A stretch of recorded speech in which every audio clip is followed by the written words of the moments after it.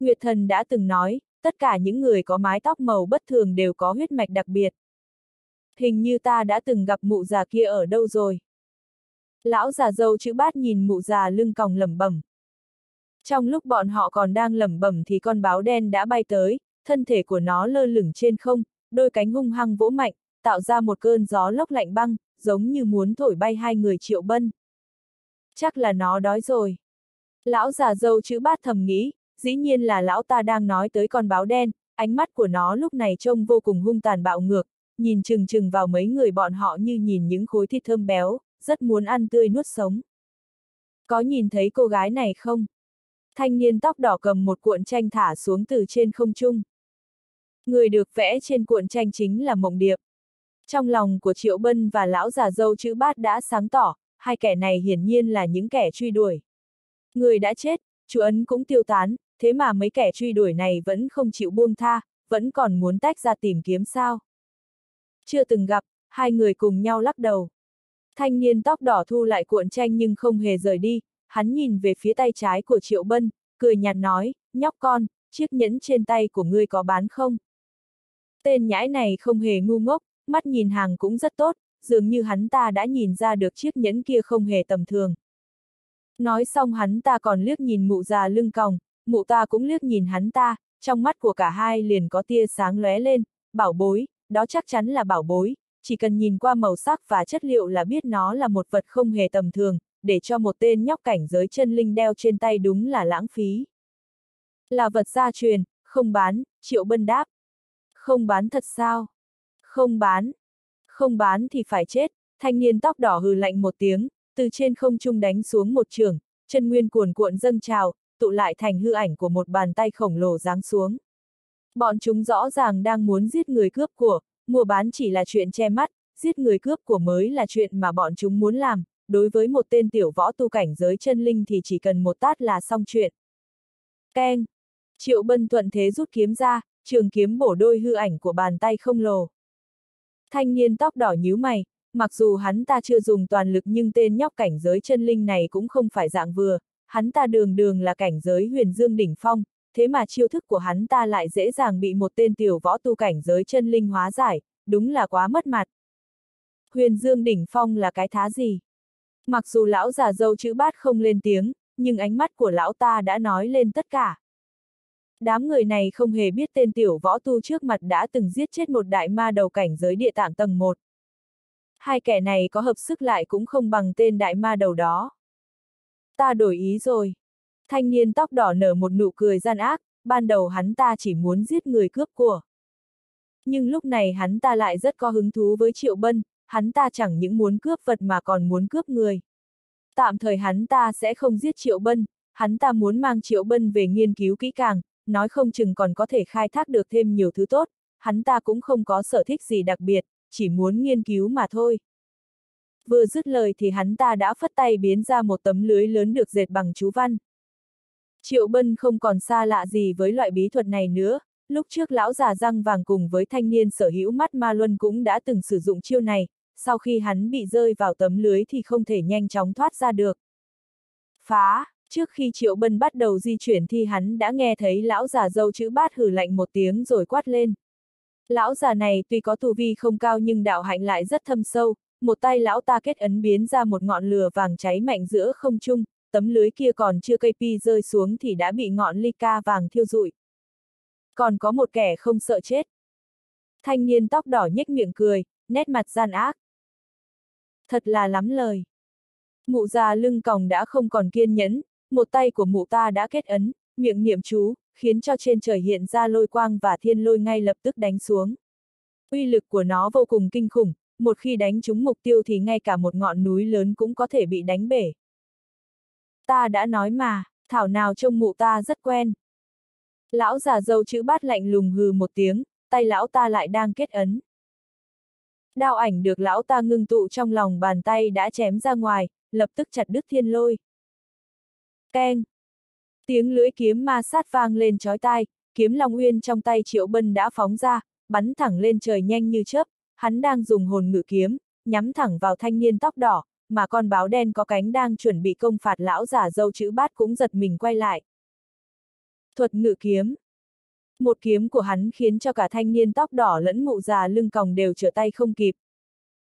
Nhìn thấy thanh kiếm đang phóng tới nhanh như chớp, con báo đen hung hãn cũng hoảng sợ, vội vàng dương cánh bay lên cao.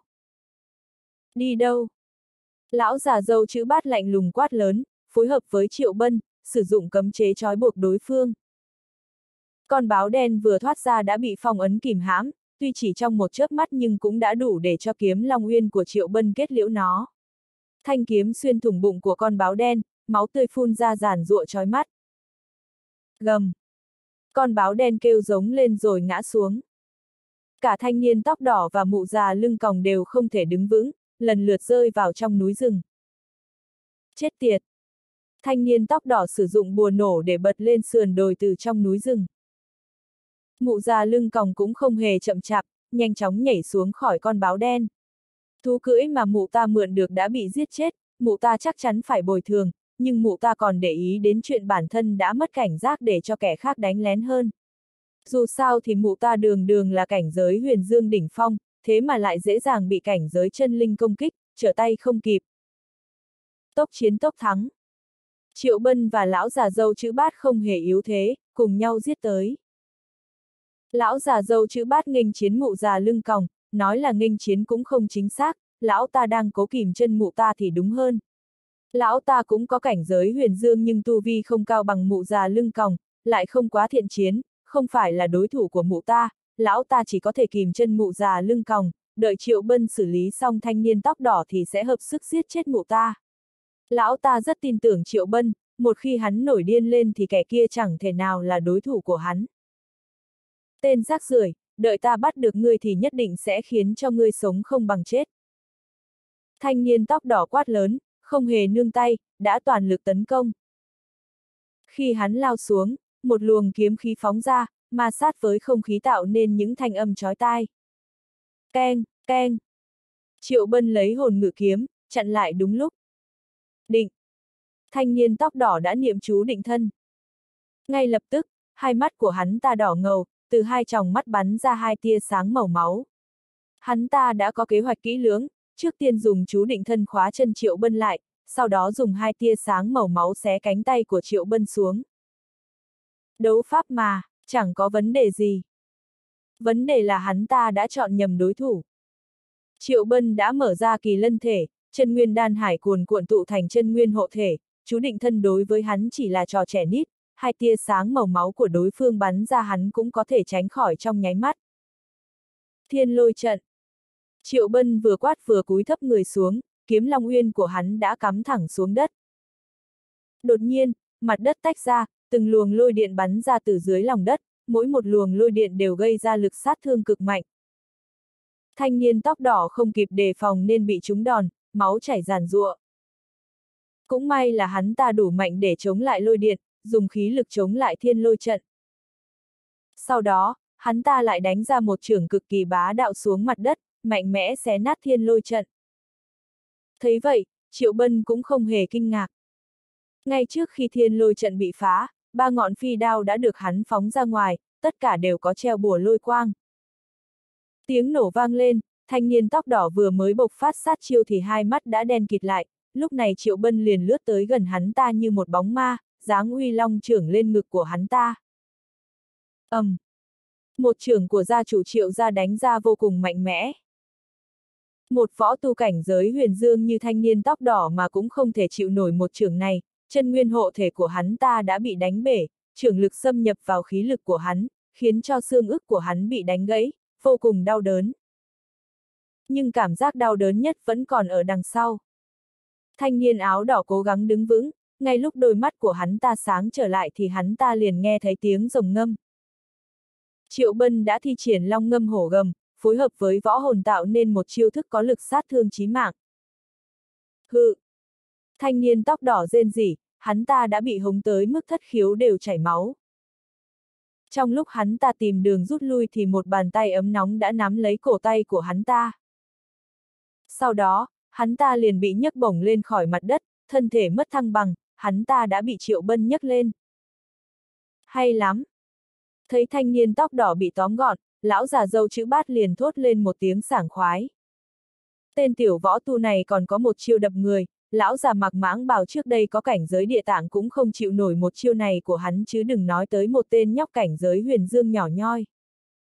ầm, um. Thanh niên tóc đỏ bị đập xuống đất, khiến cho cát đá chỗ đó bay tứ tung. Hắn ta ngay lập tức phun ra một ngụm máu tươi cao hơn một thước, cả người bị đập ác liệt đến mức thần trí của hắn ta cũng trở nên mơ mơ hồ hồ. A hát hát hát. Hắn ta gầm lên một tiếng, cơn phẫn nộ của hắn ta đã dâng lên đến tột đỉnh. Lần này tới lượt Triệu Bân không kịp đề phòng, trước khi đập thanh niên tóc đỏ xuống lần nữa thì hắn ta đã bất ngờ nhảy ra. Thanh niên tóc đỏ mở ra một cấm thuật. Giữa ấn đường của hắn ta bỗng nổi lên chú văn hình ngọn lửa, chắc đó là cấm pháp huyết mạch truyền thừa của hắn ta, hiện giờ mở ra, khí huyết của hắn ta đã trở nên cường bạo vô cùng, thân thể trong nháy mắt cao lên hai trượng, khiến cho y phục màu đen trên người đều bị nứt toát. Trên ngực của hắn ta còn lộ ra những chú văn kỳ dị, quỷ dị hơn chính là trên một bên vai của hắn ta còn lộ ra những lớp vảy màu đen sẫm. Đây là loại huyết mạch gì vậy? Triệu Bân lẩm bẩm, thanh niên tóc đỏ có vảy trên người, trên trán còn có thêm một cái sừng giống như sừng bò, nhìn thoáng qua cũng có thể thấy hắn ta càng lúc càng trông giống yêu quái hơn, chỉ riêng hình thái lúc này cũng đã đủ để dọa chết người rồi. Loại huyết mạch gì đây? Lão già dâu chữ bát nhíu mày, người có kinh nghiệm phong phú như lão ta cũng chưa từng gặp qua chuyện này. Chỉ có mụ già lưng còng là hiểu rõ, tất nhiên sẽ không dây dưa với hai người triệu bân nữa, mụ ta ngay lập tức đánh ra một trường khiến cho lão già dâu chữ bát hộc máu lui về phía sau.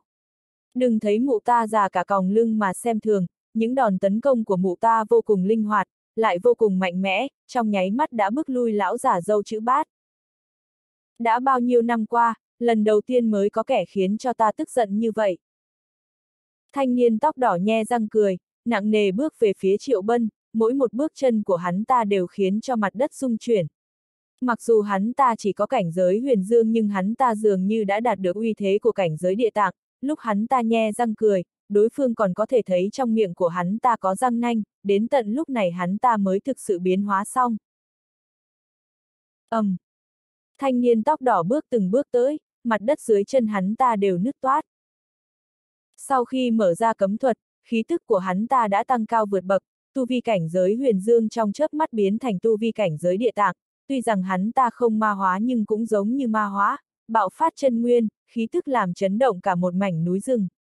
Nguồn năng lượng vừa được bơm thêm vào cơ thể của hắn ta quá mạnh mẽ, hắn ta không thể nào khống chế được, cho nên ngay cả thần trí của hắn ta cũng đã dần dần bị ăn mòn, làm hắn ta mất đi sự tỉnh táo, hai mắt của hắn ta đã bị bao phủ bởi màu máu đỏ ngầu. Keng! Triệu bân tấn công nhanh như gió chớp, một kiếm đâm tới. Thanh niên tóc đỏ âm trầm cười một tiếng, hắn ta chỉ đứng yên tại chỗ, lúc sắp bị trúng chiêu thì hắn ta liền vươn tay ra nắm chặt lấy mũi kiếm, cho dù chân nguyên của Triệu Bân có dâng lên mãnh liệt đến thế nào thì cũng không đâm sâu thêm được một phân nào nữa. Mạnh như vậy sao, lão già dâu chữ bát rất kinh ngạc. Lão ta biết Triệu Bân đã đâm tới một đường kiếm mạnh đến thế nào, nhưng nó vẫn dễ dàng bị chặn lại. Chỉ có mụ già lưng còng là biết rõ thanh niên tóc đỏ có cấm thuật truyền thừa, một khi mở ra cấm thuật thì tu vi sẽ đạt tới cảnh giới địa tạng. Triệu Bân cho dù có mạnh thì một tên tiểu võ tu cảnh giới chân linh như hắn cũng sẽ có được bao nhiêu chiến lực chứ, chắc chắn hắn không thể gây ảnh hưởng gì lớn tới cảnh giới địa tạng. Hình thái này thật bá đạo. Triệu Bân lẩm bẩm, hắn có thể cảm nhận được thực lực của thanh niên tóc đỏ một cách rõ ràng. Kẻ đối diện hắn lúc này đã không còn là con người nữa, hắn ta đã hoàn toàn biến thành bộ dạng của yêu quái, thể chất quá cường đại, ngay cả một người đã mở ra kỳ lân thể như Triệu Bân cũng không thể gây ra thương tổn cho kẻ này chỉ trong một chiêu. Chết đi! Thanh niên tóc đỏ rú lên, một tay khóa chặt kiếm Long Uyên, tay kia thì vươn ra muốn tóm lấy Triệu Bân. Triệu Bân đã đoán trước được điều đó, hắn bay về phía sau tránh né, trong khi hắn đang lui về phía sau thì hai ngón tay của hắn liền khép lại, cách không điểm về phía của thanh niên tóc đỏ. Hai ngón tay của hắn điểm ra một luồng khí huyền hoàng sắc nhọn xuyên qua không trung, nhưng đáng tiếc, hắn vẫn khó có thể phá vỡ phòng ngự của thanh niên tóc đỏ, chỉ có thể khiến đối phương phát hỏa một chút. ầm, um.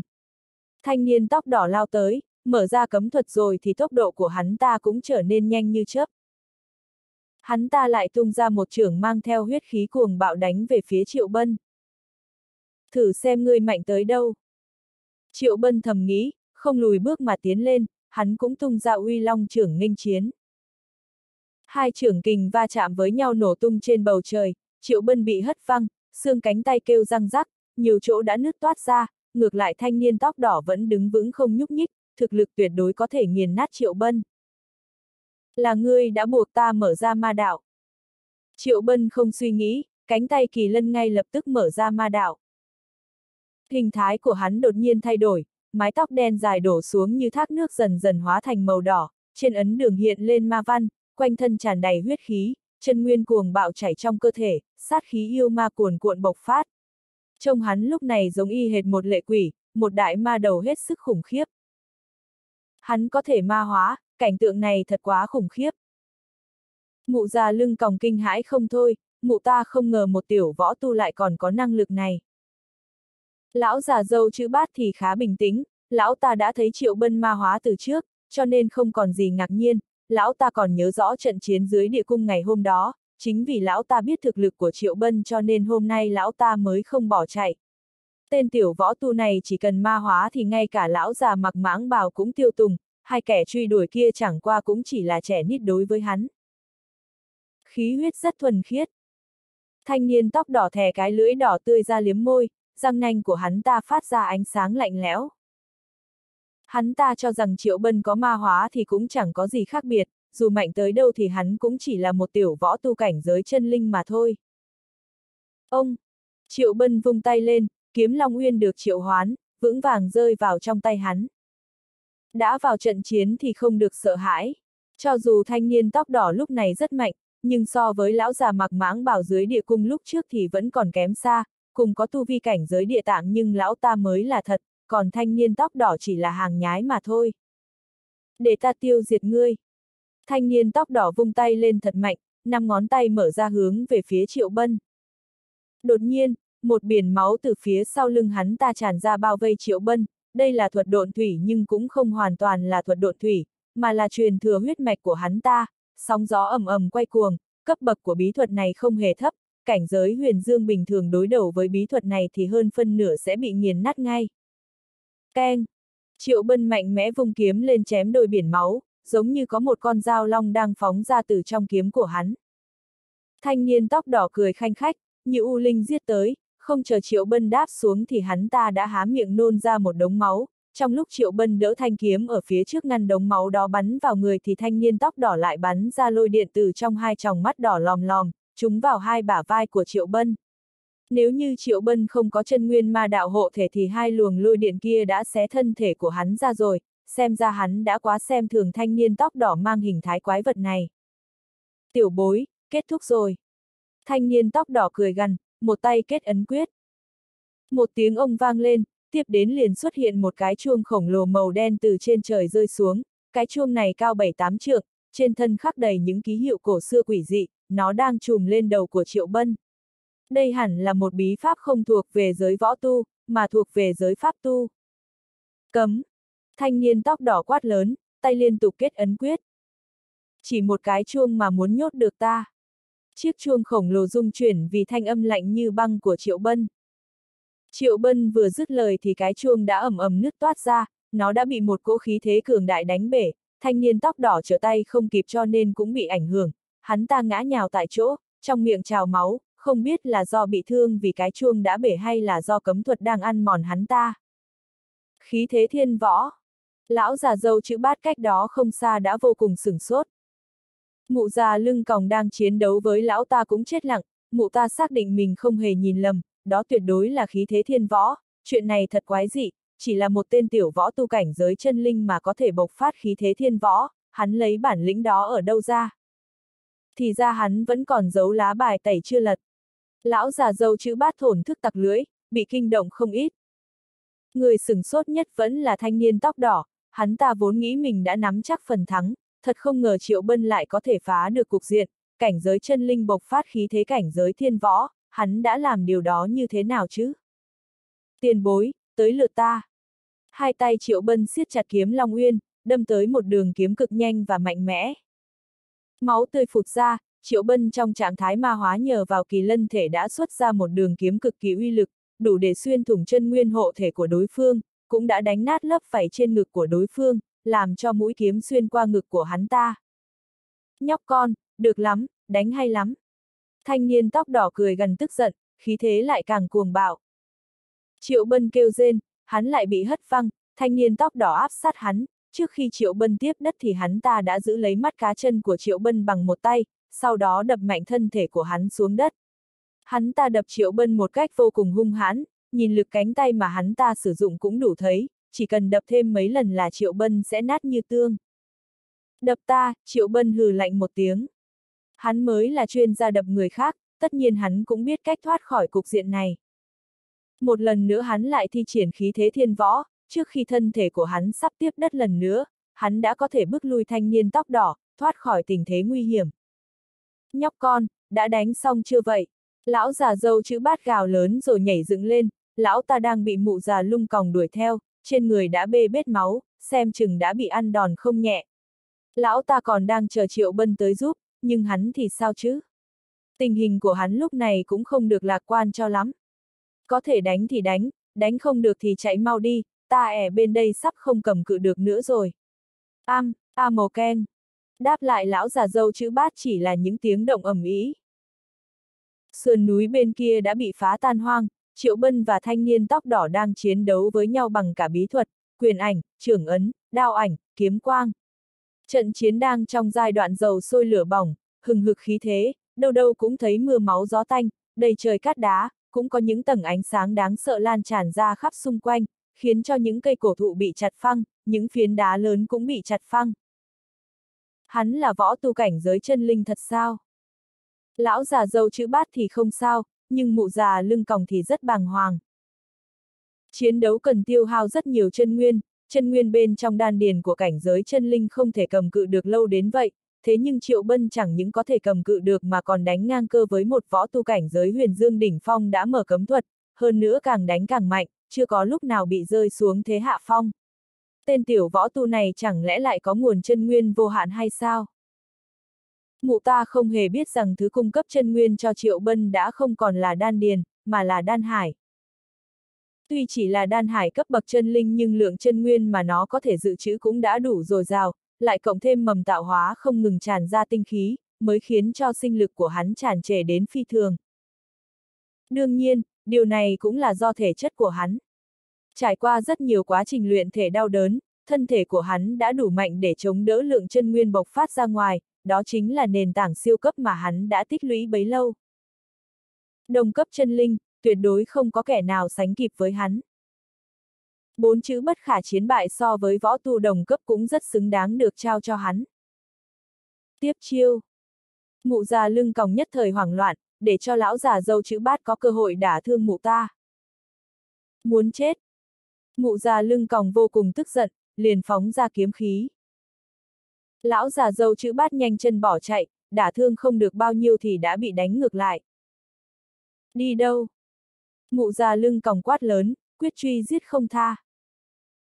Hai người truy đuổi vào tận sâu trong rừng, không thấy bóng dáng đâu, chỉ nghe thấy tiếng gầm rú của mụ già lưng còng và tiếng gào lớn của lão già dâu chữ bát, chim chóc giật mình bay tán loạn, cả một mảnh rừng ngay lập tức trở nên hỗn độn. ầm, ầm, keng. Bên kia náo nhiệt, bên này lại càng náo nhiệt hơn. Nhìn từ xa thì thấy đó là một trận chiến giữa một con lệ quỷ và một con yêu quái, tà khí hoành hành, sát khí yêu ma bạo phát. Một bên là cảnh giới chân linh đỉnh phong, một bên là cảnh giới huyền dương đỉnh phong, đánh nhau hết sức ác liệt, sợ là đã đánh ra hết tất cả những chiêu thức mà bản thân lĩnh ngộ được từ trước đến nay. Cảnh giới chân linh sao lại có chân nguyên dồi dào như vậy? Thanh niên tóc đỏ nghiến răng nghiến lợi, thật sự là càng đánh càng kinh hãi. Hắn ta có cảnh giới huyền dương đỉnh phong đó. Đan điền của hắn lớn hơn đan điền của cảnh giới chân linh gấp 10 lần, nhưng đánh tới cạn kiệt chân nguyên cũng chưa thắng được Triệu Bân. Hắn ta đã không thắng được Triệu Bân mà khí thế của Triệu Bân lại càng lúc càng cường hãn, thực lực càng đánh càng mạnh mẽ. Yêu nghiệt, tên tiểu bối cảnh giới chân linh này đúng là yêu nghiệt. Thanh niên tóc đỏ rất kinh ngạc vì Triệu Bân. Dưới cảnh giới địa tạng không ai có thể đánh thắng được hắn ta, cho dù hắn ta không mở ra cấm thuật thì cũng không có kẻ nào có thể làm đối thủ của hắn ta. Nhưng ngày hôm nay, một tiểu bối cảnh giới chân linh đã làm cho hắn ta thật sự cảm thấy khiếp sợ. Huyền hoàng nhất khí, phong lôi quyết. Thanh niên tóc đỏ nhất thời hoảng loạn, đã gây ra hậu quả vô cùng nghiêm trọng. Triệu Bân đã đánh tới, hắn nắm chặt kiếm Long Uyên trong tay, thân thủ huyền chuyển như gió, tốc độ nhanh như tia chớp, một kiếm phóng ra lôi điện, lôi trợ phong thế, phong trợ lôi uy, hai luồng phong lôi phối hợp cộng thêm khí huyền hoàng khiến cho thiên lôi kiếm quyết càng thêm cường đại, trong chớp mắt tạo nên một kiếm quyết đỉnh cao. Thanh niên tóc đỏ chợt biến sắc. Đường kiếm này không chỉ có kiếm uy mà còn có kiếm ý hủy diệt mọi thứ. Không sai, đó chính là kiếm ý, một tên tiểu võ tu cảnh giới chân linh mà đã có thể ngộ ra kiếm ý, đường kiếm của hắn còn chưa trúng mục tiêu thì kiếm ý đã phá hủy ý chí của thanh niên tóc đỏ, khiến cho hắn ta cảm thấy lạnh thấu xương. Chặn! Thanh niên tóc đỏ hét lớn, hắn ta khó có thể tránh được, chỉ có thể chống đỡ. Trong chớp mắt, trước mặt hắn ta đã ngưng tụ ra một tấm khiên màu đen, đây là do hắn ta đã dùng hết sức bình sinh bạo phát chân nguyên, ngưng tụ lại thành một tấm khiến che chắn ở trước ngực. Sau khi ngưng tụ ra tấm khiên này, vảy trên cơ thể của hắn ta chẳng những tụ lại mà còn bao chặt bên ngoài vị trí trái tim.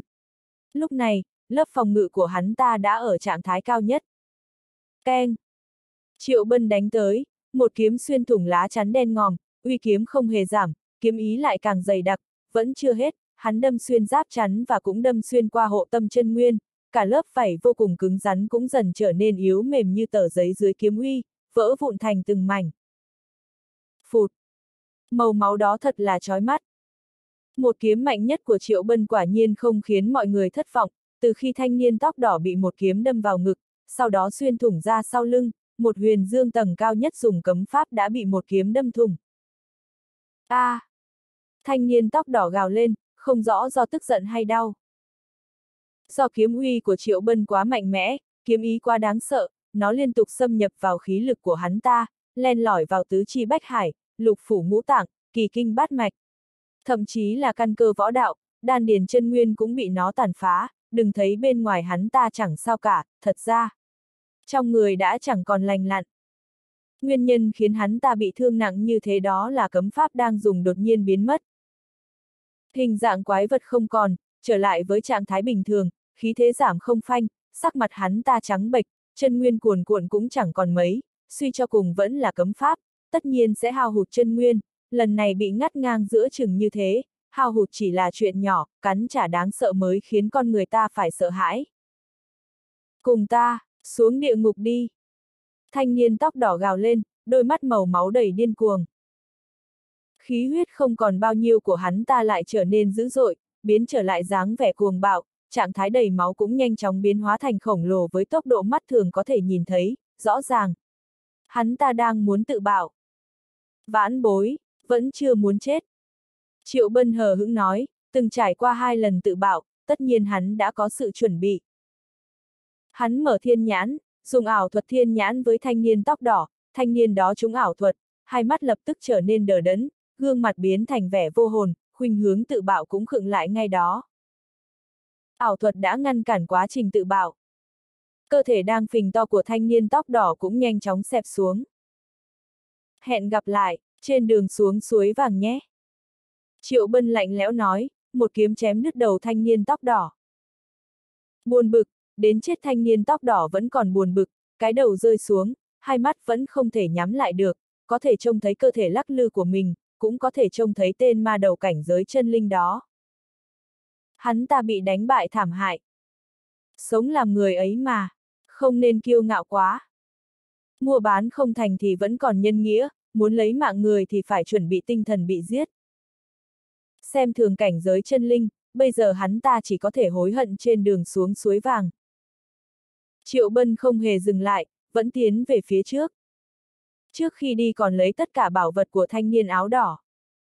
Rừng sâu nước độc, tiếng gầm rú cứ vang mãi không ngừng, từ xa đã có thể thấy đá vụn bay tứ tung, cây cổ thụ biến thành từng mảnh nhỏ, giữa không trung có mùi máu, phần lớn thuộc về dâu chữ bát, bị đánh rất là thê thảm, lực chiến quá kém.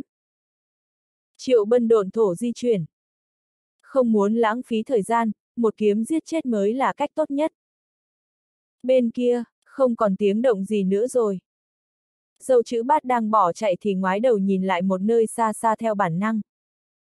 Mụ già lưng còng đuổi theo lão ta cũng thi thoảng ngoái đầu lại xem, sau đó nở nụ cười, khỏi cần phải hỏi, chắc chắn là thanh niên tóc đỏ đã giết tên võ tu kia rồi, tuy tên đó có yêu nghiệt cách mấy thì cũng chỉ là cảnh giới chân linh, nếu đánh bảo mòn sức dần dần, hắn làm gì đánh lại cảnh giới huyền dương. Chờ xem, lát nữa sẽ là tình huống hai đánh một đấy. Nếu người bị giết thì đây quả là chuyện hết sức hoang đường. Dâu chữ bát thầm nói, bước chân vẫn lướt đi rất nhanh. Mụ già lưng còng đuổi tới, dùng thuật độn thổ để dâng một ngọn núi nhỏ lên hòng cản đường dâu chữ bát, mụ ta thì như một bóng ma, vẫn là u mang với sức mạnh tuyệt đối. Dâu chữ bát xoay người lại, sắc mặt trắng bệch. Lần này lão ta không thể tránh né được, nhưng một khi chúng chiêu thì chắc chắn sẽ chết. Keng! Trong những tia lửa lóe lên thì đột nhiên có tiếng kiếm.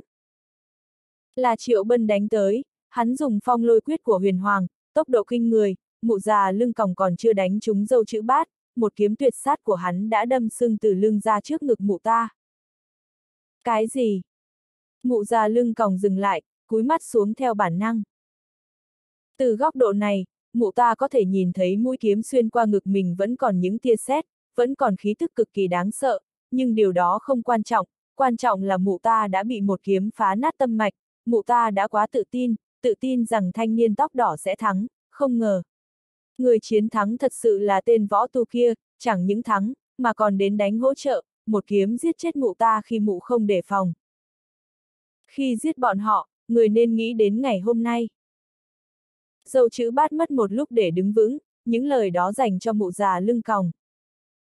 Lão ta biết mụ già này, hai người còn có ân oán cũ, lão ta là nhân chứng cho một vụ huyết án. Phụt! Mụ già còn chưa nói gì thì Triệu Bân đã rút Long Uyên ra.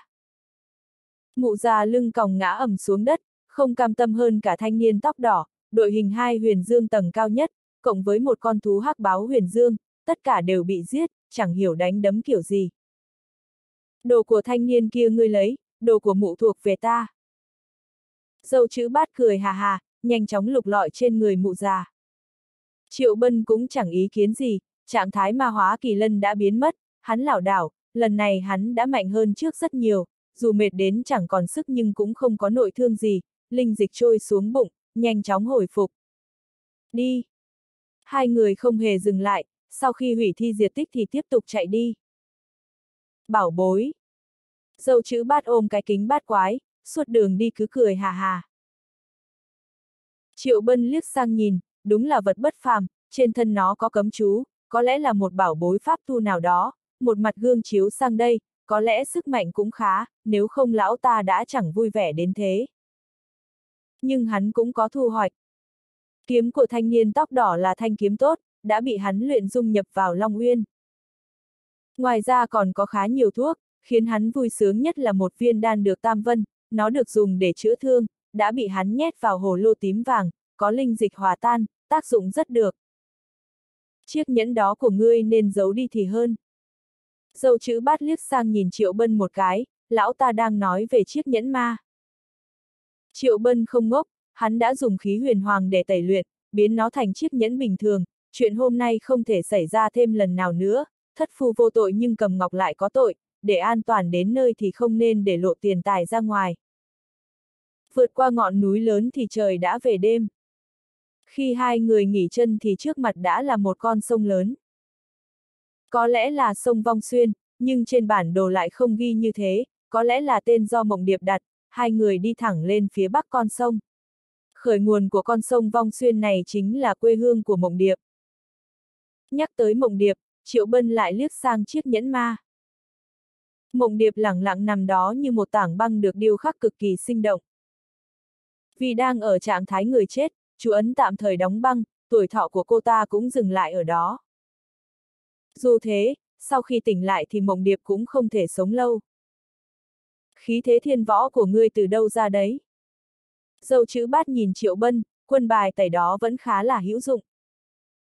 Lúc ở dưới địa cung bị lão già mãng bào đuổi theo gần như phát cuồng đến nơi vẫn không thấy triệu bân dùng đến con bài tẩy đó, hôm nay lão ta cũng mới biết được, đúng là mở mang tầm mắt, khiến lão ta ngày càng cảm thấy mình không thể nhìn thấu con người này. Bí mật, Triệu Bân thoải mái trả lời. Dâu chữ bát không cho là đúng, lão ta đang muốn học nhưng có lẽ Triệu Bân sẽ không dạy. Đoạn đường sau đó cũng không được yên bình cho lắm. Những kẻ đuổi giết mộng điệp cứ xuất hiện liên tục, có huyền dương và cũng có địa tàng nhưng bọn họ đều lanh trí trốn thoát, không phải họ sợ, chỉ là không muốn kéo dài thời gian, tác dụng của đan dược giả chết đang dần biến mất. Mộng điệp sống lại, chiếc nhẫn ma sẽ không để cô ta ở đó nữa. Có lẽ sẽ tới trước khi trời sáng. Dâu chữ bát nhìn bản đồ, đoán chừng. Triệu Bân không đáp, hắn tạo ra phân thân đi xung quanh để dò thám, một phân thân gỗ mang đi thăm dò thế này không quen tí nào, thuật phân thân sức mẻ, phải cố gắng phát huy hết mới dùng được. Ngươi, dùng sách lậu hả? Dâu chữ bát giơ tay trọt trọt phân thân của Triệu Bân. Ông có bản đầy đủ không? Triệu Bân giơ tay, thử hỏi. Phân thân, lão tử không thèm dùng nhé. Không có thì cứ nói thẳng, vòng vo làm gì, Triệu Bân chuyển tầm mắt, tiếp tục nghiên cứu phân thân của mình, vừa nghiên cứu vừa úp mở hỏi một câu, ông biết ma nữ là ai không? Khi lão già mặc mãng bào chết có nhắc tới cái tên đó. Cái đó mà cũng không biết, thánh nữ ma ra đấy, dâu chữ bát sốc một ngụm rượu. Thánh nữ ma ra, triệu bân thì thào. Hắn cũng có nghe nói một hai điều về ma ra, hành tung kỳ lạ, bọn họ đều là những kẻ chúa cay, chữ ma đó chính là một nhánh rất mạnh của ma tộc, ma tộc từ thời chiến quốc đã bị các quốc gia liên hợp giết chết, có lẽ thế hệ sau của họ chính là ma gia. Nếu nói thế thì người có một giọt ma huyết là hắn cũng có mối quan hệ sâu xa với ma gia, nhưng không biết là ma gia bây giờ còn được bao nhiêu phần của ma tộc năm đó, lạc đà gầy còn to hơn ngựa, thể diện vẫn còn đó thì bốn phương cũng không dám đụng tới, hơn nữa còn sợ hãi. Ở thành Minh Nguyệt, tên dùng ma luân huyết tế đốt hoa đô có lẽ chính là ma tử, thánh tử ma gia, dâu chữ bát tiếp tục nói, lão già này từng giao thủ với tên đó, ngọn lửa đen đó rất quỷ dị, có thấy không, da đầu ta cũng từng bị thứ đó nốt một lần. Thảo nào, triệu bân thì thảo. Tương truyền rằng mắt ma luân là thứ chỉ có hậu duệ ma gia mới có thể thức tỉnh. Nó không phải là tuyệt đối mà khó đến mức gần như bằng không, e là trong trăm ngàn người cũng không có người nào thức tỉnh nổi mắt ma luân, một khi thức tỉnh thì sức sát thương cực kỳ đáng sợ. Gặp phải tên đó thì tốt nhất nên chạy cho nhanh, dâu chữ bát khoanh tay, nếu bị nhắm chúng thì chỉ có thể tự phá hủy bản thân mình, ta đã nghiên cứu rất nhiều năm nhưng vẫn chưa tìm ra cách nào để dập lửa. Mắt ma luân chỉ có một loại cấm thuật là ma luân huyết tế ư. Thế thì ngươi xem thường mắt ma luân quá rồi, dâu chữ bát thong thả nói, lão phu từng tìm trong sách cổ, cấm thuật của loại mắt đó có tới mấy cái cơ. Nhưng phần lớn người thức tỉnh đều dùng huyết tế. Nói tới đây, dâu chữ bát nhìn Triệu Bân, con mắt của ngươi cũng là thiên nhãn đúng không? Ừm, Triệu Bân không giấu. Năng lực gì thế, dâu chữ bát hỏi. Thấu thị. Ừm, cũng không tệ. Dâu chữ bát nói xong còn che lại quần mình theo bản năng. Quần cộc màu đỏ, Triệu Bân thoải mái nói. Che, che làm quái gì, từ lần đầu tiên nhìn thấy lão thì ta đã biết rồi. Năm nay có lẽ là năm tuổi của lão ta, mặc quần màu đỏ thế này chắc là để trừ ta. Bớt chút thời gian, chúng ta đến sòng bạc dạo một vòng đi. Thiếu tiền quá. Dâu chữ bát vẫn ôm đúng quần, bùi mùi nói. Có thiên nhãn thật là tốt, có năng lực thấu thì càng tốt, vào sòng bạc chơi cái là thắng, chẳng thể để năng lực đó hoang phí được. Nếu lão ta mà có thiên nhãn thì mẹ nó đã kiếm được cả núi vàng. Thêm cả khí thế thiên võ, mang ra hù người một vốn bốn lời, bạc nhiều hơn cả nước. Triệu Bân gật đầu, đâu chỉ mình dâu chữ bát thiếu tiền, hắn cũng thế. Sông vong xuyên dưới ánh trăng hiền hòa hơn nhiều, gợn sóng lăn tăn. Triệu Bân và dâu chữ bát lướt đi như một cơn gió, không biết đã đổi bao nhiêu bùa tốc hành. Tất nhiên, toàn là dùng bùa tốc hành của Triệu Bân. Vì thế, dâu chữ bát nhìn Triệu Bân không dưới một lần, ánh mắt đó đầy ẩn ý, nói không chừng tiểu võ tu bên cạnh lão ta còn là một bùa sư, nếu không hắn lấy đâu ra nhiều bùa tốc hành như thế. Triệu Bân chẳng nói gì suốt cả đường đi, tập trung tìm hiểu thuật phân thân. Thiên phú của hắn cũng khiến dâu chữ bát khiếp sợ, dùng bùa tốc hành với tốc độ nhanh như thế mà vẫn phân thần được, đã thế còn chẳng đụng chúng cái cây tảng đá nào, cảnh giới huyền dương như lão ta cũng không dám lơ đãng như thế. Không biết sư phụ thế nào mới có thể dạy dỗ được một đồ đệ yêu nghiệt như thế, nếu đến thiên tông tham gia khảo nghiệm thì chắc chắn sẽ trúng tuyển, tu vi không quan trọng, tiềm năng mới quan trọng. Tối nay sắc trời không tệ. Đột nhiên, phân thân của Triệu Bân nói ra một câu như thế. Dâu chữ bát nghe thế thì liếc sang với ánh mắt kỳ quái, trước đó ánh mắt của phân thân trống rỗng, mặt mũi cũng bơ phờ, có thể thấy là một cái cột gỗ không hơn không kém. Nó có thể mở miệng nói chuyện chứng tỏ nghiên cứu của Triệu Bân vẫn có hiệu quả, ít nhất nó cũng giống người hơn, thuật phân thân sức mẻ là thế, mà nói không chừng hắn lại có thể thi triển được hoàn toàn. Sau đó, có rất nhiều âm thanh vang lên, đó là phân thân đang nói chuyện. Nhìn vẻ mặt của nó, khi thì hờ hững, khi thì cười vui, các loại sắc thái khác nhau, chứng tỏ Triệu Bân nghiên cứu không hề uổng phí, đó chỉ là bước đầu tiên, càng về sau càng có nhiều điều bất ngờ. Chẳng hạn như có thể thi triển bí thuật, tuy lực chiến thấp nhưng vào lúc quan trọng vẫn có thể hỗ trợ. Chạy đi đâu, đứng lại cho ta. Vị cô nương này có thể dè dặt một chút được không, ta đã nói là chúng ta không thích hợp đâu mà. Ăn nằm với người ta rồi lại nói là không hợp, sao không nói sớm hơn một chút. Đang chạy thì chợt nghe thấy tiếng mắng to khiến Triệu Bân và dâu chữ bát liếc sang. Đập vào mắt họ là một thanh niên áo trắng phong thái như ngọc, tốc độ cực nhanh, cứ như một vệt sáng. Trông có vẻ đang bị đuổi giết. Điển trai thật. Đó là câu đầu tiên của Triệu Bân sau khi nhìn thấy thanh niên áo trắng. Tên đó thật sự cực kỳ đẹp trai, khí chất ngọc thụ lâm phong, lại oai vũ hiên ngang, tu vi không thấp, cũng là cảnh giới huyền dương, đôi mắt sâu thăm thẳm, máu tóc đen như suối chảy xuôi, từ trong ra ngoài đều lộ rõ vẻ kỳ bí, trên mặt là thứ khí chất không cách nào che giấu. Không đơn giản. Triệu Bân khẽ thì thào, hai mắt híp lại. Thanh niên áo trắng đó không hề đơn giản, cả người tràn ngập khí huyền dị, từng đó thôi là đủ bất phàm rồi, có lẽ nó được di truyền lại, hắn ta không phải là cảnh giới huyền dương bình thường, điều đó có thể nhận ra từ khí chất. Hắn từng gặp được nhiều người thế này rồi, chẳng hạn như lâm tà thiếu chủ thiên dương, hoặc là doãn hồn thiếu chủ hắc viêm. Liếc ra đằng sau thanh niên đó, là một cô gái áo tím. Cô gái đó đang rất tức giận, tay cứ lăm lăm thanh kiếm đuổi giết không tha, dưới ánh trăng, đôi mắt trong suốt đó còn cháy hừng hực ngọn lửa, đôi gò má xinh đẹp đỏ bừng, không biết là do xấu hổ hay tức giận, đuổi tới đâu mắng tới đó, đuổi tới đâu đánh tới đó, chẳng hề nể nang gì.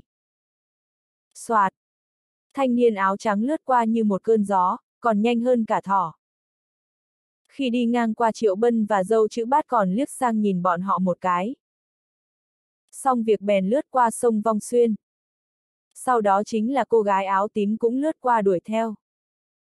Cô gái đó cũng là cảnh giới huyền dương, hơn nữa còn không phải là cảnh giới huyền dương bình thường, Triệu Bân có thể ngửi thấy khí huyết mạch từ người cô ta, chắc chắn đó là huyết mạch đặc biệt, chẳng qua nồng độ của nó. Hơi loáng, khá giống với xích hiên và nhóc tóc tím, với liễu tâm như thì không bằng.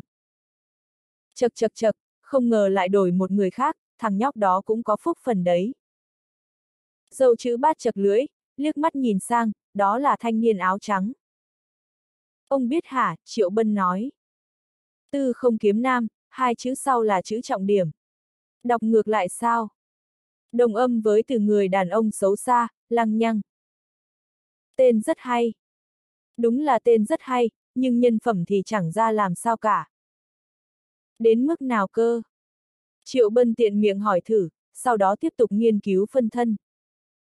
Tên đó chẳng có cái gì nhiều, chỉ có bạn gái cũ là vô số, dâu chữ bát khoanh tay nói, có thể nói là trong bán kính trăm mét này, chắc chắn sẽ có một người bạn gái cũ của hắn, hết cách rồi, người ta đẹp trai. Trông ta cũng tạm được, Triệu Bân lại đáp một câu. Người thì dẹp đi, chẳng có gì liên quan tới chữ đẹp cả, dâu chữ bát liếc nhìn Triệu Bân. Triệu Bân không nói gì nữa, đúng là mặt hắn bây giờ khá là đại trà, là kiểu có thể bốc ra được cả nắm trong đám đông ấy, nhưng mặt hắn trước kia khá là tuấn tú. Đó là sự thật, Nguyệt Thần cũng có thể làm bằng chứng. Đồ đệ của Tú Nhi cũng có duyên với con gái lắm chứ. Đoạn nhạc đệm trôi qua, tốc độ của hai người lại nhanh hơn, bùa tốc hành còn nhiều, rất nhiều, dâu chữ bát thì chán đến chết được nhưng Triệu Bân vẫn tiếp tục di chuyển, trên đường thì tập trung nghiên cứu thuật phân thân, cũng có hiệu quả rồi. Màn đêm lặng lẽ qua đi. Đêm đó cũng không hề yên tĩnh chút nào. Bọn họ lại đụng chúng người đuổi bắt Mộng Điệp mấy lần, hai người còn đánh một trận, không đánh lại thì chạy, không phải là họ không thể đánh nổi, mà là không thể gánh nổi cảnh bị đánh hội đồng. Bảy tám huyền dương tầng cao nhất, ai mà chơi cho lại, cũng may là hai người chạy khá nhanh, cả con đường đầy bão táp cuối cùng cũng kết thúc. Sáng sớm, ánh mặt trời ấm áp chiếu xuống mặt đất. Hai người cũng không ngừng, xem bản đồ vài lần thì còn chút nữa thôi là đến cuối sông, mộng điệp trong chiếc nhẫn ma cũng bắt đầu tan ra, tác dụng của đan dược giả chết dần mất đi, khi nó mất đi một phần thì băng cũng sẽ tan đi một phần. Chiếc nhẫn ma theo đó run lên, có vẻ đang muốn ném mộng điệp ra ngoài. Keng, keng. Tiếng kiếm cứ vang lên không dứt, nó đến từ phân thân của Triệu Bân. Đi suốt cả một đêm, hắn vẫn không uổng phí thời gian, cố gắng thi triển thuật phân thân mạnh hơn, chẳng những biết nói chuyện mà còn có thể thi triển chiêu kiếm đơn giản, đó là một bước đột phá lớn, nếu tiếp tục luyện như thế, chắc chắn có thể thi triển ra nhiều bí thuật hơn, sau này gặp phải đánh nhau thì nói không chừng có thể giúp sức. Đúng là mẹ nó yêu nghiệt mà. Những lời như thế, không biết dâu chữ bát đã nói bao nhiêu lần. Yêu nghiệt mà lão ta nhắc đến chính là Triệu Bân, thiên phú của tên cảnh giới chân linh này cũng quá là đáng sợ, thuật phân thân sứt mẻ như thế mà cũng bị hắn thi triển đến mức toàn diện như thế, nếu là lão ta thì chắc không làm được. Xem ra người với người vẫn có sự khác biệt đáng kể, thiên phú ấy mà. Đúng là hàng ngon. Vụt. Phân thân lại biến mất một lần nữa. Bấy giờ, Triệu Bân không tiếp tục nghiên cứu nữa, hắn nhìn vào chiếc nhẫn ma, băng của mộng điệp đã tan hơn một nửa, chiếc nhẫn ma run lên dữ dội, chẳng mấy chốc nó sẽ ném mộng điệp ra ngoài. Không chứa vật sống, chiếc nhẫn ma cũng là một vật thể có nguyên tắc, tất cả những thứ có hơi người đều không được tồn tại. Lão phu bấm tay tính thì chắc là ngọn núi kia. Dâu chữ bát thở hổn hển chỉ về phía xa, ngọn núi lớn đập vào mắt. Đầu nguồn sông Vong Xuyên chính là ngọn núi đó, nơi đó chính là quê nhà của Mộng Điệp. Triệu Bân đi trước, dâu chữ bát đuổi theo phía sau. Đi vào sâu bên trong, nơi đó thật sự có một thị trấn cổ, tựa núi đạp sông, gọi nó là trấn cổ cũng không đúng, bảo nó là một cái thôn nhỏ tồn tại khá lâu thì đúng hơn. Hai người cùng bước vào, vừa đi vừa quan sát, nơi này không có người ở, có lẽ đã bỏ hoang rất nhiều năm nên nhìn đâu cũng thấy bừa bộn, hai bên giao lộ có rất nhiều nhà cửa đổ sụp xuống, cỏ dại mọc cao hơn đầu, lá cây khô rơi đầy đất, liếc mắt nhìn lại chỉ thấy sự hưu quạnh và thê lương. Có chắc là nơi này không? Dâu chữ bát nói khẽ, nhìn lướt sang Triệu Bân. Triệu Bân khẽ gật đầu, mày khẽ nhíu lại, cứ tưởng nơi này đông đúc với ánh lửa bập bùng, đến nơi mới biết nó chỉ là một nơi hoang vắng. Quê hương và nhà của Mộng Điệp gặp phải nạn lớn gì ư? Còn người thân của cô ta đã mất hay đi đâu rồi? Cả cái chấn cổ cách biệt với thế giới như vậy, lại không có bóng người. ầm, um. Âm thanh vang lên, Mộng Điệp bị chiếc nhẫn ma ném ra ngoài. Triệu Bân dùng một tay đỡ, lấy chân nguyên ôn hòa truyền vào cơ thể Mộng Điệp, xua tan phần thuốc cuối cùng còn sót lại trong người cô ta, khẽ gọi, cô gái, đến nhà rồi. Cơ thể Mộng Điệp khẽ run lên, chậm rãi mở mắt.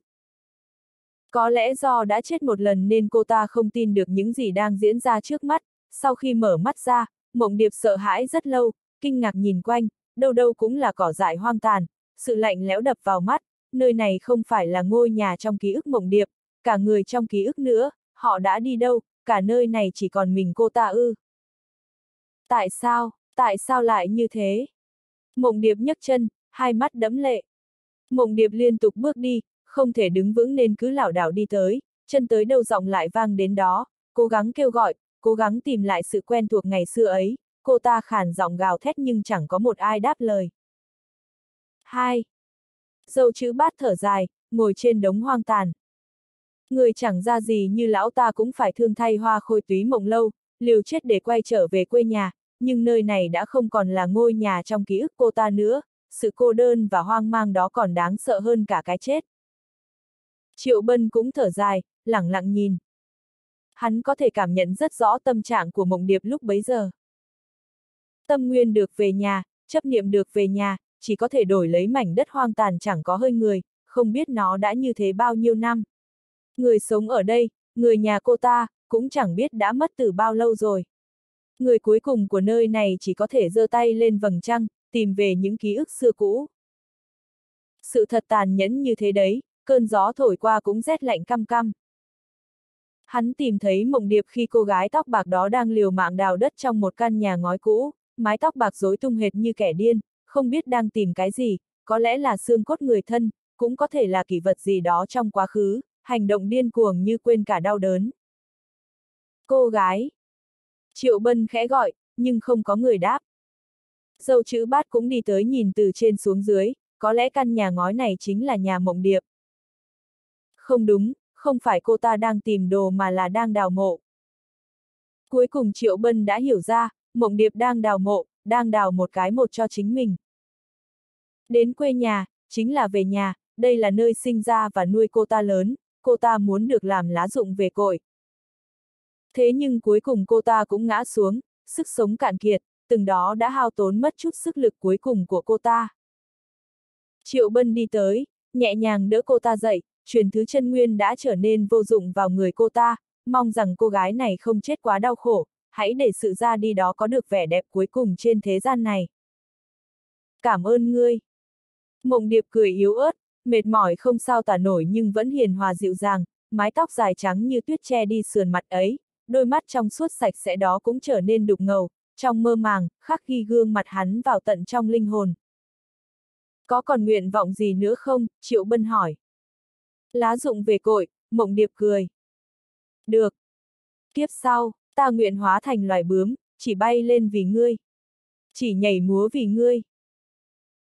Mộng điệp khẽ nói, sau đó nhẹ nhàng buông lỏng, cánh tay tái nhợt cũng chậm chạp rũ xuống, đôi mắt xinh đẹp không muốn nhắm lại cũng nhẹ nhàng.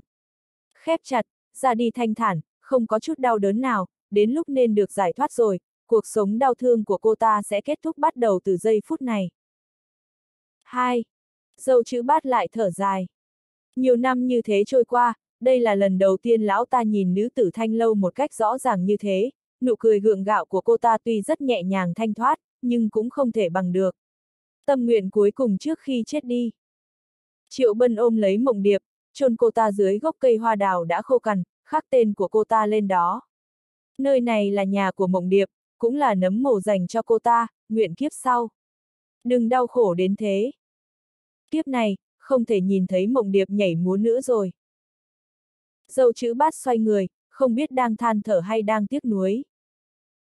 Triệu Bân nghỉ ngơi một lúc lâu mới chậm rãi xoay người, hắn nhìn lại lần cuối cùng, đi ngày càng xa, lòng càng nặng trĩu. Hắn chưa bao giờ nghĩ tới việc mình sẽ chôn một người con gái như thế, một giao dịch nghe như lời hứa, là nhân quả và cũng là trói buộc, hắn sẽ nhớ mộng điệp, nhớ đến điệu múa nhẹ nhàng xinh đẹp đó. Có lẽ đi quá xa rồi nên hai người không hề phát hiện trên cây hoa đào khô cằn ấy lại nở ra một đóa hoa dưới ánh trăng, trông như cánh bướm, cũng tựa chiêm bao. Lời hứa đã hoàn thành, bàn lại chuyện chúng ta chút đã. Dâu chữ bát sách bầu rượu, vẫn không quên đưa cho Triệu Bân một cái, sau đó đổ ào ào vào miệng mình. Ta muốn đến Thiên Tông, Triệu Bân rót một ngụm rượu. Ta biết người muốn đến Thiên Tông, trước khi tới đó, người đi theo ta tới một nơi đã. Đi đâu? Huyễn vụ U Lâm, trong đó có. Này! Dâu chữ bát còn chưa nói xong đã nhíu mày nhìn lên trời, có một thú cưỡi bay đang bay về phía này, có lẽ là người đuổi bắt mộng điệp, trước đó cô ta tỉnh lại một khoảng thời gian ngắn, có lẽ chú Ấn đã cảm nhận được. Chẳng những trên trời mà dưới khu rừng cũng có rất nhiều con thú gào thét, đều là thú cưỡi cả, sói lửa, hổ đen, gấu lớn.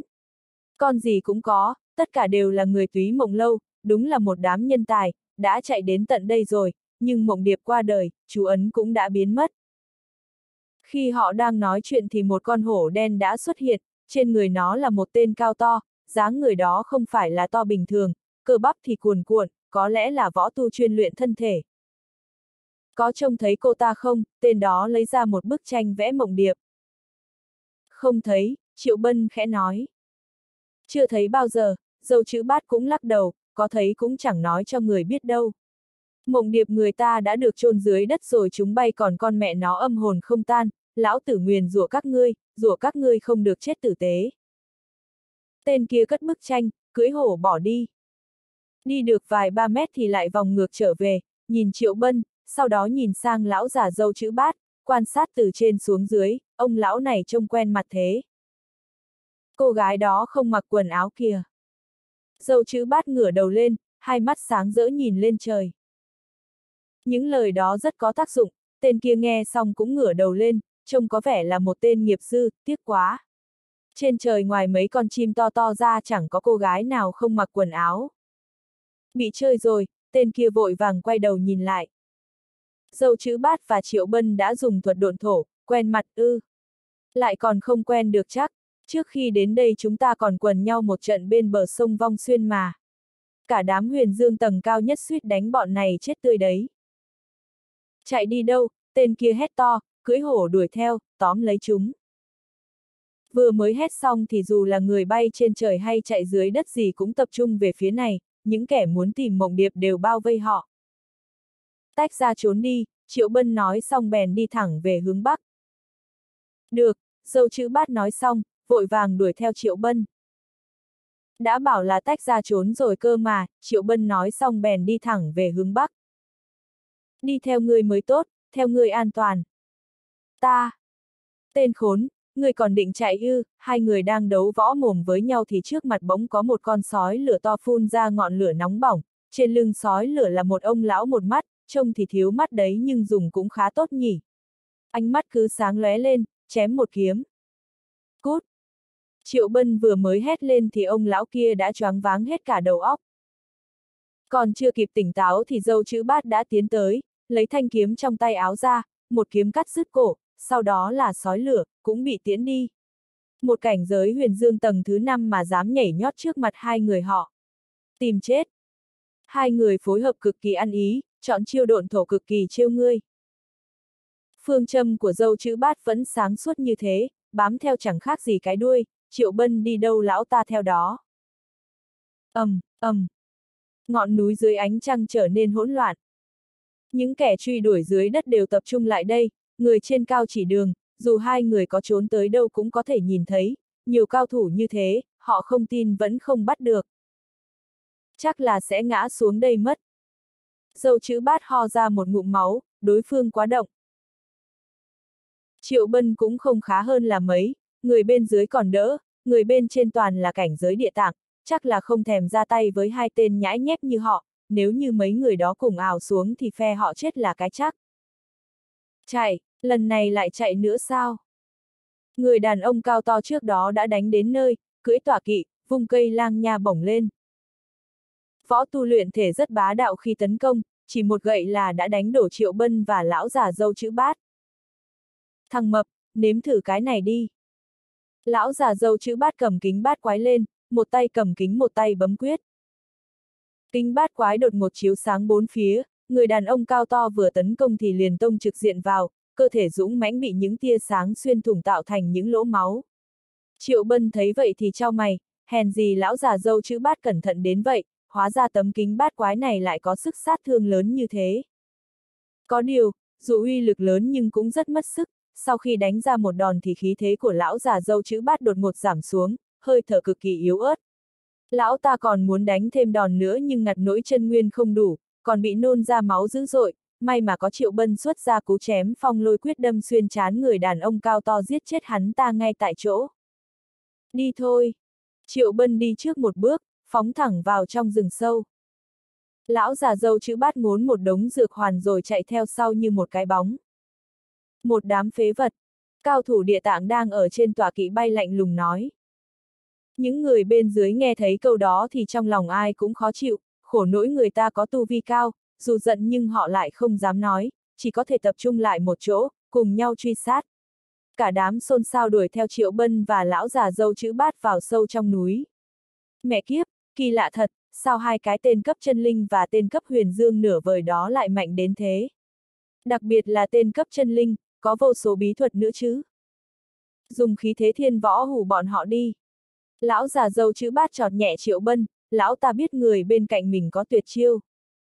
Ông nghĩ người trên không bị mù rồi sao, Triệu Bân lau máu bên khóe miệng, đối phương lúc nào cũng nhìn chằm chằm bọn họ, từ cấp chân linh đột ngột biến thành cấp thiên võ thì có quỷ mới tin, vì vậy, tìm một hang núi là chắc nhất. Hơn nữa, chưa chắc cách này có tác dụng. Đã từng có bài học thất bại trước đó, không phải ai cũng dễ gạt như lão mập. Khi thật sự bị ép đến đường cùng thì hắn chỉ có thể kéo vua man và vua âm nguyệt đến dương gian dạo một vòng thôi. ầm, um, bùm. Cả khu rừng hỗn loạn vì cuộc truy sát vô cùng lộn xộn. Triệu Bân và lão già dâu chữ bát chạy phía trước, cả hai đều bị thương không nhẹ, may mà mấy cao thủ địa tạng ở trên không chưa tham gia vào cuộc chiến, nếu như họ đều xuống tham dự cuộc săn đuổi thì tình thế của hai người sẽ không đơn giản chỉ là bị thương nữa, mà sẽ phải chết tại đó. Ta biết ngươi vẫn còn tuyệt chiêu, đem ra hù bọn họ đi. Lão già dâu chữ bát như một tên lắm mồm, bị đuổi sát nút mà còn không chịu an phận, bép xếp mãi không thôi. Triệu Bân không thèm để mắt đến lão ta, đúng là hắn có tuyệt chiêu, nếu như kéo vua âm nguyệt và vua man ra thì đúng thật là có thể hù đối phương sợ đến chết dở sống dở, nhưng vấn đề là khi không có nguyệt thần ra mặt, nếu như hắn lại quấy rối sự yên tĩnh của bọn họ thì không cần đám người đó giết chết, hai vị vua đó cũng sẽ tung trưởng đánh chết hắn rồi. Vì vậy khi chưa đến thời khắc sinh tử cuối cùng thì hắn tuyệt đối không dùng đến quân bài này, vì như thế là đang đánh cược bằng mạng sống. Dù lên trời hay xuống đất thì ngươi cũng không trốn được đâu. Giọng nói vang từ trên không trung xuống lạnh lùng và vô tình giống như một vị vua đang tuyên phạt. Tổng cộng có đến mười mấy cao thủ cảnh giới địa tạng, thế trận này thật sự rất lớn, thế lực của túy mộng lâu vượt xa vẻ đơn giản bên ngoài của nó, ít nhất thì thành chủ thành minh nguyệt cũng không thể chọc tới, có ai dính líu đến đế đô mà là hạng cùi mía đâu, e là tử y hầu cũng phải nể ba phần. Dù lên trời hay xuống đất thì ngươi cũng không trốn được đâu. Đám người truy sát ở dưới đất, ai nấy cũng khí thế hừng hực. Bọn họ đông người nên đương nhiên là phải tự tin. Lão già dâu chữ bát chửi thầm, thử cho đám cấp địa tạng đó rút lui thử xem, dù có liều cái mạng già này thì lão già ta cũng phải kéo thêm vài tên chết theo, cộng thêm thiên tài như Triệu Bân nữa, chắc chắn có thể giết được hết một nửa bọn ngươi. Trời không tuyệt đường sống của con người, mắt Triệu Bân sáng lên. Cuối cùng hắn cũng đã nhìn thấy được một hang núi, thấp thoáng ở sâu trong rừng cây rậm rạp, đủ để bọn họ ẩn nấp, có chỗ ẩn nấp thì sẽ có thể dùng thuật che mắt, hắn rất giỏi trong việc dùng khí thế thiên võ để lừa người khác. Hắn không nghĩ nhiều, kéo lão già dâu chữ bát xuyên qua rừng cây, chui vào trong. Soạt, soạt, đám người truy sát cũng đến ngay sau đó, cả những người bay trên không và những người chạy dưới đất đều đã đến. Nhất định phải bắt sống. Một ông già áo tím hét lên trong không trung, chắc là người cầm đầu đám người truy sát họ. Ông ta vừa ra lệnh thì mười mấy võ giả cấp địa tạng lập tức nhảy khỏi tòa kỵ, phóng đến như những những tia sáng thoáng qua. ầm, um, vừa mới đến cửa động, còn chưa vào, bên tai đã thấy tiếng nổ dữ dội từ trong động, cú ổ khiến cả ngọn núi đều rung chuyển, đá vụn lăn xuống, đừng nói những người ở bên dưới, đến cả những tòa kỵ đang bay trên không cũng như những con chim hoảng loạn, trao đảo, những người bên trên suýt chút rơi xuống đất. Cấp, cấp thiên võ. Tất cả bọn họ đều tái mặt, không ai dám động đậy, trước đó còn sát khí đằng đằng, còn khinh miệt mỉa mai đùa giỡn, giờ thì mặt mày ai nấy cũng trắng bệch, cao thủ cấp thiên võ ở đâu ra mà trong hang núi hoang vu đó chứ. Trên trời dưới đất đều yên lặng đến đáng sợ. Người không dám dục dịch, tọa kỵ cũng không dám vỗ mạnh cánh. Cấp thiên và là nhân vật cỡ nào chưa? Là cao thủ mạnh nhất trong trời đất, chỉ cần tiến thêm một bước nữa là thành tiên, dù hoàng đệ đại hạ ở đây cũng phải khách sáo, đừng nói gì đến những thì tên nhãi nhép không tên tuổi như bọn họ.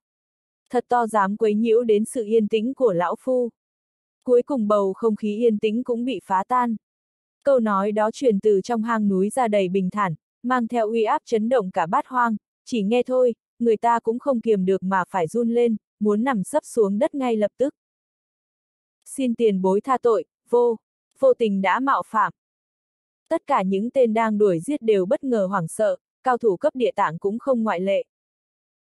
Người sống trên đời, lúc cần nhún nhường thì vẫn phải nhún nhường, cấp thiên võ không phải chỉ là cái danh ảo, một khi nổi giận thì sẽ rất đáng sợ, để tiêu diệt bọn họ thì cần gì đến một trường, chỉ cần một ngón tay thôi là đã xong rồi. Cút! Cút! Cút ngay đây ạ! À. Đám người đánh đến cửa động đều cười gượng gạo. Chỉ một chữ cút đã khiến bọn họ sợ đến nở người ra, liên tục lùi về sau. Bọn họ rút lui nhưng đám người ở trên không thì lại không rút lui. Cấp thiên võ ở đâu ra thế này, đôi mắt già nua của ông già áo tím cầm đầu tối tăm và bất định. Cấp thiên võ xuất thần nhập quỷ, ai cũng có tính tình cổ quái, người này chạy đến chỗ rừng núi hoang vu để tu luyện cũng không có gì lạ. Một ông già mặc áo màu bạc ở bên cạnh nhỏ tiếng nói, nếu đã là cấp thiên võ thì đã không phải là đối tượng mà chúng ta có thể đối phó rồi, tốt hơn nên đi sớm thôi. Ta cứ thấy có gì đó không ổn. Có trùng hợp quá không? Các cao thủ cấp địa tạng âm thầm trao đổi với nhau, hai mắt gần như híp lại cả. Cố tình tỏ ra huyền bí. Ông già áo tím cười lạnh lùng, trưởng một trưởng từ trên trời xuống. Nhìn đi, không phải tất cả mọi người đều dễ gạt như thế, người này rõ ràng có đem theo não trước khi ra khỏi cửa. ầm, um, trưởng đó của ông ta rất bá đạo. Ở dưới ngẩng đầu nhìn lên thì đó là dấu ấn hình bàn tay năm ngón khổng lồ, đủ để đánh sập ngọn núi chỉ với một trường. Vẫn có kẻ không sợ chết thật. Giọng nói lạnh lùng từ trong hang núi truyền ra, vang khắp trời đất. Lời nói vừa dứt thì uy thế bá đạo lại bộc phát, ngọn núi đang bình thường chấn động đến mức đổ sập xuống, đá vụn văng ra bị nghiền thành bụi, ấn hình bàn tay cũng bị nát vụn, đến cả ông già áo tím cũng bị kéo theo, ngã từ trên tòa kỵ xuống. Thật sự là cảnh giới thiên võ sao?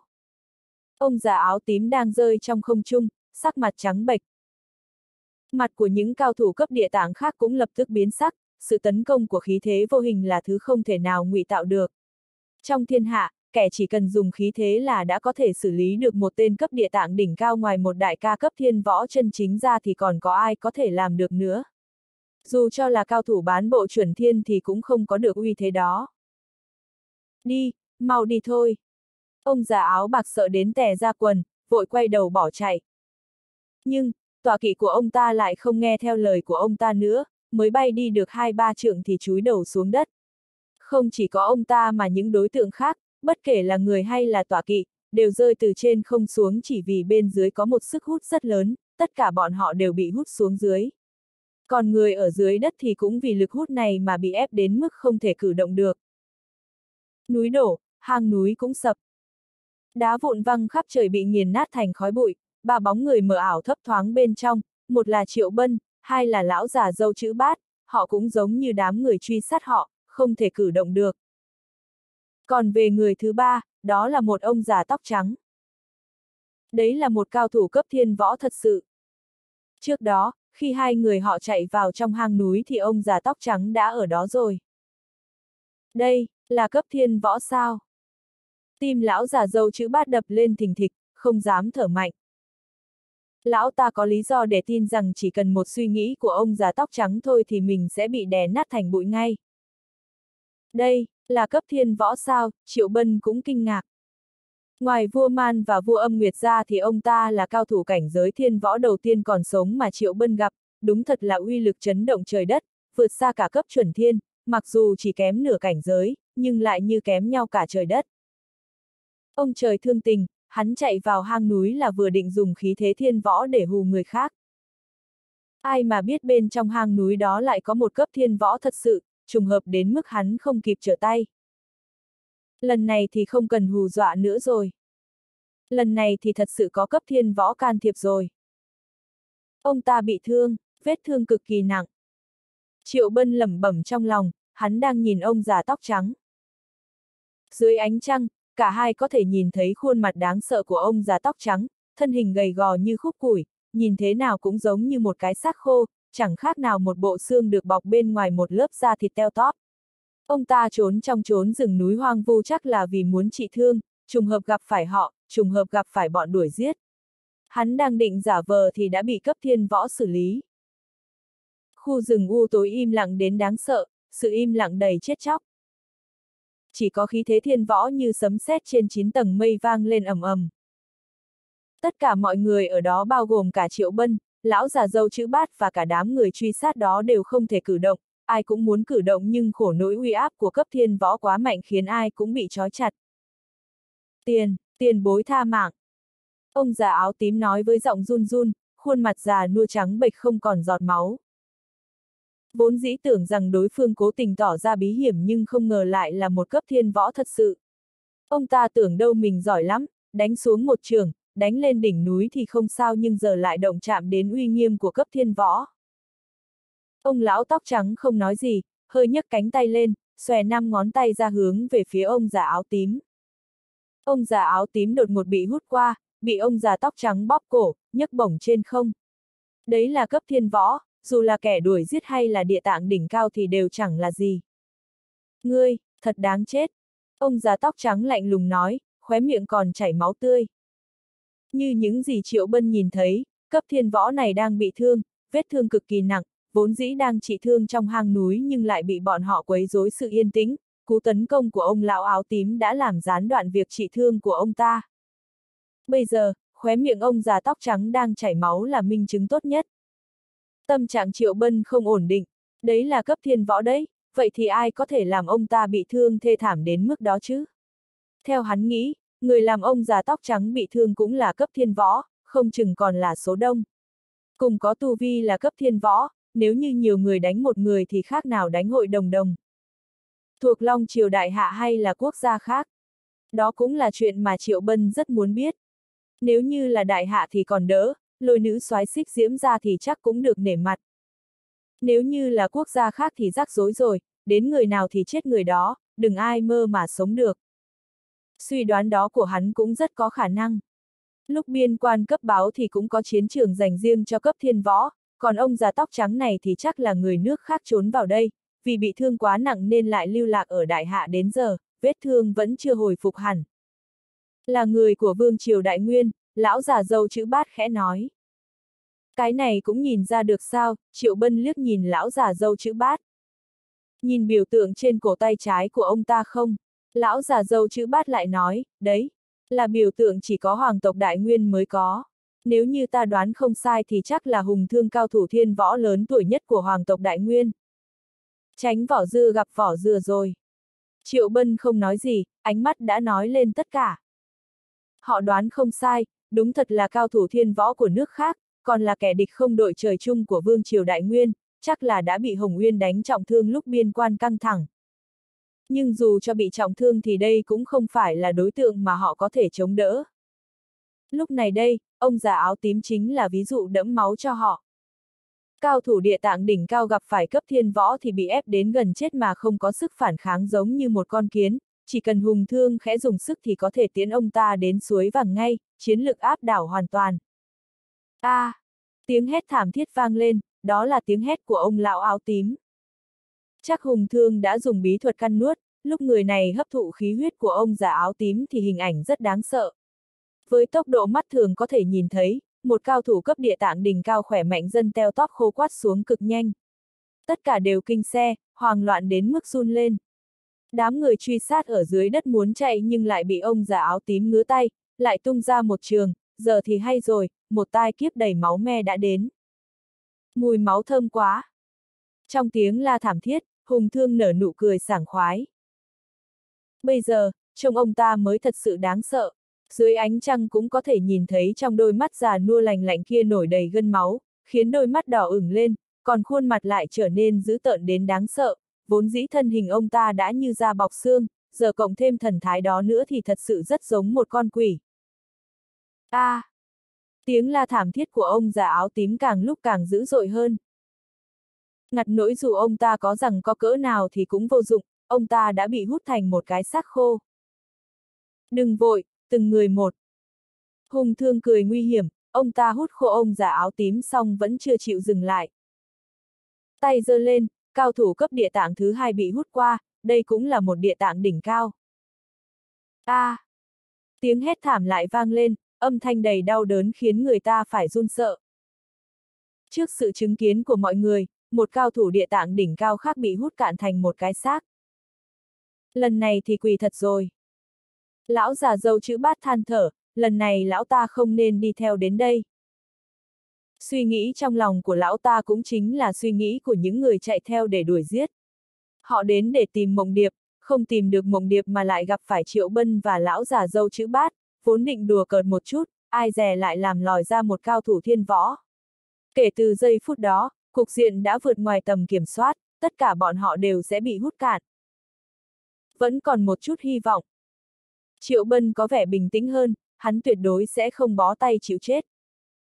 Tiếng rên la vẫn chưa dứt, hùng thương rất tàn nhẫn, trước đó là hút một lần một người, giờ hút một lần hai người, mỗi tay cầm một người, cưỡng chế cắn nuốt, cứ như vết thương cần được bồi bổ bằng khí huyết của người sống. Khi hai cái xác khô rơi xuống đất thì tất cả cao thủ địa tạng ở đó đều bị hút khô hết. Những kẻ cấp huyền dương còn lại, bao gồm cả lão già dâu chữ bát đều thấy lạnh buốt trong tim. Lão già cấp thiên võ này hút từ mạnh đến yếu, hút xong địa tạng thì đến huyền dương, còn về phần người yếu nhất là triệu bân thì chắc là sẽ xếp sau cùng, nhưng tất cả đều không thể thoát khỏi cái chết. Bị ta sử dụng là vinh hạnh của các ngươi. Hùng thương nhếch nhẹ khóe môi, ông ta lại đưa cánh tay lên, hút hai tên cấp huyền dương vào. Lão già dâu chữ bát cách đó khá gần nên nhìn thấy khá rõ, nếu như cấp thiên võ mà tàn nhẫn lên thì thật sự rất hung ác, xem mạng người như cỏ rác, lão ta đã mở to mắt nhìn người sống bị hút cho đến chết. Không xông ra được. Triệu bân nghiến chặt răng, hắn đang tính toán. Tính toán gì kia, đương nhiên là tính toán xem khí thế thiên võ của mình có thể giúp thoát khỏi sự trói buộc hay không rồi. Sau khi tính toán xong thì có vẻ hơi tuyệt vọng. Khí thế thiên võ cũng phân đẳng cấp, như khí thế của hắn chính là đồ giả mạo, chỉ có cái vỏ bọc mà thôi. Còn uy áp của hùng thương mới là uy áp thiên võ thật sự, không phải thứ mà hàng giả có thể đem ra so sánh được. Muốn thoát khỏi vòng vây bằng khí thế thiên võ thì rất khó, nếu như hắn là cấp huyền dương, còn có chút khả năng. Cấp chân linh mà dùng đến bí thuật này thì đừng nói đến thoát khỏi sự trói buộc, e là đến nhúc nhích cũng không được nữa. Nhóc con, đường xuống suối vàng chúng ta cũng có thể bầu bạn. Ánh mắt của lão già dâu chữ bát đã u tối đến cực độ, không còn nhìn thấy hy vọng nữa. Trong số những cao thủ huyền dương thì đã bị hút khô gần hết, sẽ nhanh đến lượt lão ta thôi. Triệu Bân không trả lời, hắn vẫn đang suy nghĩ cách phá vòng vây, đại thù vẫn chưa báo, sao hắn có thể cam tâm chịu chết được, càng vào lúc nguy hiểm thì càng phải bình tĩnh, vẫn còn có cơ hội được sống. A! À, tiếng hét thảm vang lên thất thanh, giống như tiếng oan hồn ai oán. Màn đêm u tối càng trở nên lạnh lẽo và chết chóc hơn bởi âm thanh thảm thương đó, lại một cấp huyền dương bị hút cạn, ai nấy cũng chết rất thê thảm, đến lúc chết vẫn còn thấy sợ hãi. Trong sự sợ hãi còn có cả sự ấm ức, họ thật sự không nên đi chuyến này, con đường truy sát lại biến thành đường đến suối vàng. Không biết từ lúc nào tiếng rên la mới dừng hẳn. Hùng thương vứt hai cái xác đi, nhìn sang lão già dâu chữ bát, lão ta là cao thủ cấp huyền dương cuối cùng. Không ngờ cũng có chút huyết mạch đặc biệt, vậy thì tốt. Hùng thương cười nguy hiểm, đôi mắt già nua hõm vào trong đầy u tối và tàn ác. Thiên võ thì đã sao? Ngon thì thả ta ra, đánh tay đôi đi. Giết bọn ta thì có gì giỏi đâu chứ, có ngon thì tìm đại hạ Hồng Nguyên đánh một trận đi. Thiên võ của đại nguyên đều là rác rưởi. Tiếng mắng chửi của lão già dâu chữ bát vang khắp núi rừng, lão ta đang mắng hùng thương. Chắc là lão ta biết khó tránh được cái chết nên mới dám sắc láo, mới to gan như vậy. Giờ mà còn không mắng thì sẽ không còn cơ hội nữa, để khi đến cõi âm còn có thể nói phét rằng ông đây đã từng mắng cấp thiên võ. Một con kiến bướng bỉnh, lão phu rất thích. Hùng thương nhếch môi cười, không có vẻ gì là giận dữ. Ông ta lại nâng tay lên, xòe năm ngón tay lên, hướng về lão già dâu chữ bát, ông ta không rảnh nổi giận với một tên tép diêu. Nhưng, lực hút vẫn chưa xuất hiện thì hùng thương đã hử lên khó chịu. Tiếp đó, ông ta lảo đảo, phun ra một ngụm máu lớn. Chắc là vì đã cắn nuốt quá cực lực và quá nhiều nên đã xung đột với khí huyết bên trong cơ thể của ông ta, đương nhiên lúc đang trong trạng thái đỉnh cao thì không có gì phải sợ, nhưng vấn đề là bây giờ ông ta đang mang trong mình nội thương cực nặng.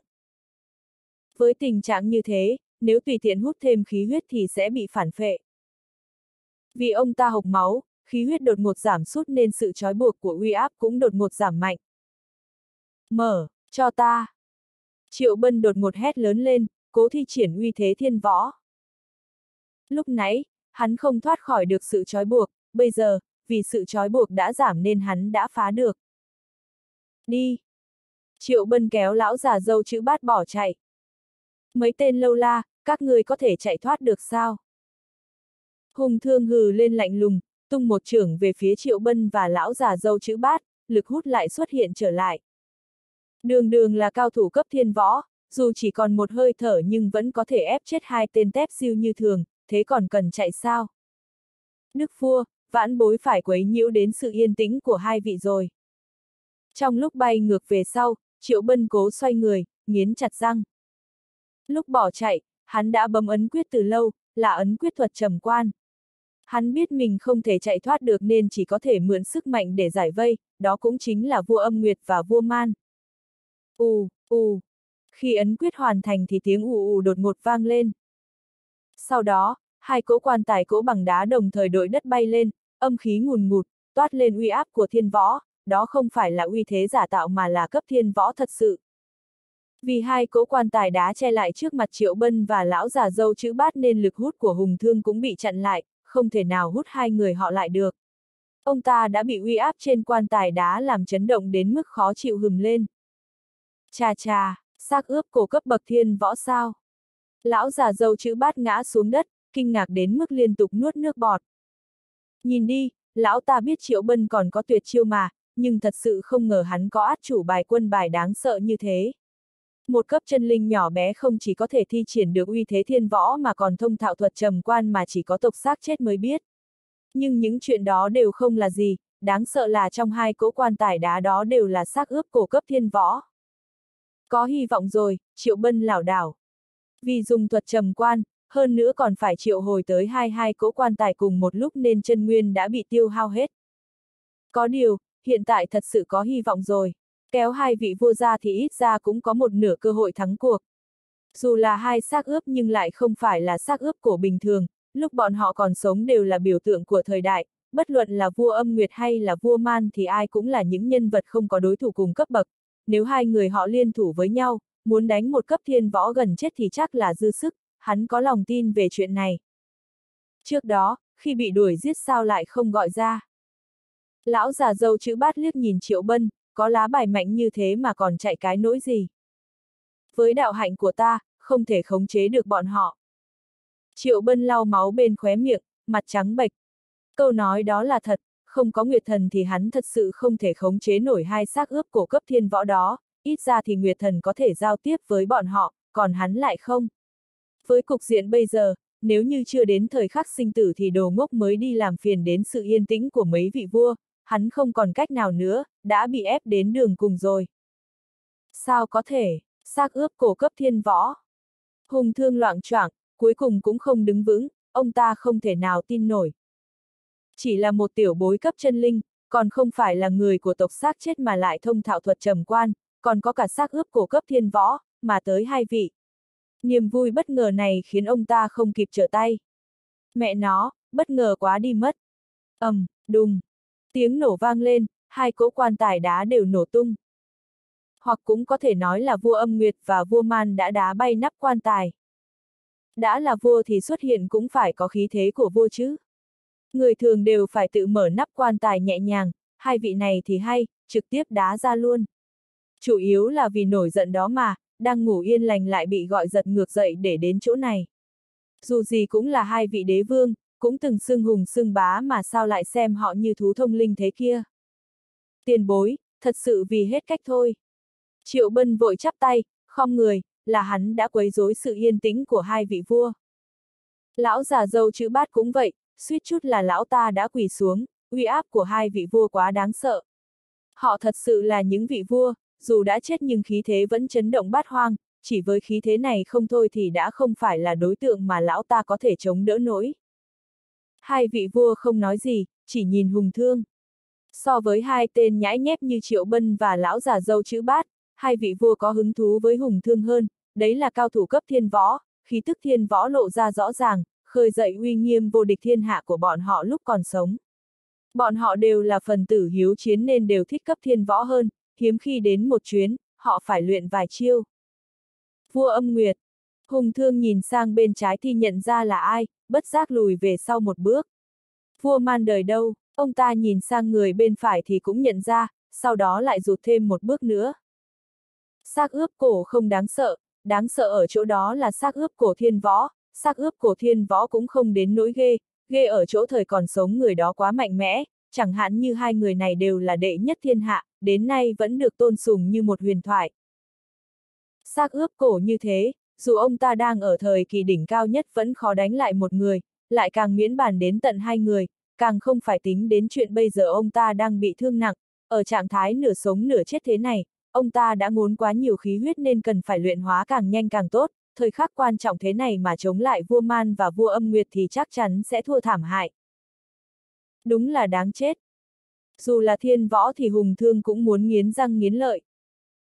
Nuốt nhiều cảnh giới địa tàng và cảnh giới huyền dương như thế, cuối cùng một tên cảnh giới chân linh lại cho ông ta một phần hậu lễ, biết thế ông ta đã giết chết triệu bân từ đầu.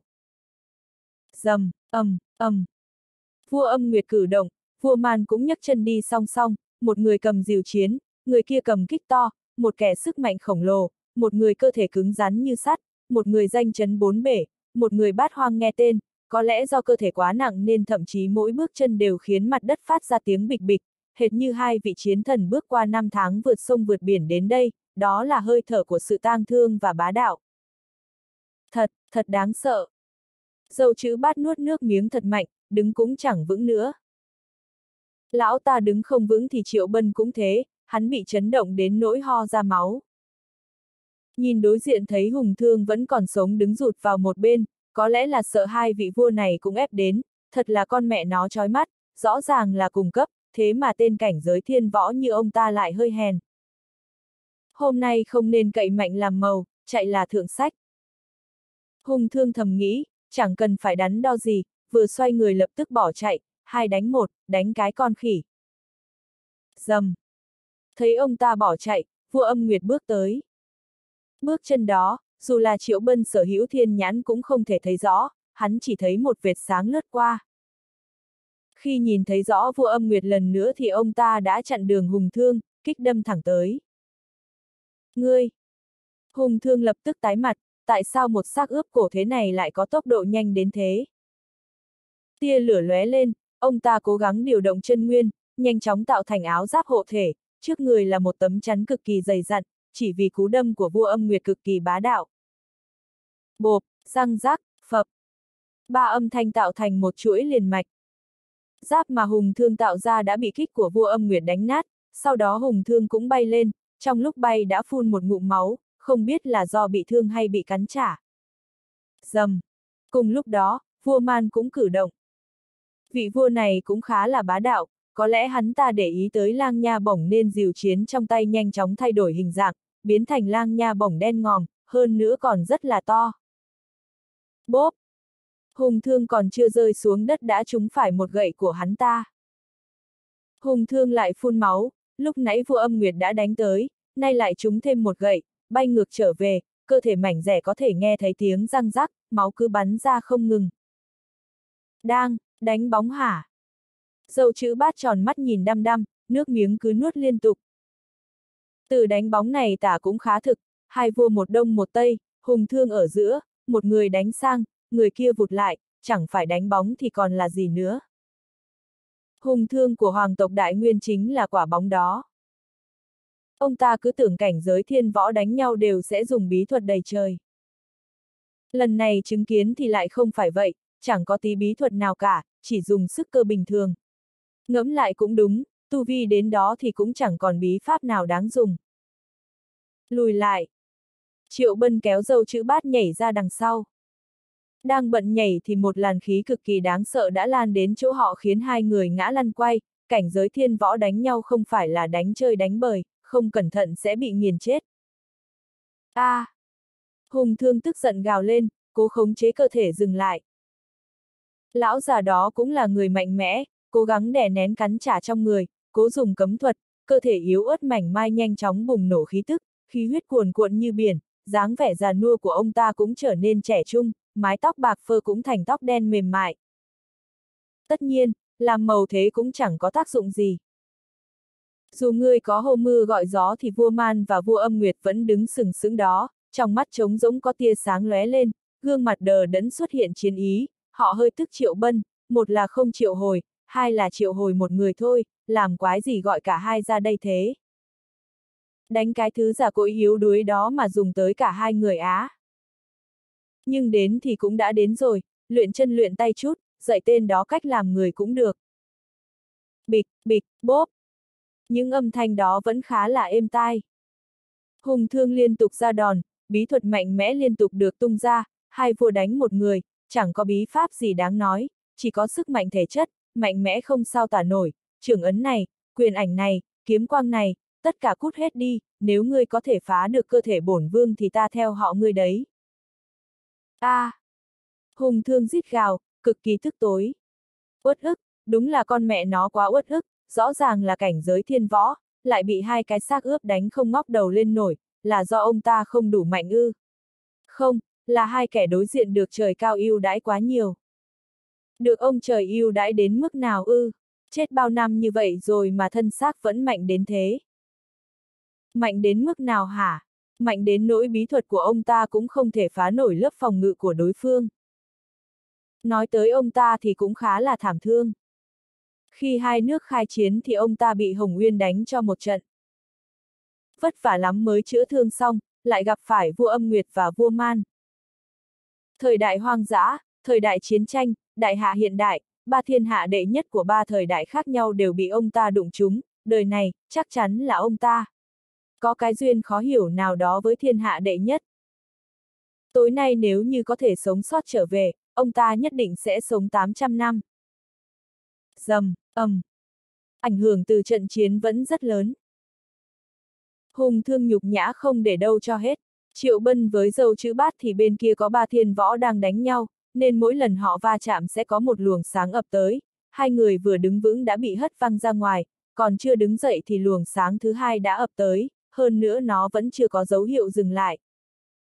Nhìn từ xa trông có vẻ khá là đáng sợ, bọn họ có thể nhìn thấy những ngọn núi thay nhau đổ ầm xuống, rừng cây xung quanh cũng bị hất văng tứ tung, đá vụn bay đầy trời, mặt đất rung lắc dữ dội, cứ ầm ầm mãi không dứt, may là nơi này không có ai sống, nếu không chắc chắn sẽ mất rất nhiều mạng người. Mạnh, mạnh thật đấy.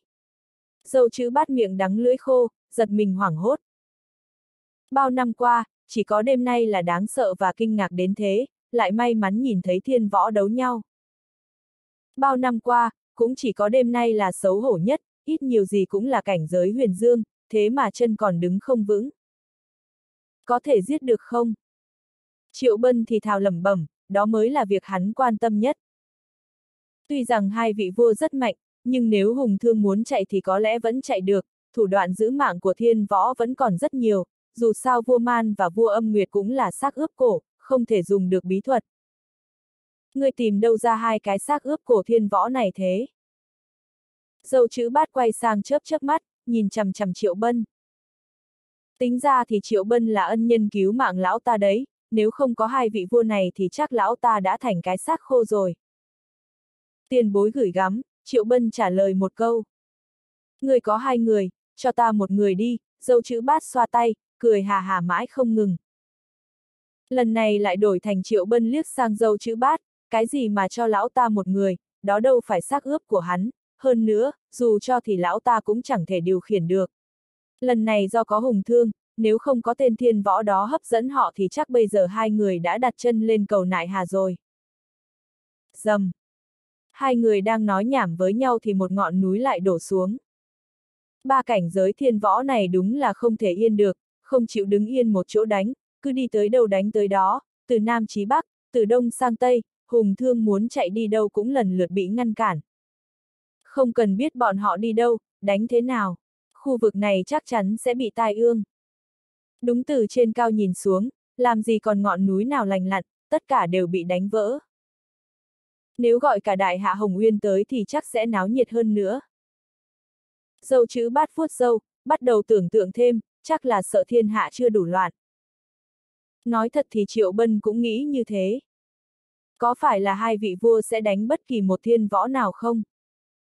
Tất nhiên câu trả lời sẽ là không, Đại Nguyên và Tộc Man, Vương Triều Âm Nguyệt, có ân oán từ xa xưa, cái khác hắn không biết, nhưng Vương Triều Âm Nguyệt diệt quốc có sự tham gia của Vương Triều Đại Nguyên, khi đó Vương Triều Đại Nguyên chỉ là một nước nhỏ, trải qua trăm ngàn năm đánh đông dẹp bắc mới có được lãnh thổ ngày hôm nay, tuy Đại Nguyên cường thịnh và rộng lớn nhưng vẫn không thể giết giấu được. Sự thật là nó tiêu diệt Vương Triều Âm Nguyệt. Còn Đại Hạ Hồng Nguyên đến đây thì chắc hai vua cũng sẽ đánh. Từ thời xa xưa, giữa các quốc gia ít nhiều gì cũng có chút ân oán, có những cái sử sách không hề ghi lại nhưng vẫn có tồn tại, đời sau không biết rõ nhưng hai vua là người thời đó. Nên vẫn nhớ. Danh con, chắc người không phải là người tộc xác chết đó chứ. Dâu chữ bát vừa nhịp chân xe, vừa lơ đãng hỏi. Không phải. Triệu Bân tựa vào cây cổ thụ, rót thật nhiều linh dịch vào miệng.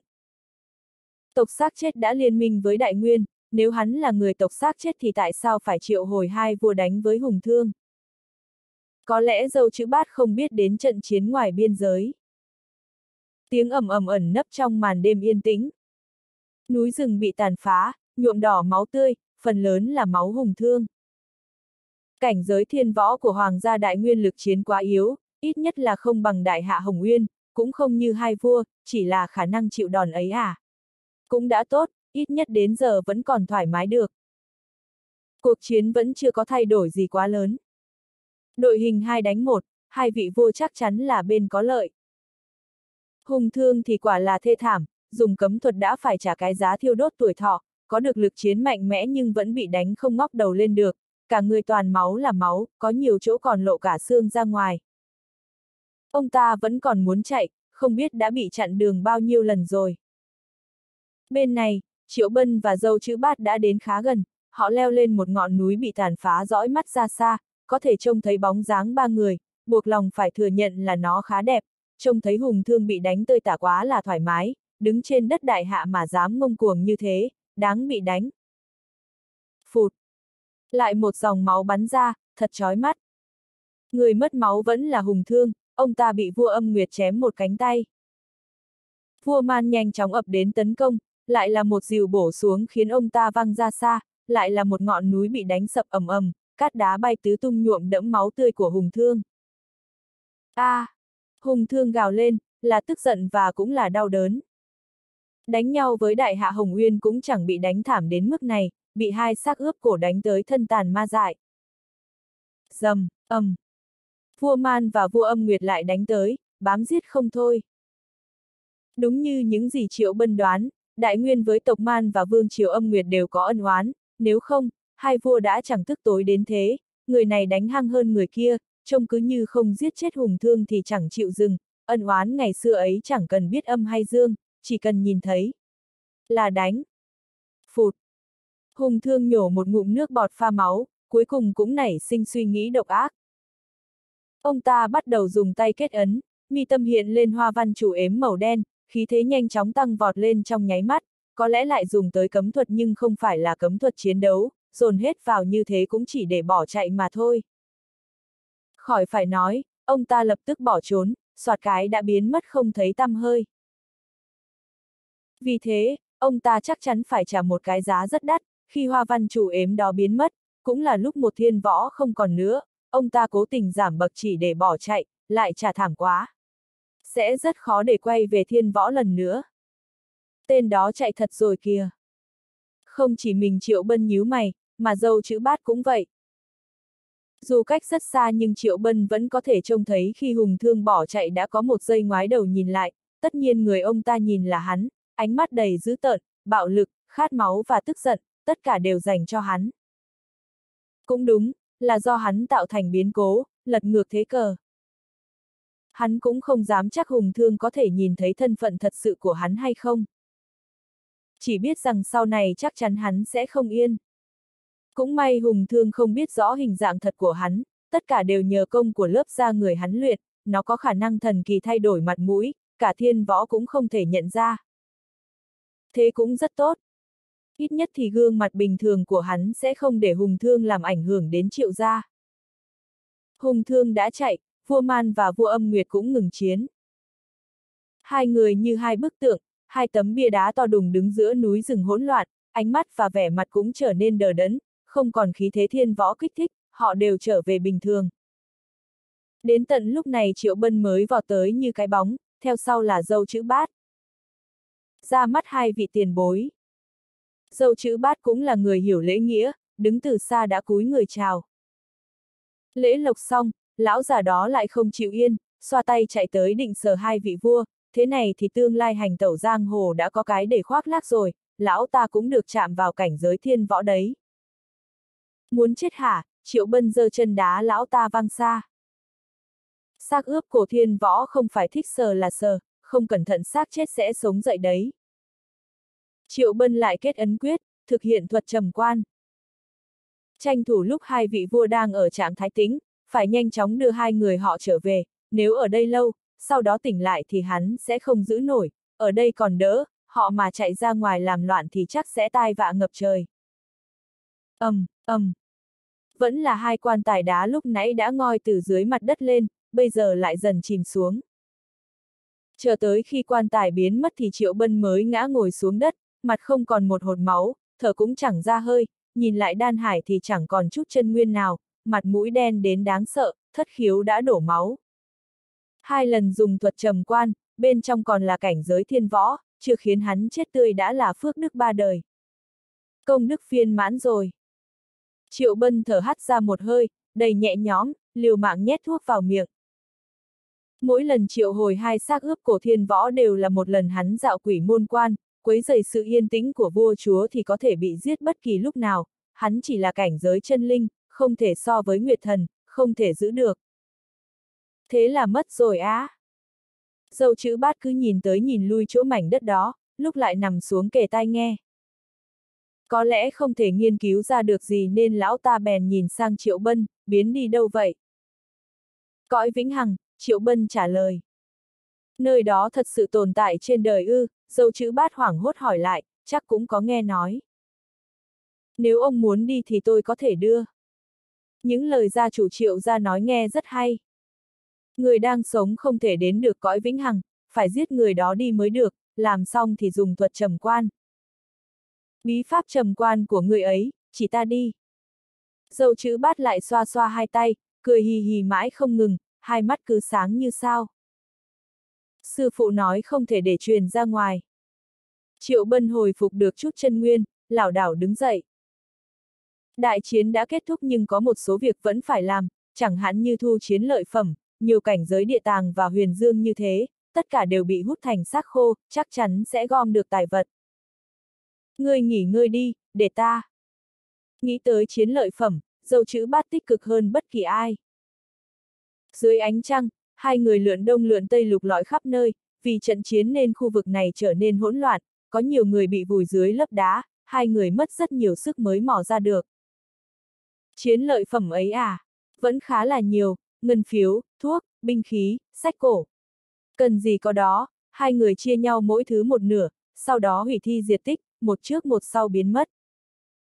Màn đêm, cuối cùng cũng chìm vào yên tĩnh.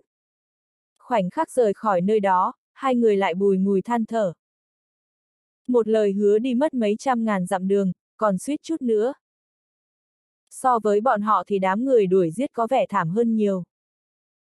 Một đống người ầm ầm chạy đi, chẳng có một ai trở về. Lần này túy mộng lâu chịu thiệt to.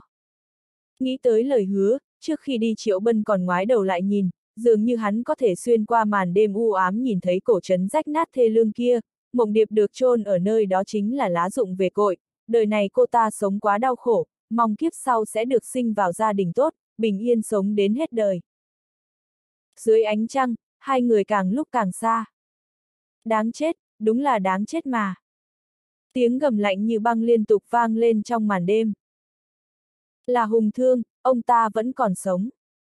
Nhưng đã không còn là cảnh giới thiên võ, rơi xuống thành chuẩn thiên, mất đi một cánh tay, bị đánh đến nỗi thân tàn ma dại, cộng thêm vết thương và cắn trả, tình trạng ông ta lúc bấy giờ có thể nói là tệ hại, e là một chuẩn thiên bình thường, hoặc là địa tàng tầng cao nhất cũng có thể tiến ông ta xuống suối vàng. Chân linh đó khá lắm, rồi cũng sẽ có một ngày ngươi sống không bằng chết. Hùng thương nghiến răng nghiến lợi vẽ lại hình dạng của Triệu Bân. Khắc vào tận linh hồn, nếu không có tên võ tu đó thì ông ta nào có thê thảm đến vậy, còn suýt mất cả mạng. Điểm dừng chân tiếp theo của Triệu Bân và lão già dâu chữ bát là trước một ngôi thành cổ. Trước khi vào thành, Triệu Bân ngước đầu nhìn lên tấm biển thì thấy bốn chữ được khắc rất có lực. Hắn có nghe phong phanh về tòa thành cổ này, nghe nói trước khi có trăng lên, cảnh vật buổi chiều hôm ở đây rất đẹp, có một loại ánh sáng rất kỳ lạ, có 5 màu hoặc 7 màu, rất rực rỡ. Thành mộ quang cũng vì vậy mà trở nên nổi tiếng, chỉ là không biết mọi thứ có thật sự đặc sắc giống như lời đồn hay không. Tìm chỗ nghỉ chân trước đã, lão phu mệt quá rồi. Lão già dâu chữ bát đấm vai, mặt nhăn nhó suốt dọc đường, lão ta đang bị nội thương, hơn nữa còn bị thương nặng. Sắc mặt của Triệu Bân cũng không tốt hơn là mấy, hai lần dùng thuật trầm quan khiến hắn đang rất yếu. Đường phố của thành mộ quang rộng rãi, sáng sủa, hai bên có rất nhiều lầu cao, vô cùng náo nhiệt. Nghỉ ngơi xong thì đến đây dạo đi. Lão già dâu chữ bát trọt nhẹ Triệu Bân rồi chỉ vào một lầu cao. Triệu Bân liếc mắt nhìn, đó là một sòng bạc, còn là một sòng bạc quy mô lớn, có rất nhiều người ra vào, mặt mày ai cũng hầm hầm, chắc là đã thua sạch túi, đứng đó chửi cha mắng mẹ. Được, Triệu Bân không nhìn nữa. Ta phải tìm một túi tiền lớn hơn chút mới được, lão già dâu chữ bát cười ha ha. Tất nhiên là dùng để đựng tiền. Triệu Bân có thiên nhãn, có thể nhìn thấu hết mọi thứ, nếu đến sòng bạc thì chẳng phải hắn có thể sát phạt hết tứ phương sao. Tiểu Hữu cần bảo bối không? Minh khí mới ra lò, chém sắt như chém bùn, nếu như cần thì ta sẽ bán rẻ cho ngươi. Cực lạc tán, dược lực rất mạnh.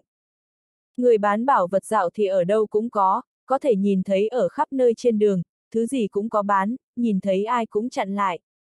Thường ngày lão già dâu chữ bát này cũng hay làm như thế, Triệu Bân và lão ta cũng quen nhau ở trước cổng thành, những bức tranh người lớn đó là con đường phát tài của lão ta. Hai người họ thuê một căn nhà nhỏ rồi đóng chặt cửa lại. Đến giờ, lão già dâu chữ bát mới thả hành lý xuống, vịn lên cây cổ thụ trong vườn và ho ra máu. Triệu Bân thì vịn vào bên còn lại, họ còn dữ dội hơn lão ta. Nghỉ ngơi ba ngày, kiếm chút tiền rồi đến huyễn vụ U Lâm, lão già dâu chữ bát lau máu bên khóe miệng, ngồi bệt xuống dưới gốc cây, uống một ngụm linh dịch rồi nhét vào miệng thêm một viên đan dược. Sao cứ phải đến đó, Triệu Bân cầm vò rượu lên, đưa cho lão già dâu chữ bát một vò. Bên trong có một cây ra quả thiên linh, lão già dâu chữ bát không giấu giếm. Triệu Bân nghe nói vậy thì mắt liền sáng rỡ lên.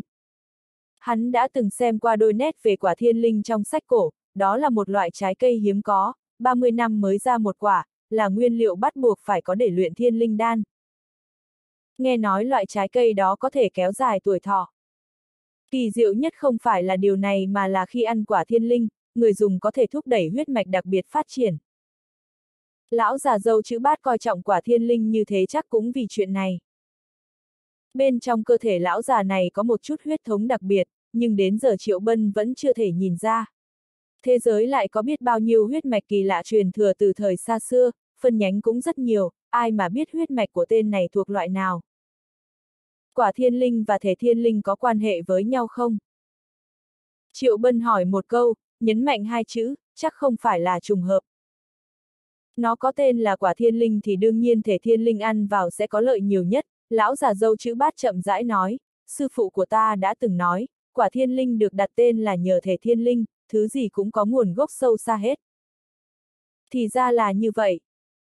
Triệu Bân uống ngụm rượu cuối cùng rồi đứng dậy đi vào nhà. Lão già dâu chữ bát cũng ngồi xếp bằng, trước khi nhắm mắt lại thì liếc nhìn căn phòng của Triệu Bân một cái. Trước đây, lão ta không nhìn thấu được tên tiểu võ tu đó. Bây giờ, lão ta lại càng không thấu nổi, không biết Triệu Bân còn cất giấu bao nhiêu bí mật nữa, lão ta chỉ biết đi theo Triệu Bân nhất định sẽ có rất nhiều cơ duyên, không nói những thứ khác, chỉ nói hai xác ướp cổ cấp thiên võ thôi, người bình thường không thể có sức mạnh lớn như thế được. Trong phòng, Triệu Bân đã ngồi xếp bằng, nhắm mắt lại.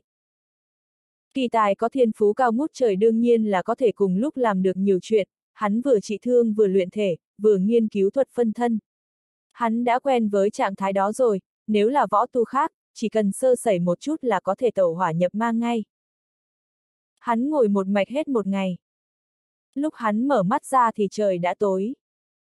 Triệu bân vươn hông uể oải rồi đứng dậy, bước xuống giường, cơ thể kêu lên răng rắc, khí huyết dâng trào, khí sinh linh dồi dào, chân nguyên trong đan hải cũng tràn đầy, hắn lại là một người khỏe mạnh có thể tự do bay nhảy. Triệu bân ra khỏi phòng, đập vào mắt là nhìn thấy một ánh sáng đầy màu sắc điểm xuyết trên bầu trời, vô cùng rực rỡ. Chỉ có điều, nó lúc ẩn lúc hiện, ánh sáng đủ màu như trong mơ chiếu xuống, lời đồn quả không sai, cảnh sắc của thành mộ quang đúng thật là đặc biệt, chỉ là không biết tại sao lại có tia sáng đó. Khả năng hồi phục của ngươi bá đạo quá đấy. Lão già dâu chữ bát ngồi xếp bằng dưới gốc cây, sắp đầy đổ dưới đất. Tất cả đều là chiến lợi phẩm, lão ta đang ngồi đó kiểm kê lại. Thứ gì dùng được thì giữ lại, thứ không dùng được thì đem ra chợ đen bán. Ở bên ngoài, đồ mang theo nhiều thì chỉ thêm vướng bận, không phải tất cả mọi người đều có nhẫn ma với không gian chứ đồ thiết kế bên trong như Triệu Bân. Ông cũng không tồi. Triệu Bân mỉm cười, phất tay lên một cái thì đồ đặc bày đầy ra đất, nào là binh khí, nào là sách cổ, nào là thuốc viên, thứ gì cũng có. Tất cả đều là chiến lợi phẩm mà Triệu Bân giành được, hắn chọn lọc, nhặt nhạnh, xếp lại thành từng loại. Cuối cùng thì hắn mới cầm một quyển sách cổ không toàn vẹn lên. Trong sách cổ có rất nhiều hình vẽ, đấy là bản vẽ cấu tạo của xe nỏ, tiếc là không hoàn chỉnh thôi. Kết hợp với phần trước đây hắn có được thì hắn lại hiểu thêm một chút về cấu tạo của xe nỏ, nhưng nếu muốn hiểu hết hiểu kỹ thì cần phải có nhiều thời gian nghiên cứu hơn. Người cũng có hứng thú với thứ này sao? Lão già dâu chữ bát khoanh tay, tiến lại gần, dường như lão ta cũng nhận ra. Đây là đồ tốt đấy, chỉ có điều bản vẽ cấu tạo không được đầy đủ thôi, Triệu Bân vừa xem vừa nói. Không đủ thì dễ mà, tìm ta này, lão già dâu chữ bát vỗ ngực. Ông có à, Triệu Bân liếc mắt, trong mắt lóe lên tia sáng. Ta không có nhưng ta biết ai có, lão già dâu chữ bát vuốt dâu. Ai? Trong ngôi thành này, người đó có bản vẽ cấu tạo, ghép lại với cái của ngươi thì chắc có thể có được bản hoàn chỉnh. Lão già dâu chữ bát liếc nhìn rồi nói tiếp, có điều, thứ này không dễ làm đâu. Dắt ta đi gặp ông ta, Triệu Bân vội vã nói. Ngày mai đi, buổi tối không tìm được lão ta đâu, trời mới biết lão ta đang ở trong cái động nào, lão già dâu chữ bát nhún vai. Triệu Bân ho gượng một tiếng, chỉ có thể đợi sang ngày mai. Có lẽ xe nỏ không hữu dụng với những người khác, vì nó cực kỳ lớn, hơn nữa còn nặng đến mức bất thường, thật sự không tiện mang theo. Có ai rảnh vác theo chiếc xe nỏ đi khắp nơi đâu chứ, dù cho có thể dùng đánh nhau với người khác thì khi đối thủ vừa nhìn thấy, đối phương nhất định có phòng bị, không đem lại được hiệu quả tấn công bất ngờ. Nhưng với Triệu Bân thì không như vậy, hắn có một chiếc nhẫn ma với không gian rất lớn, có thể chứa cả một ngọn núi, ít ra thì việc mang vác không thành vấn đề. Vào thời khắc quan trọng thì có thể cứu mạng, cũng giống như đêm đó, lúc quay trở về từ biên quan, tộc xác chết truy sát, hắn đã dùng đến nó để phá vòng vây, chỉ cần có thể làm rõ được cấu tạo thì hắn có tự tin có thể làm ra được. Hơn nữa, còn có thể làm với số lượng lớn. Điểm này thì cần phải có phân thân giúp đỡ. Phân thân ấy mà, không ai quy định là chỉ có thể biến ra một người. Chỉ cần hắn lĩnh ngộ đủ sâu thì sẽ có thể biến ra cả đám phân thân.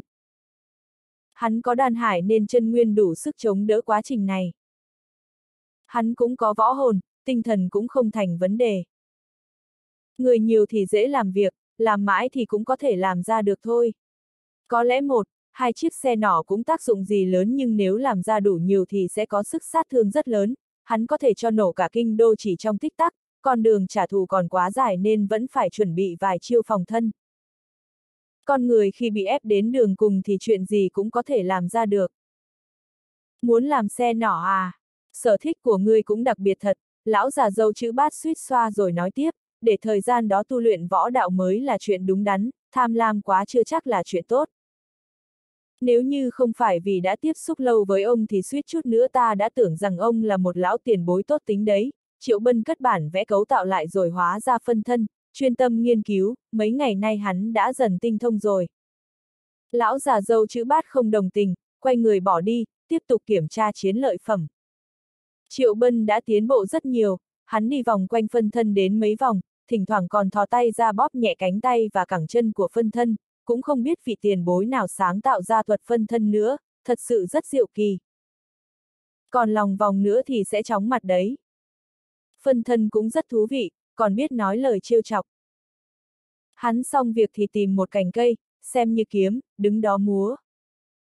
Đây đều là mệnh lệnh của bản tôn. Triệu Bân đã thành công được bước đầu khi có thể khiến phân thân nói chuyện. Tiếp theo là khiến phân thân có thể múa kiếm, hắn đã bắt đầu thi triển bí thuật kiếm pháp. Sau này phân thân sẽ có thể giúp ích rất nhiều. Không biết từ lúc nào, hắn lại ngồi im xếp bằng, lặng lẽ biến hóa. Cái tên này là quái thai gì thế? Lão già dâu chữ bát đang kiểm tra chiến lợi phẩm liên tục lẩm bẩm, lần đầu tiên lão ta gặp phải nhân tài có khả năng thiên phú đáng sợ như thế. Cấp chân linh bình thường thì chắc bây giờ còn chưa hiểu rõ võ đạo là gì nữa, tên này thì hay rồi, không ngờ lại có thể tự mình thi triển bí thuật mà rất nhiều người lớn tuổi không làm được. Có thiên phú thì làm gì cũng nhẹ nhàng hơn. Nếu như Nguyệt Thần còn tỉnh thì nhất định sẽ nói câu đó, đồ đệ của cô ta thuộc kiểu người đó, sinh ra đã người thắng cuộc, nếu như có chí cầu tiến, lại còn chịu khó thì sẽ còn đi nhanh hơn người ta. Mà Triệu Bân lại còn là người ưu tú trong số những người đó nữa. Người có thể lọt vào mắt của thần linh thì sao có thể là người bình thường được, bồi dưỡng thêm nữa thì tiền đồ không giới hạn. Đêm lại chìm trong yên tĩnh. Cuối cùng lão già dâu chữ bát cũng làm việc nghiêm túc, lão ta ngồi xếp bằng trị thương. Lão ta là người bình thường, không có năng lực như Triệu Bân, đến giờ thương tích vẫn chưa hồi phục hẳn. Trong chớp mắt, một đêm đã trôi qua. Sáng sớm, ánh nắng ấm áp chiếu khắp đất trời. Bù! Lúc lão già dâu chữ bát mở mắt ra thì có một âm thanh vang lên. Thương tích vẫn chưa hồi phục hoàn toàn nhưng lại đột phá tu vi, lão ta đã bị mắc kẹt lại rất lâu rồi. Sinh tử mang đến tạo hóa mà. Lão già dâu chữ bát cười he he, trải qua bao sóng gió, tâm thế của lão ta cũng đã thay đổi. Triệu Bân thì không được may mắn như thế, hắn đã bị kẹt ở cấp chân linh đỉnh cao nhiều ngày nay rồi mà vẫn chưa đột phá được. Mở. Nhưng Triệu Bân hừm lên một tiếng lạnh lùng rồi cũng mở mắt ra. Có ấn quyết biến động trên tay hắn, đấy là ấn thức của thuật phân thân. Hắn bấm ngón tay thì các phân thân sẽ được biến ra, có hơn 30 phân thân đứng bao quanh, hết gần nửa sân. Người bị bệnh à, lão già dâu chữ bát mắng. Biến ra phân thân sẽ bị tổn hao chân nguyên, trong tình huống bình thường, trừ khi đến lúc bất đắc dĩ, nếu không có ai lại rảnh rỗi biến ra phân thân, biến ra một phân thân là mất một phần chân nguyên, tất cả đều phải tổn hao hết. Triệu bân thì hay rồi, biến một lèo ra nhiều như thế. Lão ta không nói thì còn đỡ, vừa nói dứt lời thì Triệu Bân lại biến ra một đống nữa. Đúng là tiêu hao rất nhiều chân nguyên, có đan hải giống như hắn mà khí huyết cũng yếu đi không ít. Người rảnh rỗi như người thật hiếm thấy thật đấy. Lão già dâu chữ bát nhếch miệng rồi tặc lưỡi, tu luyện khá tốn tài nguyên, chơi liều mạng thế này thì phải tốn biết bao nhiêu là bạc, chỉ bổ sung chân nguyên thôi thì đã phải trả không ít rồi, giàu quá nên nốt tiền đây mà. Suýt xoa thì suýt xoa nhưng lão ta vẫn rất kinh ngạc. Võ tu bình thường không thể biến ra liền một mạch nhiều phân thân như thế. Triệu Bân có thể làm được, đủ để chứng minh hắn có năng lực thâm hậu, chân nguyên dồi dào, sức sống mãnh liệt. Chào đại ca! Phân thân đồng thanh hét lên, khiến lão già dâu chữ bát run đến độ muốn tẻ ra quần. Tốt, tốt lắm. Triệu Bân mỉm cười và phất tay, giống như đang duyệt binh. Hóa ra nhiều phân thân như thế tuy hơi mệt, tuy là hao tốn rất nhiều chân nguyên nhưng hắn lại thấy vui mừng, bởi vì số phân thân đó đều có thể dùng được, chẳng hạn như giúp hắn tạo ra xe nỏ. Mấy thứ hàng giả này làm được đấy, dâu chữ bát cười khan nói. Triệu Bân chỉ cười không nói, lặng lẽ dùng tâm niệm cất đi tất cả phân thân. Đi thôi, đi tìm lão già của ta cái nào, dâu chữ bát nhấc chân đi ra ngoài. Triệu Bân rót một ngụm linh dịch vào miệng rồi nhanh chóng đuổi theo. Ra đường cái, hai người bèn đi thẳng tới chợ đêm. Mỗi một tòa thành đều có một đêm, đó là một nơi rất tốt để thanh lý hàng. Chợ đêm thành mộ quang lớn hơn thành vong cổ nhiều, bảo bối cũng rất nhiều, đừng nói tới dâu chữ bát, cả triệu bân cũng sáng rỡ cả hai mắt, nhưng thứ tốt đều đắt đỏ cả, mà túi tiền hắn lại không đủ dùng. Thế nên mới nói rảnh rỗi không có chuyện gì làm thì chăm chỉ đi dạo sòng bạc một chút vẫn là chuyện quan trọng. Ta có lời này không biết có nên nói ra không, dâu chữ bát đột nhiên lên tiếng. Nói đi, Triệu Bân vừa quan sát xung quanh vừa trả lời. Chúng ta, kết bái huynh đệ đi. Không mong được sinh cùng tháng cùng ngày, nhưng cầu được chết cùng năm cùng tháng, là thế ấy hả? Ừ, trẻ nhỏ dễ dậy đấy. Ông lớn hơn ta ít nhất 30 tuổi, nói thế thì ta phải chết sớm 30 năm. Xuống ngồi nằm chơi à, Triệu Bân liếc nhìn dâu chữ bát một cái, lão già này còn thích hồi xuân hơn những gì hắn tưởng. Tuổi tác không phải là vấn đề, chủ yếu là ta thấy ngươi thuận mắt, dâu chữ bát nhếch miệng cười. Để ta chuẩn bị thêm mấy viên tục mệnh đan, những lời Triệu Bân nói vẫn khá là lý trí và giàu tri thức như thế. Chẳng mấy chốc, hai người đã vào một tòa lầu nhỏ, không gian không lớn mấy, chỉ có một quầy lớn, bày ba cái kệ lớn, có lẽ lâu rồi nó không đón khách nên kệ bám đầy cho bụi, những thứ đặt trên kệ cũng bụi bặm không thua gì, thật ra đều đặt đó để ngắm chơi thôi, chủ yếu là mua bán các mặt hàng phi pháp. Chủ nhân cửa hàng này là một lão già lỗ mũi trâu. Hơn nữa lão già này còn không nhìn thẳng vào người ta đàng hoàng, lúc nào cũng liếc liếc. Lão ta bị lé, làm quen dần là được, dâu chữ bát nói. Nếu Vương Trác tới đây thì hai người họ sẽ có chủ đề để tán gẫu, đó là lời trong lòng Triệu Bân, một tên mắt lác, một người mắt lé, nếu gặp được nhau chắc sẽ diễn lại tường hận gặp nhau quá trễ. Lão già kia, lâu rồi không gặp ha, lão già mũi trâu ngáp dài, nhìn dâu chữ bát, còn tùy ý liếc sang Triệu Bân, đôi mắt già nua híp lại, tiểu võ tu này có sinh linh lực dồi dào, khí huyết khổng lồ. Tuổi trẻ thật là tốt, eo tốt, thận cũng tốt. Bản thiết kế của xe nỏ. Lấy ra đây, dâu chữ bát giơ tay. Mấy hôm không gặp, sống lưng cứng rắn rồi hả, lão già mũi trâu liếc dâu chữ bát. Thế thì cho cái giá đi. Không bán. Lão phu nghĩ cái này dễ dùng hơn bạc nhiều nhỉ, dâu chữ bát ngồi xuống, lấy một bức tranh cuộn tròn bên hông ra, sau đó mở ra, đó chính là một bức xuân cung đồ. Lão già mũi trâu lập tức sáng mắt lên. Đó không phải trọng điểm, trọng điểm là khi nhìn thấy bức tranh đó thì mắt lão ta không còn lé nữa. Dùng được không? Dùng tốt đấy. Một vụ giao dịch được tiến hành trong vui vẻ như thế. Lão già mũi trâu cất bức tranh kia đi, đưa cho dâu chữ bát một bộ sách cổ, đó là bản thiết kế của xe nỏ. Dâu chữ bát lập tức ném cho Triệu Bân. Triệu Bân nhận lấy, tiện tay mở ra xem, đúng như lời dâu chữ bát nói, là bản chắp phá, dù có thêm bản thiết kế của hắn thì vẫn còn sứt mẻ lắm, nhưng vẫn có thể thấy rõ 8 phần, thế là đủ, còn hai phần còn lại thì hắn nghĩ mình có thể nghiên cứu ra được, đơn giản chỉ là vấn đề thời gian. Lần này ông đến mang theo khá nhiều hàng đấy nhỉ, đào đâu ra đấy? Lại quên mất nguyên tắc rồi à? Chỉ cần mua, đừng hỏi xuất xứ. Triệu Bân đang xem bản thiết kế thì hai lão già đang trâu đầu thì thầm. Dâu chữ bát không chỉ tới đây để dẫn Triệu Bân đi lấy bản thiết kế, mà là chạy tới bán đồ gom được, thấy hai người bọn họ trò chuyện bằng ngôn ngữ của người trong nghề như thế, chắc đây không phải là lần đầu tiên làm, giá thị trường thế nào đều biết cả. Lão già lỗ mũi trâu chẳng từ chối vị khách nào, hữu dụng hay vô dụng gì cũng thu gom hết, lão ta có tiền. Hả?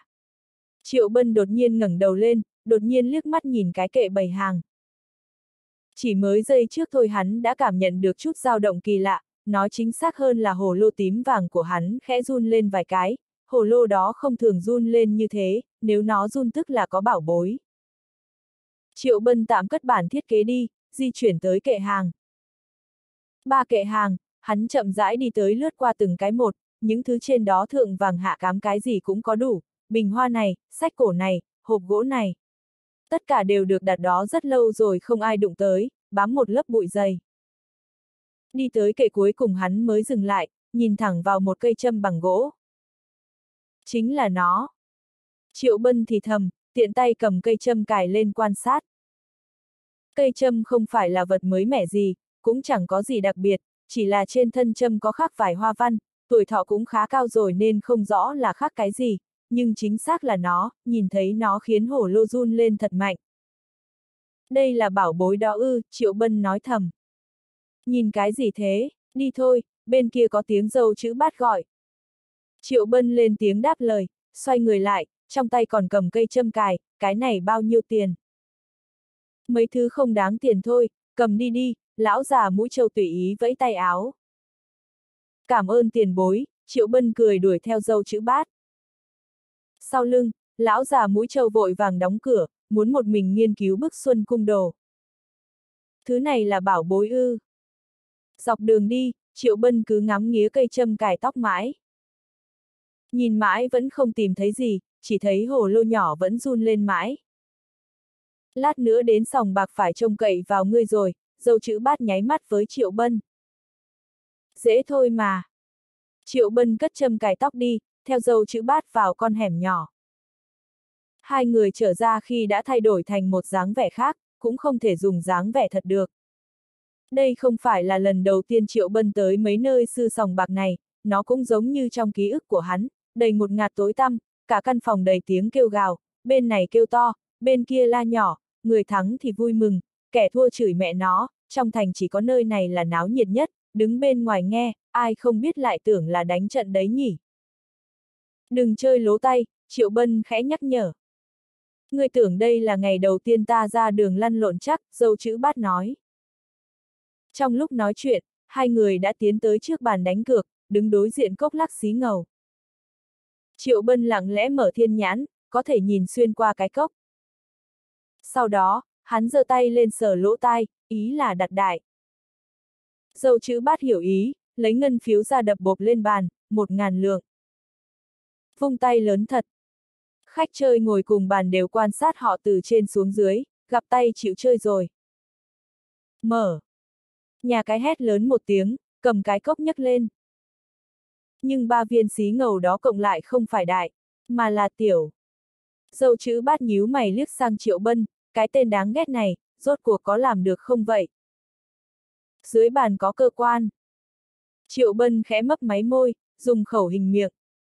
Dâu chữ bát chuyển mắt liếc sang nhà cái, đúng là bọn họ 49 thì sòng bạc cũng là 50. Đều chơi gian lận cả, nhà cái thì hay rồi, khiến bọn ta không trở tay kịp. Nào nào, đặt lớn bỏ lớn, đặt nhỏ bỏ nhỏ. Nhà cái lại lắc cốc xí ngầu, tiếng va chạm len keng vui tai, tiết tấu rất đều. Những lời đó có tính kích thích rất lớn, khách chơi bài nhanh chóng đặt tiền lên, vàng bạc chất thành đống. Triệu Bân nhìn cái cốc, lại sờ lỗ tai, vẫn là đại. Bộp. Dâu chữ bát lại đập ngân phiếu lên bàn, đập vang to hơn lần trước. Các vị khách khác lại liếc sang nhìn, đúng là người có tiền, lần trước là một ngàn lượng, lần này lại là gấp đôi. Dâu chữ bát không nói gì, chỉ lo thổi cái tay kia, có lẽ do dùng quá nhiều sức nên tay lão ta đau quá, cú đập đó cũng không vô dụng, có một luồng khí chạy xuống bàn làm cơ quan vỡ nát, bọn ta thiếu tiền, rất là thiếu tiền, kiếm chút rồi đi ngay, đừng có con mẹ nó gian lận. Mở cốc lên, nhà cái lập tức ngu người. Rõ ràng họ đã dùng cơ quan rồi cơ mà, sao nó lại không thay đổi thế này? Nó không đổi cũng chẳng sao, trả tiền, chỉ tính mỗi nhà dâu chữ bát thôi là đủ để trả tiền lòi mắt rồi. Cơ quan hỏng cũng không phải chuyện tốt lành gì. Dâu chữ bát bắt được cơ hội, liên tục ra tay, Triệu Bân cũng chẳng nhàn rỗi, nhanh chóng đánh cược vài lần, hai người phối hợp ăn ý, ván nào cũng có thể lấy tiền, thua vài ván nhỏ, sau đó ăn một ván lớn, đánh đi đánh lại kiếm được mấy vạn lượng, may là sòng bạc này cũng lớn, nếu là sòng bạc bình thường khác chắc đã bị ép đến mức đóng cửa rồi, được hơn chục ván thì mặt mũi nhà cái đã bắt đầu đen. Thắng quá nhiều, muốn người ta không để mắt tới cũng khó. Chẳng mấy chốc đã có hai ông lão đi tới, rõ ràng là địa tàng tầng cao nhất. Hai vị, chủ nhân nhà ta cho mời. Không rảnh, dâu chữ bát và triệu bân nói xong bèn đi ra ngoài.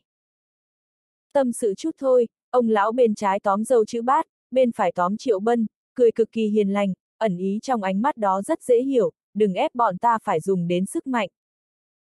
Hai người ho khan, tất cả đều được mời đi vào. Trong lúc đó, hai người cứ liếc nhìn nhau mãi, thắng mãi thắng mãi, thắng đến nỗi mụ mị đầu óc, lẽ ra nên chuồn từ sớm. Sau sòng bạc là một biệt huyền, có núi giả, có hồ nhỏ, có một lương đình được thiết kế tinh xảo, trong lương đình có cô gái áo trắng đang nhàn nhã ngồi đó uống trà.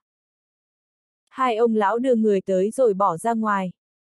Thật ra họ đang nấp trong một góc tối, nếu cần sẽ xuất hiện ngay trong nháy mắt. Hai người không muốn nói gì à? Cô gái áo trắng khẽ hé môi, nhìn dâu chữ bát, cũng nhìn triệu bân.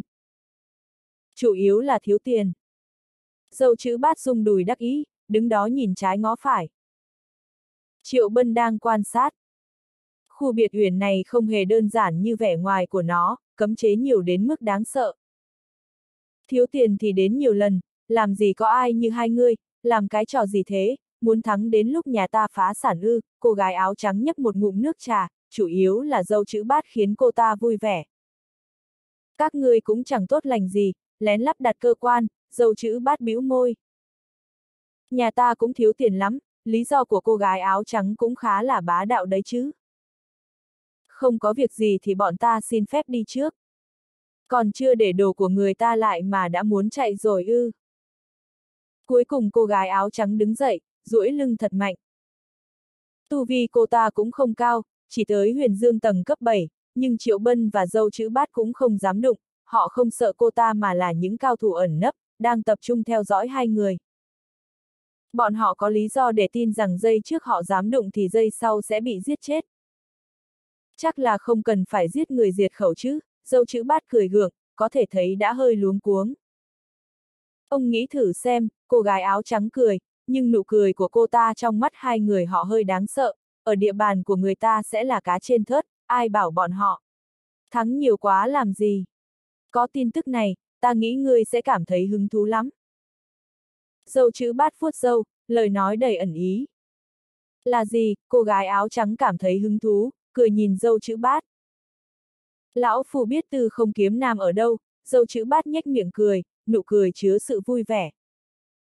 Lời vừa mới thốt ra, nụ cười của cô gái áo trắng đã biến mất, đôi mắt xinh đẹp giấy lên ngọn lửa, ngực cũng phập phồng liên tục, hai má xinh đẹp đỏ ửng lên.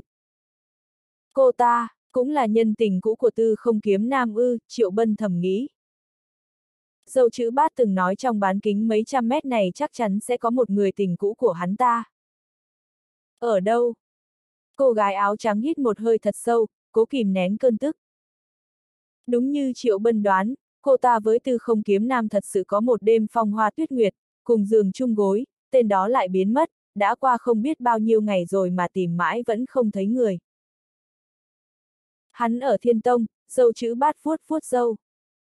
Thiên Tông, cô gái áo trắng nhướng mày, dường như đã ngộ ra điều gì đó trong nháy mắt. Với lời dâu chữ bát nói, cô ta cũng không hề nghi ngờ, thảo nào ở ngoài này tìm mãi không ra, thì ra đã chạy vào Thiên Tông, cũng biết tìm chỗ đấy, với tư chất của tư không kiếm nam thì vẫn đủ tư cách là đệ tử Thiên Tông. Tên bạc tình đó, hay thật, cô gái áo trắng không tức mà còn cười. Hẹn gặp lại. Dâu chữ bát phủi tay, kéo Triệu Bân đi. Về phần tư không kiếm nam, có trời mới biết tên đó ở đâu, hắn ta ở đâu cũng chẳng cần quan tâm, tùy tiện nói một nơi, khả năng cao là cô gái áo trắng sẽ tin, có lẽ đã dành cho hắn ta quá nhiều tình cảm. Trong trạng thái đó, chỉ số thông minh đều bằng không, nhưng ông ta chọn bừa một chỗ, ma xui quỷ khiến thế nào mà tên đó thật sự đến thiên tông. Ông có thể đi, tên này ở lại, cuối cùng cô gái áo trắng cũng bình thường lại. Thôi thôi thôi, trả tiền lại cho ngươi này, dâu chữ bát bĩu môi, móc ra một túi tiền. Không làm gì ảnh hưởng đến tính mạng hắn cả, nói chuyện chút thôi, ông tìm chỗ mát mẻ chờ đi. Dứt lời, hai ông lão lúc nãy đã xoẹt một tiếng xuất hiện, tóm dâu chữ bát lôi đi. Trong đây chỉ còn mỗi hai người. Triệu Bân chỉ lo ho khan, cười gượng, vẫn đứng ngay ngắn. Ở đây, hắn có thể đứng yên thì sẽ cố ngoan ngoãn hết mức có thể, bởi vì có ít nhất bốn cảnh giới địa tàng đang dõi theo hắn, cứ đứng yên đó còn đỡ, dám có hành động dư thừa nào thì chắc chắn đầu hắn sẽ chuyển chỗ, sòng bạc lớn này khá là mạnh, dù không bằng túy mộng lâu nhưng ngọn núi sau lưng họ cũng không bé. Ngươi, có thiên nhãn đúng không? Cô gái áo trắng cười nhìn Triệu Bân. Không có, Triệu Bân thể thốt phủ nhận, xong việc bèn vùi đầu dụi mắt. Liếc mắt nhìn cô gái áo trắng thêm một chút, thiên nhãn của hắn lại bắt đầu nổ đom đóm mắt, chỉ vì quần áo của cô ta có cấm chú, không phải là cấm chú bình thường, theo hắn đoán chắc là chuyên dùng để chặn thiên nhãn. Cốc lắc của sòng bạc được làm từ nguyên liệu đặc biệt, dù có thiên nhãn cũng chưa chắc đã nhìn thấu, cô gái áo trắng cười cười, thiên nhãn của người có khả năng thấu thị. Có lúc có, có lúc không, Triệu Bân vẫn còn xoa mắt, xem như thừa nhận, đó cũng là sự thật, hắn nhìn xuyên qua cái cốc thì rất chuẩn, nhìn cô gái này thì thấu thị lại không dùng được. Giúp ta xem thứ này, chuyện hôm nay ta sẽ không tính nữa, cô gái áo trắng cười nói. Triệu Bân khẽ gật đầu, hắn chẳng còn sự lựa chọn nào khác, dám nói chứ không thì hôm nay hắn sẽ chết, mấy người bảo vệ trong bóng tối sẽ ập đến trong nháy mắt, mang hắn đi nghiên cứu xem sao. Đi theo ta, cô gái áo trắng nhấc chân đi. Triệu Bân cũng đuổi theo, có thể cảm nhận được mấy người cảnh giới địa tàng đều đang tập trung nhìn hắn, có lẽ là cô gái áo trắng dặn trước, có lẽ chuyện sắp diễn ra sẽ là một bí mật. Ta họ mộ, gọi ta là triệu Tuyết được rồi, cô gái áo trắng khẽ nói. Tên rất hay, Triệu Bân cười, khí chất cô gái này với bộ quần áo trắng trông như tuyết vậy, tu vi không tệ, khí chất cũng phi phàm, mái tóc dài bay bay trong gió, có cảm giác thoát tục. Người tình cũ của tư không kiếm nam cũng không phải là người bình thường. Chẳng hạn như cô gái áo tím họ gặp đêm đó, có huyết mạch đặc biệt, lai lịch chắc chắn cũng không bình thường. Con người ấy mà, điển trai vẫn tốt hơn, đi cưa gái thì cô nàng nào cũng đổ, đúng như lời dâu chữ bát nói, trong vòng bán kính trăm mét chắc chắn sẽ có một người tính cũ, tư không kiếm nam đúng là bá đạo. Hai người một trước một sau đi xuống một địa cung nhỏ. Dưới địa cung không có vật gì đặc biệt, chỉ có một cái hộp hết sức vuông vức. Chiếc hộp to cỡ một vò rượu, bốn mặt của nó có khắc hình thanh long, bạch hổ, chu tước, huyền vũ kín hết cả, thêm vào đó là nguyên liệu tạo ra nó, rất kỳ lạ, từ rất xa mà Triệu Bân vẫn cảm nhận được một luồng nhiệt ập tới. Hắn, Triệu Tuyết chỉ cái hộp, giúp ta mở ra xem bên trong có gì. Trực tiếp mở ra là được mà, Triệu Bân khó hiểu nói. Bên trong có thuật cơ quan khóa lại rất huyền ảo, gia phụ nghiên cứu 10 năm vẫn không thể mở ra được, Triệu Tuyết ho một tiếng, sau đó nói, cũng muốn dùng sức mạnh để mở nhưng độ cứng của cái hộp vượt xa sức tưởng tượng, chủ yếu là sợ bên trong mà có bảo bối thì chắc sẽ hư hỏng mất, lỗ nặng, thế nên mới muốn nhờ người dùng khả năng thấu thị của thiên nhãn để xem bên trong cái hộp có gì kỳ diệu. Hiểu rồi. Triệu Bân khẽ khép thiên nhãn lại, sau đó mở cái hộp ra. Nhìn thẳng vào cái hộp, cảm giác đầu tiên chính là chất liệu của nó cực kỳ quái dị, liếc mắt xem thử thì lại càng không thể nhìn vào trong, có lẽ do đạo hạnh hắn chưa đủ, cứ thấy cái hộp đang có một sức mạnh cản trở hắn nhìn lén, thậm chí khả năng thấu thị của hắn cũng như vật trang trí, nhìn đâu cũng không thấy gì. Thế nào, Triệu Tuyết nhỏ giọng hỏi một câu. Triệu Bân không nói, lại nhắm mắt, lại mở hộp. Bấy giờ, hắn cố dùng hết thị lực để nhìn xuyên qua lớp ngoài của cái hộp, nhưng bên trong lại có mây mù cản trở ánh mắt hắn, bất đắc dĩ nên đành phải dùng đồng lực đẩy hết lớp này đến lớp mây mù khác ra ngoài, cố nhìn vào nơi sâu nhất, chẳng có bảo bối gì cả, chỉ có một cánh tay, một cánh tay máu chảy đầm đìa, thứ đó tỏa ra thứ khí đen ngòm, không rõ là oán niệm hay là sát khí đáng sợ. Ưm. Nghe thấy tiếng hắn kêu rên một tiếng, sau đó lùi từng bước về phía sau. Công tử. Triệu tuyết sửng sốt, vội vàng đi tới. Triệu bân giữ thăng bằng, tay ôm thiên nhãn, giữa khe hở có máu tươi chảy xuống, gương mặt hắn cũng cắt không còn một giọt máu nào, tái nhợt như tờ giấy, nhìn thấy thứ không nên nhìn sẽ gặp phải cắn trả rất đáng sợ. Kịch bản lần này chẳng khác gì lần nhìn lén quan tài vua man cả. Chỉ trong vài giây, thiên nhãn của hắn đã mất đi đồng lực, hai mắt trở nên tối om chẳng thấy gì. Bấy giờ, đừng nói là thấu thị, hắn đã chẳng còn nhìn thấy ánh sáng nữa, thiên nhãn đang yên đang lành lại thành con người đuôi mù, từ khi luyện ra thiên nhãn đến hôm nay, đây là lần đầu tiên hắn phải quay về con số không như thế, cảm giác mù này cũng chẳng tốt đẹp gì. Vì thế có thể thấy thứ bên trong cái hộp đó còn đáng sợ hơn cả quan tài vua man. Chiêu tuyết cũng không nhàn rỗi, cô ta vội vàng lấy một loại quả màu xanh ra, luyện thành linh dịch xanh nhỏ vào thiên nhãn triệu bân, linh dịch rơi vào mắt ấm ấm khiến thiên nhãn đang đau nhức dần dịu đi, mắt đã không thấy ánh sáng dần đỡ hơn. Người nhìn thấy gì, triệu tuyết thử hỏi. Tay, một cái tay đầy máu, triệu bân không hề giấu giếm. Tay, triệu tuyết cực kỳ ngạc nhiên, có thể thấy cô ta không ngờ đến điều này, cứ tưởng đó là chân bảo thế nào đó chứ. Chỉ có một bàn tay đã khiến thiên nhãn của Triệu Bân bị cắn trả đến mức này, bàn tay đó cũng đáng sợ quá chứ, thế đó là tay ai? Tại sao lại đặt trong cái hộp này, tổ hợp đó có hơi quái dị. Triệu Bân chỉ nhìn cô ta, không nói. Nếu hắn đoán không lầm thì chiếc hộp này chính là vật dùng để phong ấn. Theo hắn nghĩ, có lẽ vẫn còn vài cái hộp giống với cái này, mỗi cái phong ấn vài thứ. Nói không chừng đó là bộ phận cơ thể người bị tách rời để phong ấn, dùng cách đó để trấn áp sức mạnh. Nếu là thế thật thì quá là đáng sợ, đó phải là sự tồn tại ghê gớm đến mức nào mới bị người ta cắt cơ thể ra để phong ấn, rõ ràng những người đó muốn kẻ bị phong ấn đời đời kiếp kiếp không thể sống lại. Sao lại là bàn tay, Triệu Tuyết lại nói thầm. Mạo muội hỏi một câu, cái hộp này từ đâu ra thế, Triệu Bân lau máu tươi bên khóe mắt. Biển mây đoạ tiên, Triệu Tuyết hít một hơi thật sâu. Nghe thấy cái tên đó, sống lưng Triệu Bân chợt lạnh, biển mây đoạ tiên mà chiêu Tuyết nói chẳng phải nơi tốt lành gì, nó cũng nổi tiếng như hang động quỷ minh và rừng rậm huyết u, cũng được gọi là ba cấm địa tử vong của Hoàng Triều Đại Hạ. Nghe đồn nơi đó từng có một vị tiên rơi xuống, chôn thân ở đó, tạo thành một vùng biển mây, đó cũng là lý do nó được gọi là biển mây đoạ tiên, rất nhiều năm qua, người vào đó chẳng một ai ra được. Nghĩ thế, hắn lại bất giác quan sát chiêu tuyết thêm vài lần, tiền bối nhà cô ta cũng khá là bản lĩnh đấy, vào biển mây đọa tiên mà vẫn sống để bước ra được, bản thân cái hộp này đã rất quỷ dị rồi, nếu nó liên quan đến cấm địa nữa thì càng đáng sợ hơn, nhìn mà tim cứ run lên.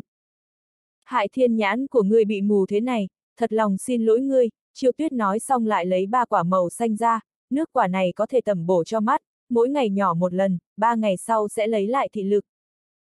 Cảm ơn, Triệu Bân cũng không khách sáo.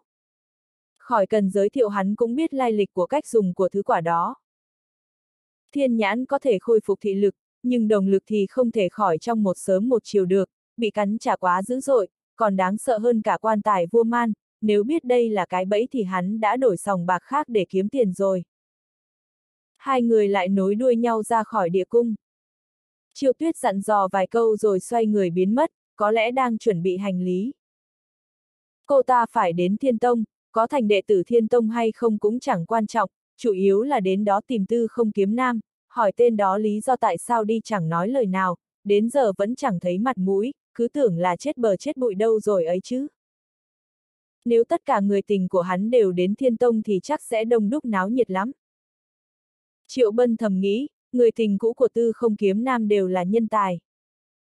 Nếu biết tên đó đến Thiên Tông, không biết có bao nhiêu muội tử chạy tới tập trung ở đó, chắc là không ít, dường như hắn có thể tưởng tượng ra được hình ảnh đó, tất cả đều tụ về một chỗ, muốn yên tĩnh cũng khó. Hắn chính là tấm gương dành cho người đấy. Nếu Nguyệt Thần tỉnh thì chắc sẽ dạy dỗ đồ nhi nhà mình như thế.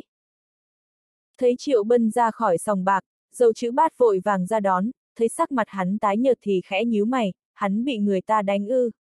Lúc nào thì khí huyết dồi dào, ra tới nơi lại chẳng còn được bao nhiêu.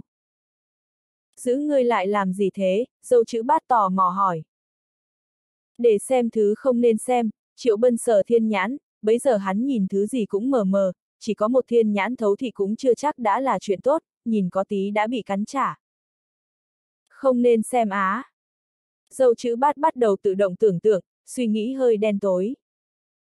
Triệu Bân đã xài bước đi thẳng ra vườn, thiên nhãn không có đồng lực, tạm thời không thể thấu thị, còn muốn đến sòng bạc khác để kiếm tiền thì chỉ có thể trông chờ vào may mắn, lần này lỗ nặng rồi. Bao nhiêu là sòng bạc, tại sao lại chọn nơi này thế? Dâu chữ bát cũng hối hận lắm, nếu không hôm nay đã thắng đậm trở về rồi. Về đến sân nhà, Triệu Bân khóa cửa phòng, dùng thuật thông linh xem thử coi có triệu hồi được đại bằng chưa, nhưng hắn vẫn bị cản trở, có lẽ đại bằng bị thương quá nặng nên vẫn chưa hồi phục. Khoanh chân ngồi xuống, hắn tập trung chữa trị cho thiên nhãn. Loại quả màu xanh chiêu tuyết cho vẫn khá là được việc. Màu trời dần tối triệu bân mới mở mắt ra, thiên nhãn đã có lại thị lực nhưng đồng lực thì chưa, hắn lấy cây châm cài bằng gỗ ra, ngoài ra còn có hổ lô tím vàng, đặt hai thứ vào cùng một chỗ. Bộp! Tiểu hồ lô run lên, vầng sáng màu tím vàng sáng chói lóa. Nhìn lại cây châm cài, nó cũng run lên một cái, những đường vân mơ hồ trên thân nó cũng dần trở nên sống động hơn, sau đó bay ra ngoài, hay có thể nói là bị hồ lô hút ra rồi khắc vào người. Sau đó hồ lô bỗng chốc sáng bừng lên khiến hai mắt triệu bân bị trói không thấy đường, khi nhìn lại thì hồ lô đã không còn ánh sáng, đang ngoan ngoãn nằm đó khiến hắn giật mình. Thế là, xong rồi hả? Ánh mắt triệu bân đầy khó hiểu, hắn rút nút chặn hồ lô ra nhìn vào trong. Bên trong là làn khói mờ mịt, linh dịch sóng sánh, tinh khí bắn ra khắp nơi, có thể thấy là đã thay đổi, một tia sáng kỳ lạ hiện lên, nhìn tổng thể thì trông nó kỳ ảo hơn trước rất nhiều.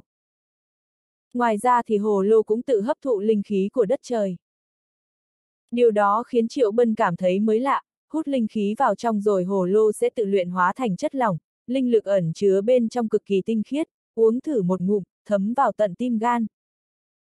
Không tệ, Triệu Bân chợt nở nụ cười. Có thể tự động hấp thu linh khí, có thể tự luyện thành linh lực, công dụng này rất tuyệt. Chờ hắn bớt chút thời gian tìm một nơi có nhiều linh khí để đặt hồ lô ở đó, có thể hấp thu mãi không ngừng, bỏ thêm viên thuốc hoặc đan được vào đó, nó có thể bổ sung lại những hao tổn. Danh con, mau mau mau. Vừa ngước lên thì đột nhiên nghe thấy tiếng dâu chữ bát gào to bên ngoài. Triệu Bân cất hồ lô tím vàng đi, nhanh chóng ra khỏi phòng, sau đó mới biết tại sao dâu chữ bát gọi hắn, bởi vì hoàng hôn hôm nay rất lạ, chẳng những có hào quang mà còn xuất hiện ảnh tượng kỳ lạ, dáng chiều đủ mọi sắc màu, như thể nó đang vòng quanh thanh loan, nhẹ nhàng nhảy múa giữa không trung, dáng chiều và thanh loan khiến bầu trời trở nên rực rỡ đến lạ. Đây! Triệu Bân hết sức kinh ngạc, không biết tại sao lại như thế. Người từng trải như dâu chữ bát cũng không cách nào hiểu nổi, có dáng chiều đủ màu đã quá thần kỳ rồi, cộng thêm hiện tượng lạ như thế khiến con người ta bất giác nghĩ tới đây là dấu hiệu nào đó từ trời cao. Đó, là một con chim đúng không? Cũng được xem là chim, thanh loan, cũng có thể là phượng hoàng. 60 năm, không ngờ nó lại đến. Thành cổ mộ quang dưới ánh trăng náo nhiệt hơn rất nhiều, có rất nhiều người trong thành ngửa đầu lên xem, ánh mắt của những người lớn tuổi trở nên sâu thẳm, họ từng thấy cảnh tượng này vào 60 năm trước, không ngờ 60 năm trôi qua, hiện tượng thanh loan kỳ lạ này lại một lần nữa xuất hiện trên bầu trời. 60 năm một lần, cuối cùng lão phu cũng gặp được một lần. Dâu chữ bát nở nụ cười, lão ta từng nghe sư phụ nhắc tới chuyện mộ quang có thanh loan. Nhưng tuổi tác lão ta có hạn, lần trước khi bầu trời có hiện tượng này lão ta còn chưa sinh ra nữa là. Nhưng lần này lão ta lại không bỏ lỡ, đúng như lời sư tôn nói, dị tượng thanh loan đúng là huyền ảo, cũng quá là mộng ảo. Nơi này không có bảo bối gì đó chứ. Triệu Bân thì thào tự nói, nhìn ngắm dị tượng thanh loan thế này, dường như hắn có thể nghe thấy tiếng của Phượng Hoàng. Sở dĩ hắn nói có bảo bối là vì dị tượng sẽ không xuất hiện mà chẳng có mục đích gì, huyền môn thiên thư có nói tất cả những nơi có dị tượng đều có bảo bối nào đó, cũng giống với cảnh tượng ở mộ thành hôm nay. Bấy giờ, với góc độ huyền dị mà nói thì dáng chiều nhiều màu đó chính là bảo khí.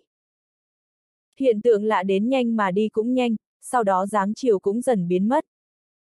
Người đời vẫn còn thổn thức không thôi, có rất nhiều người còn quỳ dạp xuống đất, cứ nghĩ đó là ơn trạch trời ban, còn bọn họ thì đang cầu bình an, trước cửa mỗi nhà đều có một lư hương nhỏ cắm đầy xạ hương, 60 năm mới có một lần, những người đang có mặt ở đây như họ chính là người chứng kiến. Nếu mang thứ này đi bán chắc sẽ được giá lắm. Dâu chữ bát cầm một khối tinh thạch lau rồi lại lau, đó là một khối tinh thạch ghi nhớ. Hiện tượng lạ lúc nãy đã được lão ta ghi lại, về nhà đặt ở đầu giường, nói không chừng có thể trừ tà được ấy chứ. Hiện tượng lạ rất hiếm thấy, hơn nữa đây còn là dị tượng thanh loan, có thể sánh ngang với thần thú Phượng Hoàng. Có bảo bối, chắc chắn nơi này có bảo bối gì đó. Ánh mắt Triệu Bân trở nên sâu thẳm, hắn đã chuyển tầm mắt từ vòng trời xuống dưới chân. Nếu dưới nền đất thành mộ quang có dị bảo thì có thể tạo thành dị tượng trên bầu trời mộ quang, hắn nghiên cứu huyền môn thiên thư lâu như thế, trong đó cũng nói vậy, rất nhiều người tìm bảo bối cũng không nhìn dưới đất mà phải ngó lên trời, nếu tìm mộ thì có lẽ tinh tượng sẽ chính xác hơn. Đêm đến, dâu chữ bát đã quay trở về phòng chữa thương. Triệu Bân giơ tay ra dưới ánh trăng, ngửa đầu nhìn lên trời, đứng có một lát đã tới nửa đêm. Dâu chữ bát mở mắt tỉnh vài lần, có thể xuyên qua khe cửa nhìn thấy Triệu Bân, cũng ngửa đầu nhìn theo hắn, nhưng không biết Triệu Bân đang nhìn gì, tiểu võ tu này cứ hay nổi cơn điên bất chợt như thế. Chắc chắn có bảo bối. Lời trong lòng Triệu Bân thì chỉ mình hắn có thể nghe thấy. Vẫn là câu đó, dị tượng sẽ không vô duyên vô cớ hiện lên, thiên đối địa, hiện tượng kỳ ảo trên bầu trời, dưới đất chắc chắn sẽ có gì đó, dưới nền đất thành cổ này chắc chắn có càn khôn mà không ai biết. Xem đến hơn nửa đêm, cuối cùng hắn cũng đã chắc chắn được việc đó. Sở dĩ hắn vẫn còn xem là để nghiên cứu vị trí dưới lòng đất. Dù sao thì thành cổ mộ quang cũng vô cùng rộng lớn, nếu muốn tìm từng tấc đất thì chẳng biết phải mò đến ngày tháng năm nào, chỉ bằng cứ dùng dị tượng lúc nãy, dùng sự sắp xếp huyền cơ để suy tính vị trí của bảo vật cho xong. Chính là nơi đó, Triệu Bân thầm nói, sau đó xoay người trở về phòng. Hắn độn thổ, đi thẳng một đường theo hướng đã tính từ trước. Người biến đi đâu rồi, dâu chữ bát đẩy cửa nhìn ra vườn, lại mở cửa sổ Triệu Bân xem thử, chẳng thấy bóng dáng hắn đâu nên một mình đứng đó thì thào, cái tên đó, đi chẳng nói một lời. Càng nghĩ lão ta càng phủ định suy nghĩ đó, Triệu Bân không phải loại người như thế. Dưới nền đất là một mảnh tối tăm. Triệu Bân không dừng lại, vì hắn không lặn xuống chưa đủ sâu nên vẫn có thể nghe thấy tiếng bước chân và tiếng la hét trên mặt đất. Lúc hắn ngang qua sòng bạc còn nghe thấy tiếng hét đặt lớn, đặt nhỏ nữa, nhưng âm thanh mà hắn nghe thấy nhiều nhất là tiếng của hiện tượng kỳ lạ, hắn cũng đoán chỗ này có bảo bối, khổ nỗi không biết nên đi đâu để tìm. Không phải tất cả mọi người đều có phép thần thông độn thổ. Và cũng không phải tất cả mọi người đều có ý chí giống như Triệu Bân. Tại sao lại nói hắn có ý chí? Là vì hắn thật sự rất có tinh thần cầu tiến, hắn đã tìm phương hướng, đang cố sức chui xuống dưới, càng xuống sâu càng khó khăn, khi tiến đến một độ sâu nhất định thì rất khó để tiến thêm được nữa. Hết cách, hắn chỉ có thể dùng Long Uyên để đục thành cái động. Hắn đã nghĩ đến việc dùng bùa nổ, có điều lại sợ sẽ gây ra động tĩnh lớn, kinh động đến người ở bên trên, sợ rằng khi ấy chưa tìm ra được bảo bối thì hắn đã bị thành chủ bắt về hỏi tội rồi, vẫn nên lặng lẽ thì tốt hơn. Âm thanh chói tai không ngừng vang lên. Dù là người có ý chí, để tìm được bảo bối, cuối cùng vẫn chọn cách bảo thủ là đục lỗ. Đương nhiên những người bên trên đều không biết chuyện này. Cũng vì Triệu Bân lặn xuống đủ sâu nên âm thanh lớn phát ra đã bị mặt đất dày nặng chắn lại hết rồi. Giống như những gì hắn đã nghe và dự liệu, có không ít người đoán được chỗ này có báu vật lạ và cũng từng nghĩ là báu vật ở dưới đất, tiếc là không có ai độn thổ xuống được, cũng chưa ai tìm được hướng. Còn hắn thì lại có được lợi thế nhờ huyền môn thiên thư. Trong sách có viết rất nhiều cách để tìm kiếm bảo bối. Có thể đại khái tính được phương hướng, cộng với thuật độn thổ nữa, tất cả đều là điều kiện trời cho. Trời dần sáng. Càng có nhiều người đến thành mộ quang, có kẻ đi ngang qua, cũng có người nghe danh nên tìm đến. Tiếc là, họ đến hơi muộn, hiện tượng thanh loan kỳ lạ trong đêm đã xuất hiện vào đêm qua rồi. Muốn xem lại thì chỉ có thể chờ 60 năm sau. Đợi đến năm giáp tí lại thì đã hơn nửa đời người rồi, phần lớn mọi người khó có thể đợi được. Mẹ kiếp, chắc không phải đi thật rồi đấy chứ. Lão già dâu chữ bát ngồi dưới gốc cây, không ngừng lẩm bẩm. Lão ta không đi mà vẫn còn đang đợi, đợi Triệu Bân cùng mình đến huyễn vụ U Lâm. Lão ta đợi cả đêm. Triệu Bân cũng đào cả đêm, càng xuống sâu thì đất càng cứng. Hắn đào từng tấc một, chém từng kiếm vào núi đá, may mà cách xa mặt đất, nếu như gần thì chắc chắn đã bị nghe thấy rồi. Đào, tiếp tục đào theo hướng này. Triệu Bân biến ra phân thân, hơn nữa còn không chỉ biến ra một phân thân mà là mười mấy người. Còn hắn thì tìm chỗ thoải mái, vừa uống rượu vừa thở hổn hển. Lão đại, nhìn đây. Lúc này, ưu thế của việc có phân thân đã dần được thể hiện. Audio điện tử võ tấn bền. Các phân thân nhận được lệnh của bản gốc thì vô dùng hào hứng, kẻ cầm thương dài, người cầm rìu, đều làm việc rất hăng hái, nhìn cảnh đó chẳng khác gì họ đang ôm thầu, dẫn theo một đám đệ tử đi đào khoáng sản, còn Triệu Bân chính là chủ thầu đó, chỉ ngồi sau giám sát, chỉ đạo phương hướng. Ra lệnh rất dễ dàng, hắn chỉ đâu thì các phân thân liền đào ở đó. Có bảo bối, nhất định là có bảo bối. Triệu Bân đã lầm nhầm câu đó rất nhiều lần rồi. Triệu Bân uống hết nửa vò rượu rồi đứng dậy, hắn không ngồi không mà dán bùa lên các chỗ đã được đào trên vách núi, đó là bùa che mắt chiến lợi phẩm mà hắn giành được. Hắn không muốn khí thức của bảo vật bị lộ ra ngoài. Mình đã tốn công tốn sức xuống đây, không thể nào để thành quả cá nhân bị chia năm xẻ bảy. Lão đại, chắc không đến nỗi chỉ đào ra nước chứ, phân thân hỏi. Có thể, Triệu Bân dán một lá bùa lên rồi lại bò lên vách đá nghe ngóng, đào sâu như vậy không khác gì đào giếng, đào ra nước thì cũng không có gì lạ, dìm hết bọn họ cũng không có gì lạ. Các phân thân không nói nhiều, tiếp tục đào sâu xuống. Phân thân có giới hạn thời gian nhưng thuật phân thân lại không bị hạn chế, chỉ cần có đủ chân nguyên, dù có tạo ra cả đám thì hắn cũng chẳng sao. Triệu Bân chính là loại đó, sức sống rất mãnh liệt, chân nguyên cũng rất dồi dào. Chủ yếu là người đông thì dễ làm việc hơn. Dừng. Bỗng dưng, Triệu Bân khẽ hét lên. Tất cả phân thân đều dừng tay, còn hắn thì bò lên vách đá, im lặng lắng nghe, có thể nghe được thấp thoáng tiếng phượng hoàng hót vang, lúc có lúc không. Các phân thân cũng bắt trước nghe theo nhưng lại không nghe thấy gì, bọn họ cũng chỉ là phân thân, không có được khả năng như bản gốc, bất kể là khả năng nghe hay khả năng cảm nhận thì cũng đều kém xa. Chính là đây, Triệu Bân hạ giọng nói, giải tán các phân thân. Còn hắn thì biến ra lôi điện khắp kẽ tay, và còn thi triển thể kỳ lân. Mở ra cho ta. Hắn hét lớn lên, trưởng một trưởng lên vách đá. Rắc rắc. Cùng với tiếng nổ lớn, một cửa hang được mở ra. Tiếp đó là tiếng phượng hoàng gào lên cực kỳ chói tai. Ngoài triệu bân ra thì tất cả các phân thân đều bị chấn động biến mất tâm, có một luồng khí kỳ lạ mạnh mẽ tuôn ra từ trong cửa hang, mang theo sự công kích cực lớn, triệu bân vẫn còn chưa đứng vững thì đã bị hất văng ra ngoài. Chắc vì động tính quá lớn nên mặt đất khắp thành mộ quang đều lắc lư, rất nhiều người không đứng vững, những ngôi nhà cổ nhiều năm không được tu bổ rớt ngói xuống đất, đường phố vô cùng hỗn loạn. Chuyện gì thế này, động đất sao? Rất nhiều người kinh ngạc, liếc mắt nhìn nhau, không biết chuyện gì đang xảy ra. Mau nhìn lên bầu trời kìa. Không biết ai đã thốt lên mà khiến tất cả mọi người đều ngước mắt nhìn lên. Dưới ánh trăng, hiện tượng lạ lại xuất hiện, đó là một vùng ánh sáng rực rỡ, tạo ra một cảnh tuyệt đẹp trên bầu trời, vẫn là thanh loan huyền ảo bay lượn trên bầu trời, tiếng hót vang vọng khắp bầu trời đêm. Không phải 60 năm mới có một lần sao? Nghe người ta đồn thổi, lão phu còn không tin, giờ thì tin thật rồi. Sao lại có hiện tượng kỳ lạ chứ? Tiếng thắc mắc, tiếng cảm thán, âm thanh ngạc nhiên vang khắp thành mộ quang, đến cả thành chủ thành mộ quang cũng trèo lên mái hiên. Mới có ba ngày mà hiện tượng lạ thanh loan đã xuất hiện hai lần, điều này có hơi kỳ lạ, thật sự là ông trời ban phúc sao? Chắc chắn dưới mảnh đất này có báu vật quý hiếm. Ánh mắt của rất nhiều người lớn tuổi đều trở nên xa xăm. Có rất nhiều người đang nghiên cứu, tìm kiếm phương hướng. Bọn họ chỉ đang nghiên cứu, cũng đang tìm kiếm, dù xác định rồi thì cũng không xuống được, vì họ không thể nào quang minh chính đại đào đất được, đây là thành mộ quang, thành chủ thành mộ quang sẽ không đồng ý.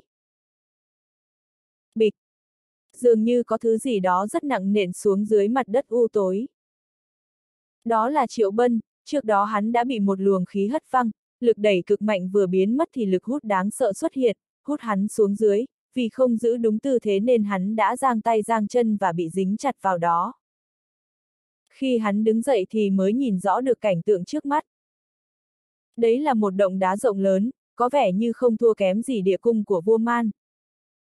Mặc dù nằm sâu dưới lòng đất nhưng chỗ này lại không hề tăm tối, vì có một món đồ phát sáng chiếu rọi khắp xung quanh, sáng như ban ngày, đến cả những giọt nước nhỏ tí tách cũng ánh lên màu sắc kỳ lạ, còn có một loại khí cực mạnh, cuồn cuộn bên trong, mỗi luồng khí đều phun trào như khói mù. Đúng thật là có càn khôn.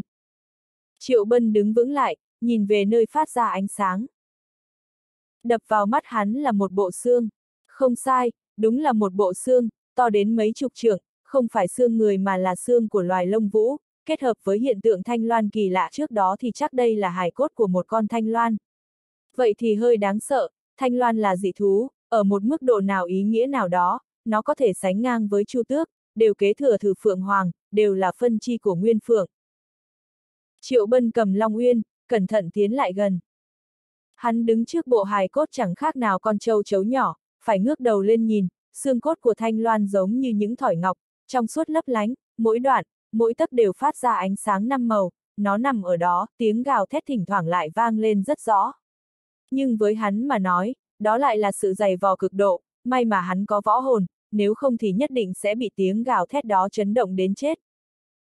Đây, là Thanh Loan sao? Triệu Bân lẩm bẩm, tâm trạng hồi hộp. Nếu như không phải đích thân xuống đây thì ai lại nghĩ đến việc dưới lòng đất lại có một con Thanh Loan, không biết nó được chôn ở đây từ bao giờ, nhưng nhất định là trước khi có thành mộ quang, vậy thì ít ra cũng có lịch sử mấy ngàn năm rồi. Dù cho chỉ là một bộ xương nhưng cũng đè ép khiến hắn không thở nổi. Đã có lúc hắn như nhìn thấy cảnh vùng đất thần tiên rộng lớn và cổ kính, có một con thanh loan năm màu bay lượn trên bầu trời, mây màu thần tiên rực rỡ rắc đầy xuống nhân gian. Từ đó có thể thấy, đấy là một con thanh loan năm màu. Vậy thì vấn đề đến rồi đây, chỉ có thế giới thần tiên mới có thanh loan, sao nó lại bị chôn ở phàm trần? Triệu Bân đã nhanh chóng tìm được đáp án, hắn có thể nhìn thấy trên xương của con thanh loan này có một lỗ nhỏ to bằng ngón tay. Đúng như những gì hắn đoán, con thanh loan này đã bị một người có đại thần thông đâm xuyên bằng một ngón tay, vì vậy đã rơi từ trên trời xuống, trải qua bao thay đổi, cuối cùng bị chôn vùi nơi đây. Chắc sức chiến đấu của thanh loan năm màu sẽ rất đáng sợ. Triệu Bân lẩm bẩm, một con dị thú mạnh như thế mà lại bị người ta giết chết bằng một chiêu. Vậy thì người ra tay phải đáng sợ đến mức nào? Mặc dù hắn kinh ngạc nhưng không hề run sợ. Đến cả thần linh như Nguyệt Thần mà còn bị đánh đến mức chỉ còn lại tàn hồn, nghĩ thôi cũng biết, tiên giới và thần giới đáng sợ đến mức nào. Nếu cấp thiên võ mà đến hai giới tiên và thần thì e rằng đến cả tư cách nổ thành cho cũng không có. Hắn lập tức định thần, nhìn ngang nhìn dọc nhưng không phát hiện ra bảo bối. Lúc hắn nhìn lên, bộ xương của thanh loan rung nhẹ một chút, mất đi ánh sáng lấp lánh, bộ xương trong suốt lấp lánh đột một lập tức mất đi vòng ánh sáng, từng tấc từng khúc trở nên loang lổ, nứt ra từng khe hở. Cuối cùng, bộ xương đột một nát vụn, biến thành một đống cho tàn, chắc là vì đã bị trôn quá lâu nên không thể chống lại nỗi sự ăn mòn của thời gian, đến cả chút tiên lực cuối cùng còn lại cũng biến mất. Vì bộ xương bị biến thành cho, không còn phát ra ánh sáng nên cả động đá trở nên tối mịt.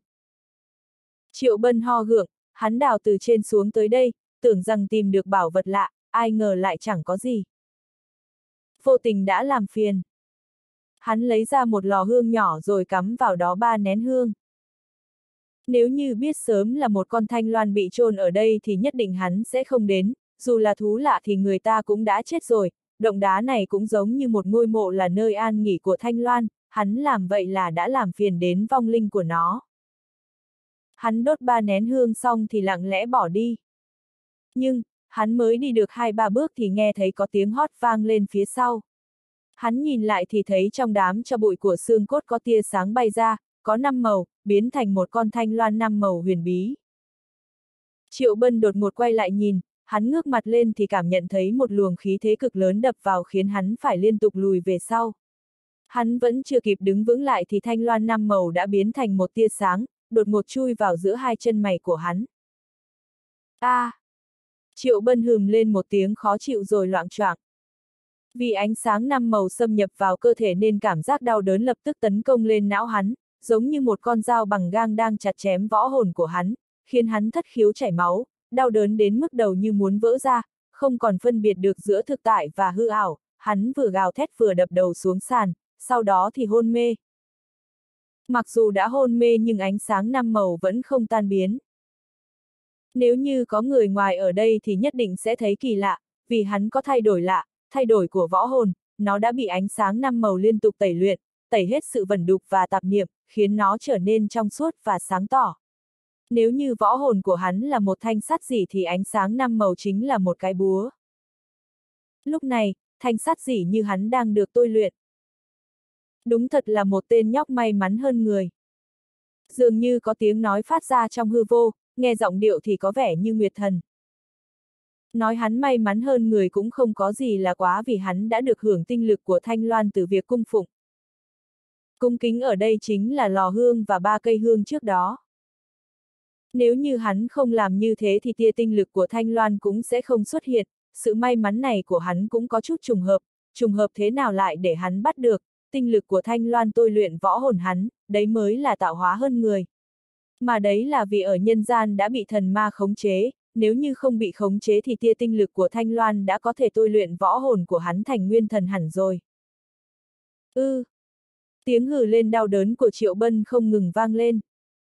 Tốt hơn vẫn nên đau đớn một chút, có đau đớn thì mới có sự lột xác, cũng giống như quá trình luyện thể vậy, quá trình đau đớn cũng chính là quá trình niết bàn. Thanh loan năm màu không thể cầu, có năng lực cường hóa võ hồn, đây đúng là vận may của hắn. Sau chuyện này thì đồng cấp cảnh giới trên toàn cõi nhân gian sẽ không ai có thể so sánh được với hắn. Không biết bao lâu thì ánh sáng trên người Triệu Bân mới bắt đầu tiêu tán. Hang động khổng lồ lại chìm vào bóng tối, không còn gì khác ngoài tiếng nước chảy. Đây là đâu? Tiếng lẩm bẩm của Triệu Bân đột nhiên vang lên. Trong bóng tối, dường như hắn lại nhìn thấy một vùng đất thần tiên rộng lớn, những con thanh loan năm màu đang nhảy múa trên không trung hết sức linh hoạt, mỗi một động tác của nó đều đi kèm với thanh âm véo von nhịp nhàng, kỳ ảo đẹp đẽ, đan xen vào nhau như một tiên khúc, chỉ cần nghe thôi cũng cảm thấy vui vẻ hạnh phúc, chớp mắt ngộ ra được nhiều đạo lý đời người. Chính trong trạng thái này hắn mới từ từ mở mắt. Trước mặt của hắn, chỉ có bóng tối hiu quạnh, giống như nơi suối vàng của cõi u minh. Nhưng cho dù không có ánh sáng thì hắn vẫn có thể nhìn thấy rõ khi tỉnh lại, thiên nhãn của hắn đã khôi phục, hơn nữa còn tinh anh hơn trước, mà thứ khiến cho hắn ngạc nhiên nhất chính là võ hồn của mình, một võ hồn tinh túy không chút tạp niệm. Chuyện này. Triệu Bân ngồi dậy, sừng sốt hồi lâu. Lúc này hắn mới nghĩ tới luồng ánh sáng nhiều màu kia, võ hồn của hắn lúc này cũng sáng bóng nhiều màu như vậy, toàn thân của hắn như vừa được tái sinh, thị lực, thính lực, chi giác, hồn lực. Tất cả dường như đều đã được cường hóa. Chấm. Sau lưng có tiếng nói, mau mau, đi lên hết đi. Thành cổ mộ quang dưới ánh trăng lúc này khá náo nhiệt, có rất nhiều vệ binh cầm đao đang áp giải phạm nhân xếp thành hàng dài trên đường, những phạm nhân đó có một điểm chung là trên người đều lấm lem bùn đất, giống như vừa mới bỏ ra khỏi lòng đất vậy. Khỏi phải nói, đúng là bọn họ vừa mới bỏ ra khỏi lòng đất. Chính xác mà nói thì bọn họ đã bị vệ binh bắt từ dưới lòng đất lên. Bởi vì dị tượng thanh loan phát sinh, có rất nhiều người tin rằng trong lòng đất nơi đây chắc chắn có trôn giấu bảo bối, đám người này hơn nửa đêm không ngủ chính là vì muốn tụ tập lại tầm bảo, cho nên mới bị vệ binh trong thành bắt được, chuyện này cũng là do thành chủ đích thân hạ lệnh. Một tòa thành tốt thế này lại bị đánh ra một lỗ hổng, đang lo việc tòa thành sụp đổ thì lại có thêm biết bao nhiêu võ tu không lo tự mình tu luyện, chạy từ đâu tới đây gây thêm phiền phức cho thành chủ ta. Trời đất chứng giám, ta có luyện thuật độn thổ đâu. Trong số phạm nhân có một người gào to.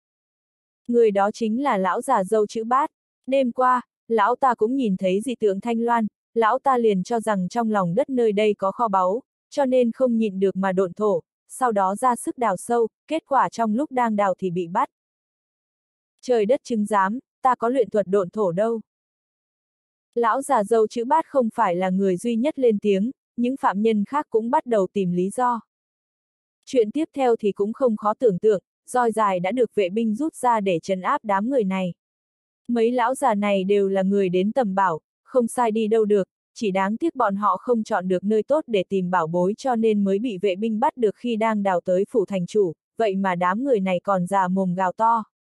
Giờ phút này tất cả đều đã bị treo lên, ngay cả cảnh giới địa tạng cũng không tính là gì, bởi vì trong phủ thành chủ cũng có không ít cảnh giới địa tạng, muốn bắt người vô cùng dễ dàng. Ai muốn chuộc người thì phải để tiền lại. Ngay sau đó, từ trong phủ thành chủ truyền ra một mệnh lệnh. Ai cũng hiểu, thành chủ thành mộ quang đang muốn kiếm thêm một khoản kha khá. Đến đào kho báu hả, ta cho các ngươi đào. Nhưng đến thì dễ còn đi thì khó lắm, sẽ không ai có thể rời đi nếu không để lại một chút máu. Về phần cần để lại bao nhiêu máu mới được phép rời đi thì còn tùy thuộc vào tâm trạng của thành chủ. Thành chủ hạ lệnh, ai dám không theo. Có không ít người đã cầm tiền tới chục người. Triệu Bân là một trong số đó, hắn may mắn không bị bắt, vừa đi ra đã nhìn thấy cảnh tượng bạn của mình bị thành chủ bắt được, hắn phải lấy tiền chuộc bạn mình lại, bởi vì lão già dâu chữ bát đối với hắn rất tốt. Tên nhóc nhà ngươi đã chạy đi đâu vậy? Thấy Triệu Bân, lão già dâu chữ bát thổi thổi hàm dâu, chừng mắt nhìn hắn rồi hỏi. Đi tiểu đó. Triệu Bân hít sâu một hơi, tìm ra được một lý do hết sức tươi mát thoát tục. Lão già dâu chữ bát trợn mắt, lão ta tin hắn mới là lạ, đi tiểu gì mà tới ba ngày hai đêm. Hơn nữa, lão ta nhìn Triệu Bân cũng cảm thấy rất khác lạ, mới ba ngày không gặp mà dường như hắn đã thay đổi rất nhiều. Đêm nay, cả hai đều không làm chuyện gì tốt đẹp. Thiên nhãn của Triệu Bân đã khôi phục, võ hồn lại được cường hóa cho nên năng lực của thiên nhãn cũng càng lúc càng mạnh, khả năng nhìn xuyên thấu cũng được nâng cao, sao có thể không đến sòng bạc kiếm tiền được chứ? Hai người phối hợp vô cùng ăn ý, để an toàn thì hai người đã giả trang rồi thay phiên nhau vào trong hốt bạc, tất cả các sòng bạc lớn nhỏ ở thành mộ quang đêm nay đều vang lên tiếng người tụ tập chửi tục không ngớt. Tới sáng sớm thì hai người mới dừng tay. Sau đó hai người lại chia nhau ra đến các cửa hàng trong thành. Bọn họ đi mua tài nguyên tu luyện, chẳng hạn như đan dược và dược dịch, loại nào cũng mua một đống lớn, tiêu tốn không ít bạc nhưng chẳng có ai đau lòng, một đêm qua bọn họ đã hốt được ở các sòng bạc đến mấy chục vạn lượng. Khởi hành, lão già dâu chữ bát đi trước nói.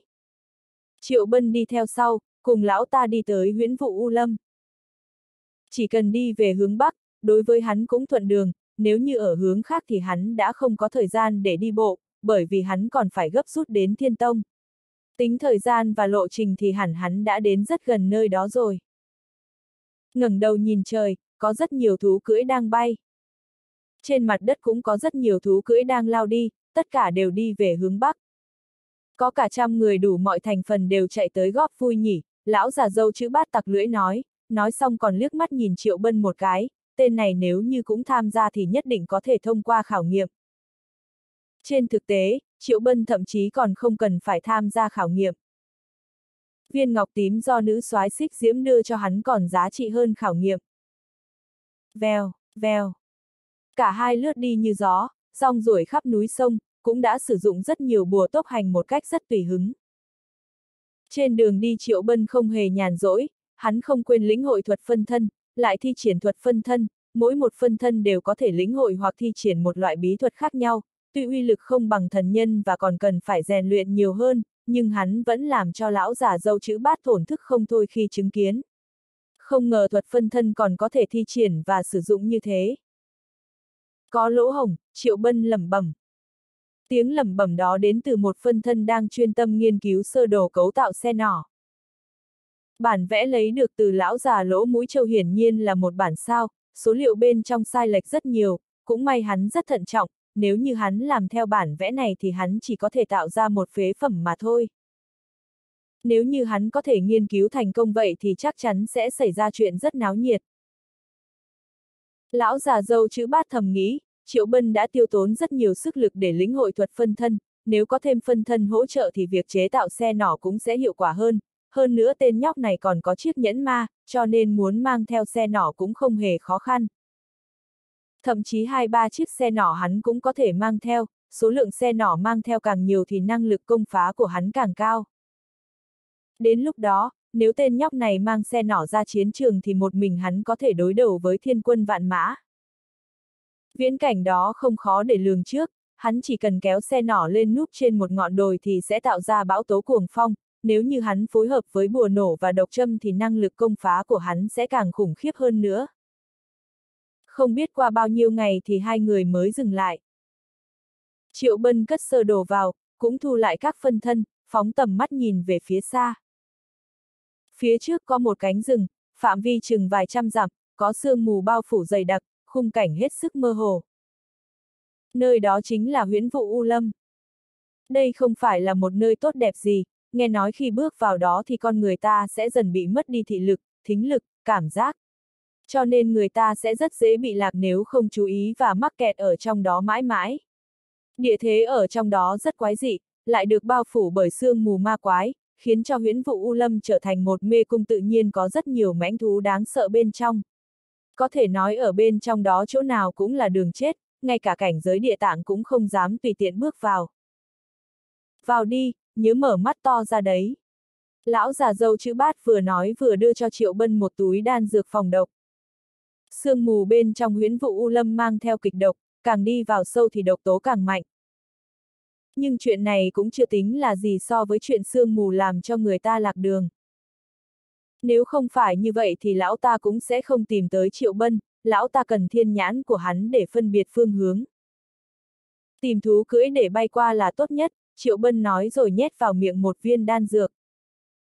Lão già dâu chữ bát nhấp một ngụm rượu rồi nói, đứng ở nơi quá cao sẽ dễ trở thành mục tiêu sống, mãnh thú bên trong rất dữ tợn, nếu để cho bọn chúng nhìn thấy thì bọn chúng sẽ truy đuổi, lén lút tiến vào mới là tốt nhất. Lão ta vừa dứt lời thì đã nghe thấy tiếng rít của một con chim lớn vang lên từ xa.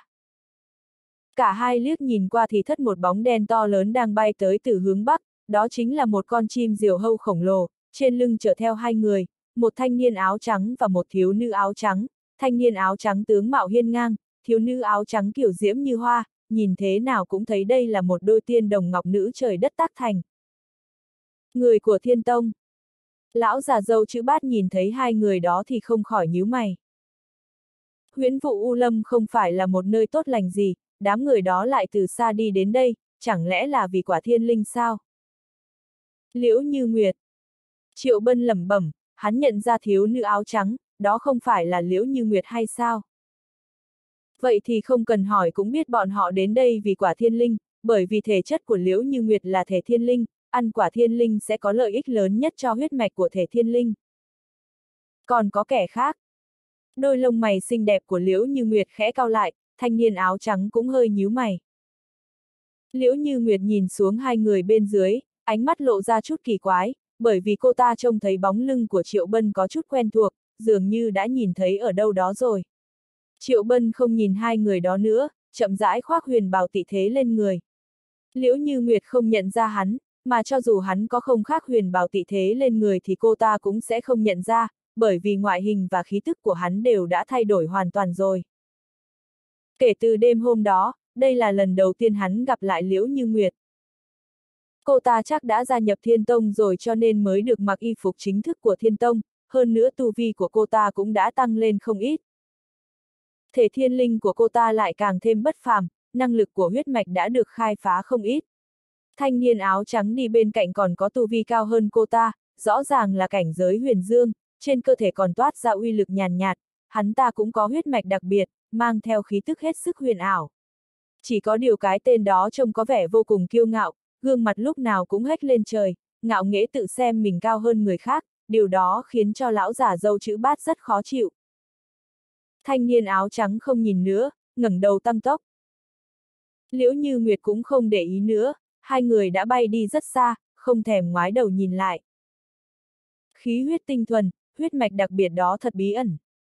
Lão già dâu chữ bát lẩm bẩm nói, không biết là đang nói Liễu Như Nguyệt hay thanh niên áo trắng. Nhưng bất kể là lão ta nói người nào thì chuyện này cũng rất kỳ lạ, ngay cả Triệu Bân trong lúc nhất thời cũng không nhìn thấu, hắn biết huyết mạch thiên phú của Liễu Như Nguyệt nhưng không biết huyết mạch đặc biệt của thanh niên áo trắng thuộc loại nào, hắn chỉ biết cái tên đó đã có thể bước ra từ thiên tông thì không phải kẻ tầm thường, người không có chút tài năng thì chắc chắn sẽ không được gia nhập thiên tông. Chờ một chút. Lão già dâu chữ bát lấy ra một chiếc la bàn và xem xét cẩn thận. Lão ta đang canh thời gian tốt để đi vào huyễn vụ U Lâm, sương mù lúc này khá dày đặc. Thật lâu sau thì lão ta mới thu la bàn lại. Hai người cùng nhau bước vào huyễn vụ U Lâm. Sau khi đi vào, Triệu Bân mới nhận ra nơi đây kinh khủng như thế nào, ngay cả thiên nhãn và võ hồn của hắn cũng bị sương mù cản trở, tầm nhìn và nhận thức của hắn cực kỳ hạn chế, nhưng tình trạng của hắn vẫn còn tốt hơn lão già đi bên cạnh, hai mắt của lão ta đang trợn ngược lên hết cỡ, lò dò tìm đường để bước tiếp.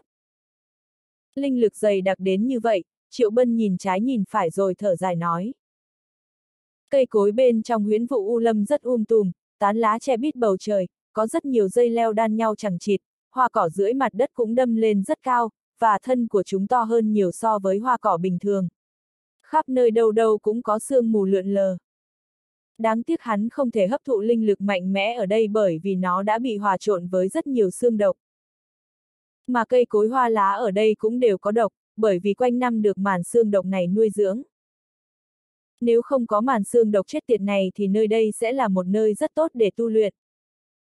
Lão già dâu chữ bát tiếc nuối, lão ta rất muốn hít sâu một hơi để hấp thụ linh khí nhưng không được, bởi vì làm thế thì cũng sẽ hít vào xương độc.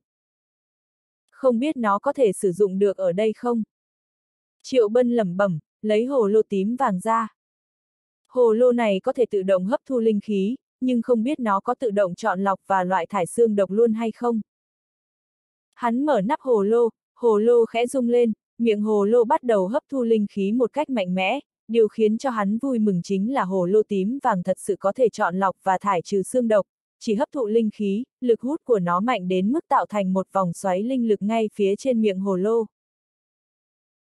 Không tệ.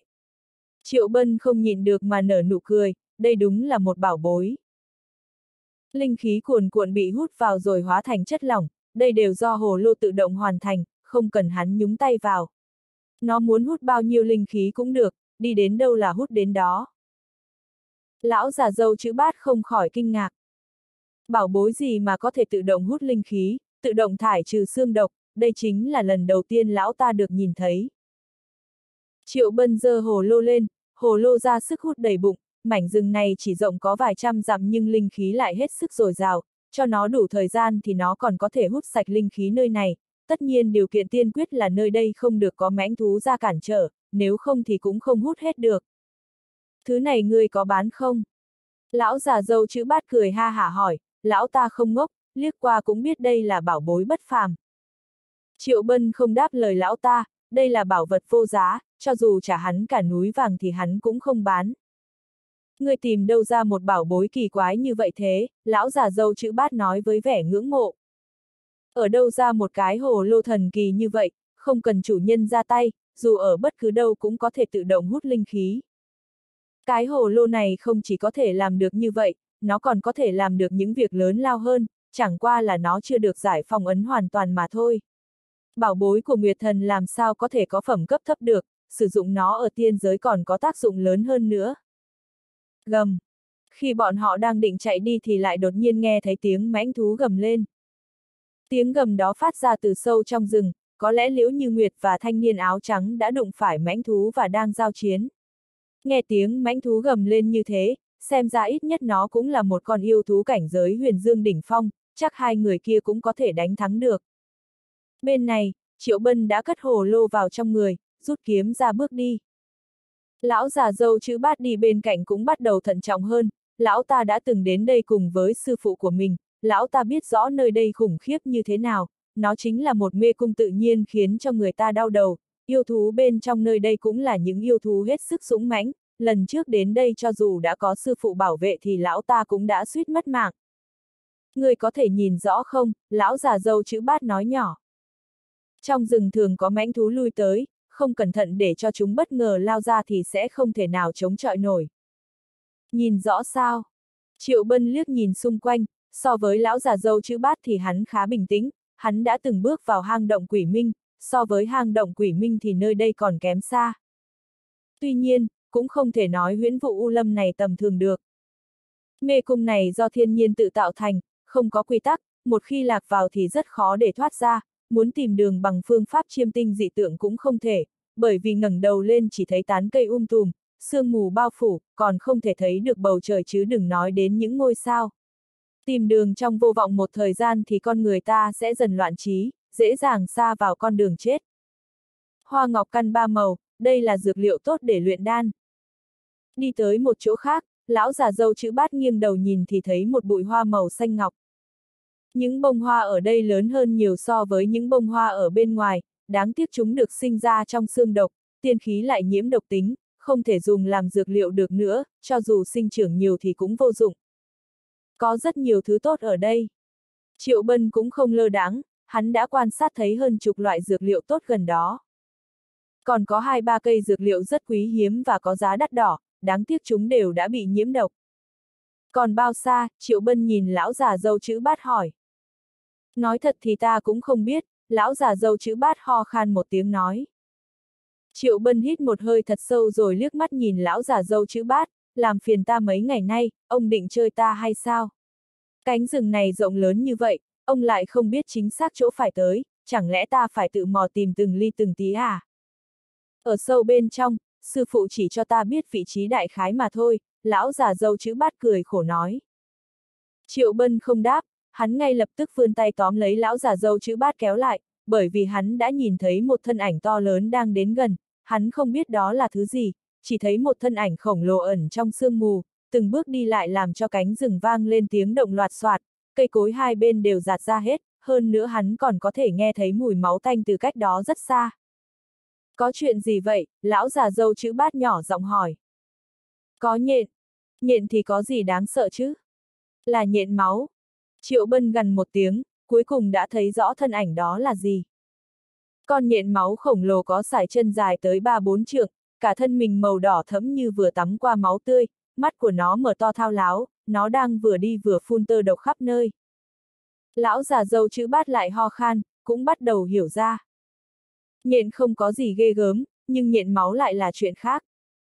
Với chiến lực của hai người bọn họ thì không phải là đánh không lại nó, nhưng cũng không thể ra tay đánh nó ở đây, lỡ đâu gây ra động tính quá lớn thì chỉ có quỷ mới biết được sẽ thu hút thêm bao nhiêu yêu thú ở khắp huyễn vụ U Lâm tới quần công bọn họ. Cũng may là Triệu Bân phát hiện sớm, hai người âm thầm đi về phía trước tránh va chạm với nó. Nhện máu đến nhanh mà đi cũng nhanh, không hề để ý đến hai người bọn họ, mắt của nó đúng là rất kém. Bọn họ tiếp tục lên đường, trên đường đi liên tiếp gặp rất nhiều yêu thú.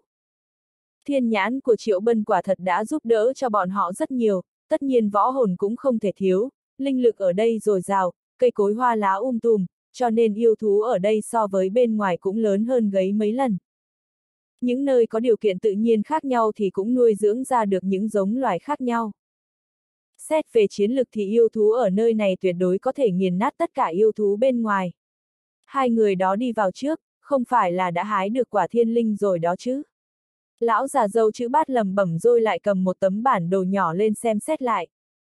Từ khi vào trong rừng sâu, phần lớn thời gian đều bị hắn dành ra để xem bản đồ, phán đoán phương hướng, nhưng trên thực tế thì việc không có tác dụng gì cả, vì mê cung trận ở đây là tự nhiên, phương hướng đã thay đổi từ lâu rồi.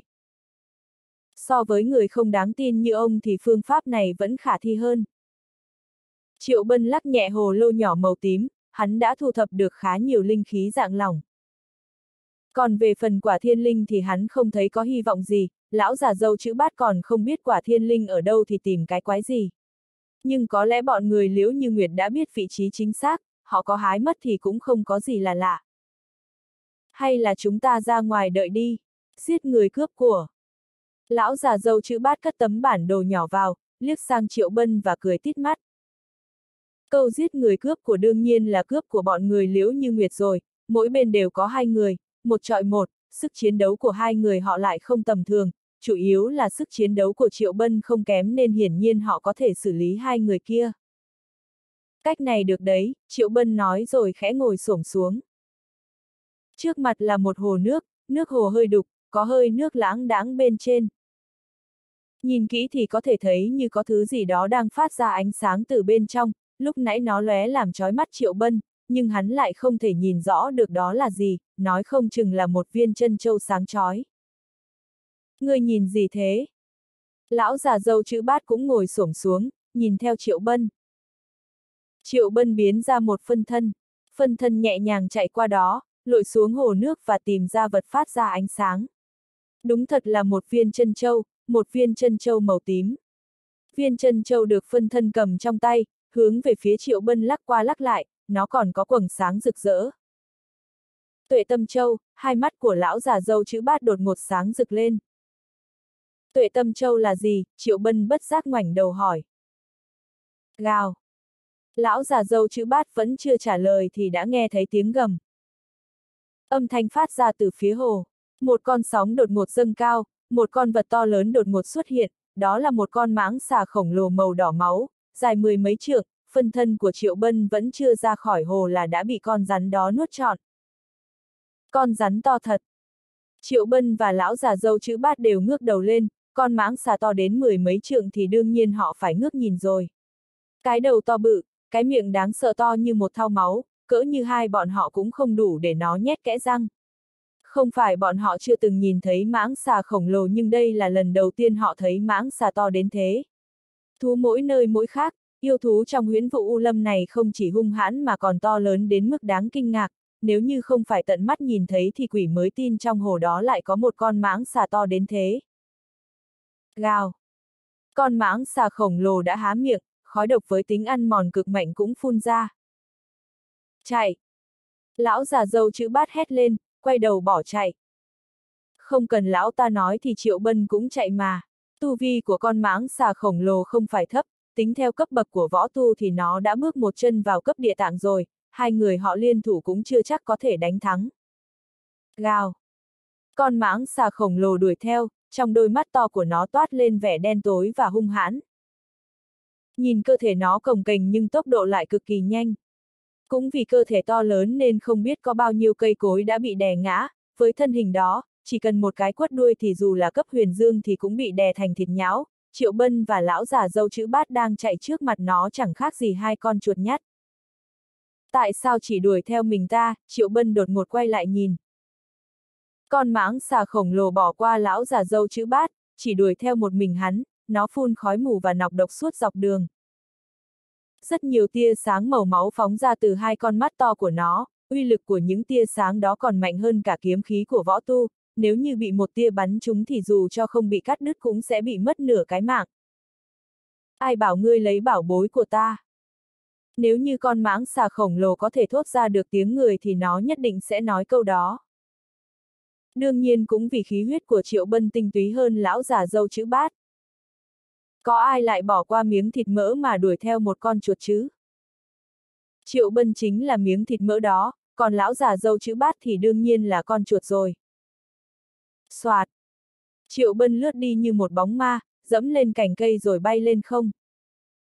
Con mãng xà khổng lồ cũng không chậm hơn, nó há to cái miệng máu me, trong cổ họng xuất hiện một vòng xoáy với lực hút cực kỳ đáng sợ, Triệu Bân đang bay trên không trung liền bị hút xuống, nếu không có bất ngờ gì xảy ra thì hắn sắp bị nuốt. Cho mày ít đồ ngon này. Triệu Bân giơ tay lên, mười mấy thanh phi đao bay ra, tất cả đều có treo bùa nổ. Bùa nổ liên tiếp nổ tung nhưng vẫn không có tác dụng gì với con mãng xà khổng lồ, sự rắn chắc của cơ thể đã đạt đến mức cực kỳ đáng sợ. Có điều, mười mấy lá bùa nổ này đã làm hành động của nó bị trì trệ, giúp Triệu Bân có thời gian để thở. Khóa cho ta. Ở cách đó không xa, lão già dâu chữ bát đã bấm ấn quyết, thi triển cấm pháp. Lập tức, có mười mấy lá bùa nối đuôi nhau bay từ dưới đất lên, cưỡng chế khóa chặt con mãng xà khổng lồ. Đáng tiếc, cấm pháp của lão ta chỉ là trò trẻ con trong mắt con mãng xà khổng lồ, lập tức bị đánh tan, đuôi rắn vung lên, cả tảng lớn cổ thụ đều ngã dạp, lão già dâu chữ bát bị đập bay ra xa. Keng, keng. Triệu Bân cũng đã tấn công, hắn chém ra một vùng kiếm khí, mỗi đạo kiếm khí đều có lôi điện bao quanh, sức sát thương rất lớn, nhưng khi chém lên người mãng xà khổng lồ thì vẫn không thể phá vỡ được phòng ngự của nó, chỉ sượt qua ngoài mặt cơ thể của nó và tóe lên những tia lửa sáng chói, đừng nói đến việc làm nó bị thương, gãi ngứa còn chẳng được. Gào! Con mãng xà khổng lồ rít lên, sóng âm đáng sợ biến thành quầng khí vô hình. Những nơi mà quầng khí đi qua thì những cây cổ thụ chọc trời đều ngã dạp, đá vách núi nát vụn bay khắp nơi. Học! Triệu bân hộc máu, suýt bị tiếng rít của mãng xà khổng lồ chấn bay võ hồn. Hắn vẫn chưa đứng vững thì con mãng xà khổng lồ đã đến nơi, há cái miệng to đầy máu me ra. Triệu bân nghiến răng, thi triển huyễn thuật của thiên nhãn, cố khống chế mãng xà khổng lồ vài giây rồi lại một lần nữa thoát thân, liều mạng trốn chạy. Mãng xà khổng lồ nổi giận, bám sát không chịu buông tha. Vì hai người họ mà khu rừng này đã trở nên vô cùng hỗn loạn. Cũng vì hai người mà khắp nơi đều có tiếng gào thét của thú dữ, vừa giận dữ vừa sợ hãi. Nửa đêm nửa hôm lại bị quấy nhiễu nên chúng tập trung cả đám lại gào thét, trong đó còn có không vài cá thể sánh sang với mãng xà khổng lồ, nếu lang thang ở chỗ khác thì thôi, nếu dám bước chân đến lãnh địa của bọn chúng thì bọn chúng sẽ nhào ra giết ngay. Động tĩnh lớn thật, đánh thức con mãng xà khổng lồ đó rồi sao? Trong rừng sâu, thanh niên áo trắng và liễu như nguyệt đều quay lại nhìn, chân mày hơi trao lại. Hiển nhiên, bọn họ biết trong hồ đó có mãng xà khổng lồ, trước khi đến đây, các trưởng bối đã nhắc nhở rồi. Vì họ biết nên trước đó mới đi vòng qua vì nếu bọn họ đụng phải con mãng xà khổng lồ đó thì sẽ không thể có kết cục tốt đẹp. Trong cùng cấp bậc, nếu xét về sức chiến đấu thì yêu thú ở đây mạnh hơn so với yêu thú bên ngoài rất nhiều. Hai tên đáng chết, chỉ biết gây thêm rắc rối. Thanh niên áo trắng lạnh lùng hừ lên, đoán chắc là hai võ tu mà mình đã gặp trước khi vào đây. Chọc giận mãng xà khổng lồ thì không sao, nhưng giờ cả huyễn vụ U Lâm đều đã bị vạ lây. Rất nhiều yêu thú đã bị đánh thức, cục diện này chẳng hay chút nào, hiện giờ càng khó để hái quả thiên linh. Nhắc đến quả thiên linh thì hai người họ cũng rất khó xử. Lão già dâu chữ bát không biết quả thiên linh ở đâu thì hai người họ cũng không biết. Các trưởng bối chỉ nói trong huyễn vụ U Lâm này có quả thiên linh nhưng lại không nói vị trí cụ thể, chỉ còn cách tìm từng cây một. Vốn dĩ họ định lén tìm nhưng lại có người đến phá đám, chọc ai không chọc lại đi chọc con mãng xà khổng lồ đó. Bên này, Triệu Bân đã rất thê thảm. Con mãng xà khổng lồ hung hãn, sức tấn công mạnh mà ra cũng dày nữa, hắn không sao phá được phòng ngự của nó. May mà chân cẳng hắn nhanh nhẹn, chạy đủ nhanh, nếu không thì đã sớm bị ăn thịt rồi. Với con mãng xà cỡ này, đừng nói là một tên cấp chân linh như hắn, dù là cao thủ cấp địa tạng thì chắc cũng không làm được gì. Cố gắng lên, lão già dâu chữ bát ôm vai, chạy theo sau. Sư phụ đã cảnh báo trước, tuyệt đối đừng chọc đến yêu thú trong huyễn vụ u lâm này. Có lẽ lời đó là thật rồi, con máng xà màu đỏ máu này còn hung dữ hơn cả con nhện máu trước đây nữa, xét về tu vi thì nó cũng xem như là bán bộ địa tạng rồi, đẳng cấp của hai người họ đều kém xa so với nó. Không gắng nổi nữa, Triệu Bân lại nôn ra một ngụm máu lớn. Sức chiến đấu đã bị áp đảo hoàn toàn, tất cả các bí thuật của hắn đều chẳng có tác dụng gì. Gió mang theo mùi máu thổi mạnh, con mãng xà khổng lồ lại quay về, từ đằng xa đã há to miệng, sóng âm cũng được phóng ra. Chỉ với tuyệt kỹ này thôi cũng đủ khiến Triệu Bân phải khó chịu rồi, đến giờ đầu óc vẫn cứ ù ù. Vào thời khắc nguy hiểm, hắn lập tức độn thổ, định dùng cách này để trốn thoát. Con mãng xà khổng lồ cũng rất thông minh, nó nện mạnh đuôi xuống đất. Triệu Bân bị chấn động bay ra xa, hắn dùng hết sức múa may kiếm Long Uyên. Kiếm khí bay ra dày đặc, còn có rất nhiều bùa chú được tung ra ngoài, nhưng tất cả những thứ này chỉ là trò trẻ con trong mắt của mãng xà khổng lồ, không có tác dụng gì cả, không thể làm gì được cơ thể của nó mà ngược lại còn bị huyết quang do mãng xà khổng lồ phóng ra đánh tan hết. Học, triệu bân hộc máu, cùng bay ra xa với đá vụn. Hắn vẫn chưa rơi xuống đất thì con mãng xà khổng lồ đã há to cái miệng máu ra, nuốt chửng hắn vào trong. Nhóc con, lão già dâu chữ bát chạy đến nhưng đã muộn rồi. Con mãng xà khổng lồ chuyển hướng tấn công, nhằm thẳng vào lão ta, mắt nó đỏ lòm như máu, ăn được một miếng thịt mỡ ngon lành rồi thì nó cũng không ngại nuốt thêm một con chuột nữa, con chuột nhắt này cứ đuổi theo khiến nó thấy rất phiền. Mẹ nó! Lão già dâu chữ bát lớn tiếng mắng rồi tiện tay quăng ra một lá bùa. Mặc dù lá bùa này không phải là bùa nổ nhưng lại có uy lực rất mạnh, nổ cho con mãng xà khổng lồ phải trao đảo. Gào! Con mãng xà khổng lồ giận dữ gào lên, phun ra khói độc cuồn cuộn. Lão già dâu chữ bát không chống đỡ nổi, suốt chặng đường tháo chạy, lão ta chỉ cảm thấy buốt lạnh trong lòng, một hậu bối xuất sắc hiếm có như thế, đang yên đang lành lại bị một con mãng xà nuốt chừng, chết một cách âm ức. Còn lão ta thì cũng thấy vô cùng áy náy. Nếu như lão ta không đến tìm quả thiên linh thì Triệu Bân cũng không cần phải chết. Gào, gào. Rừng sương mù âm u chẳng thấy ánh sáng, tiếng gào thét nghe cứ như tiếng sấm.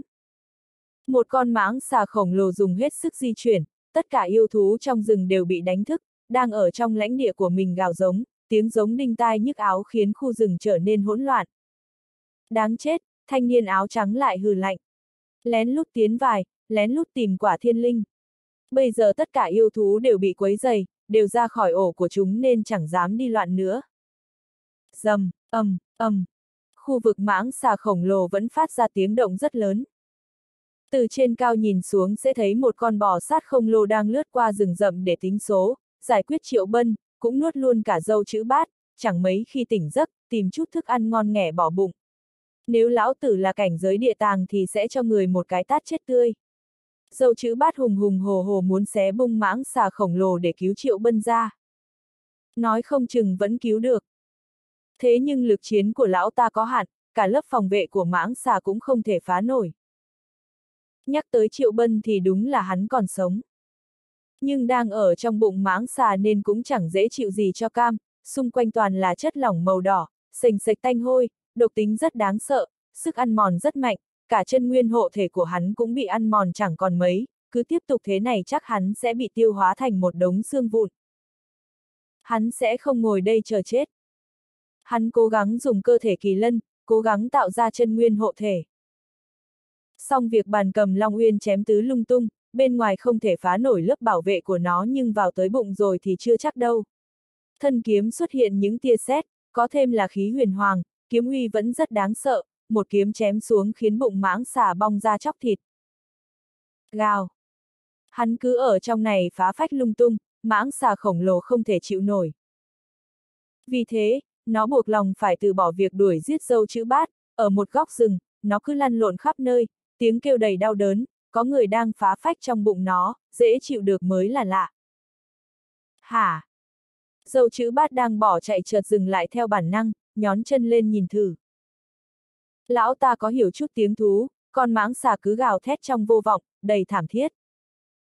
Không kịp suy nghĩ nhiều, lão ta lại đi vòng trở về gọi khàn cả giọng, danh con, là ngươi đó hả?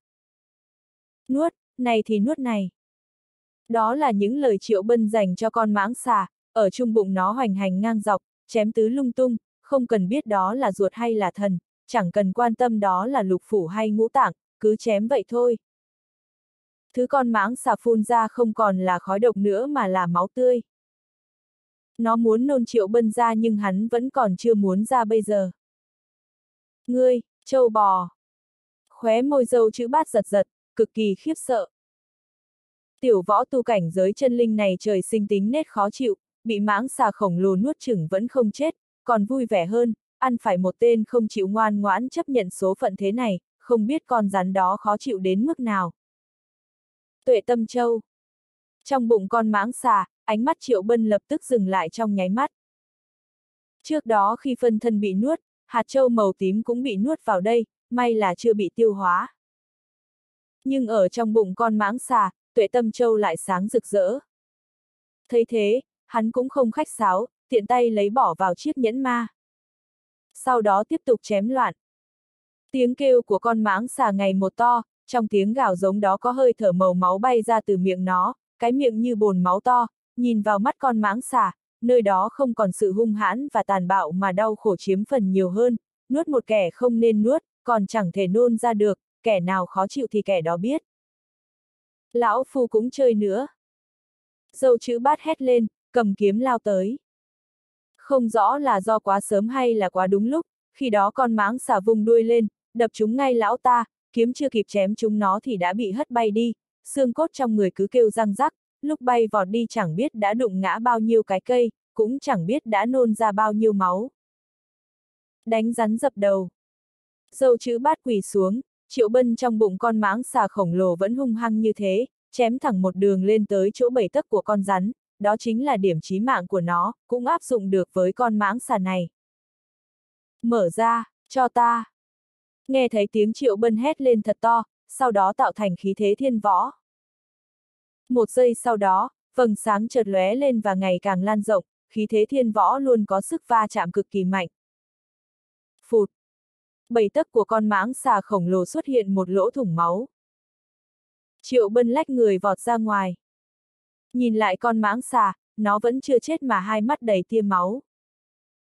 Triệu bân đã đoán trước điều đó, hắn lập tức né đi, nhanh chóng vọt xuống đuôi rắn nhanh như chớp, hai tay ôm lấy, khí huyết cũng tuôn trào, ở trạng thái kỳ lân, hắn bắt mình mở ma đạo, nhanh chóng quật con mãng xà khổng lồ dài tận mấy chục mét, khom người ném nó đi thật xa.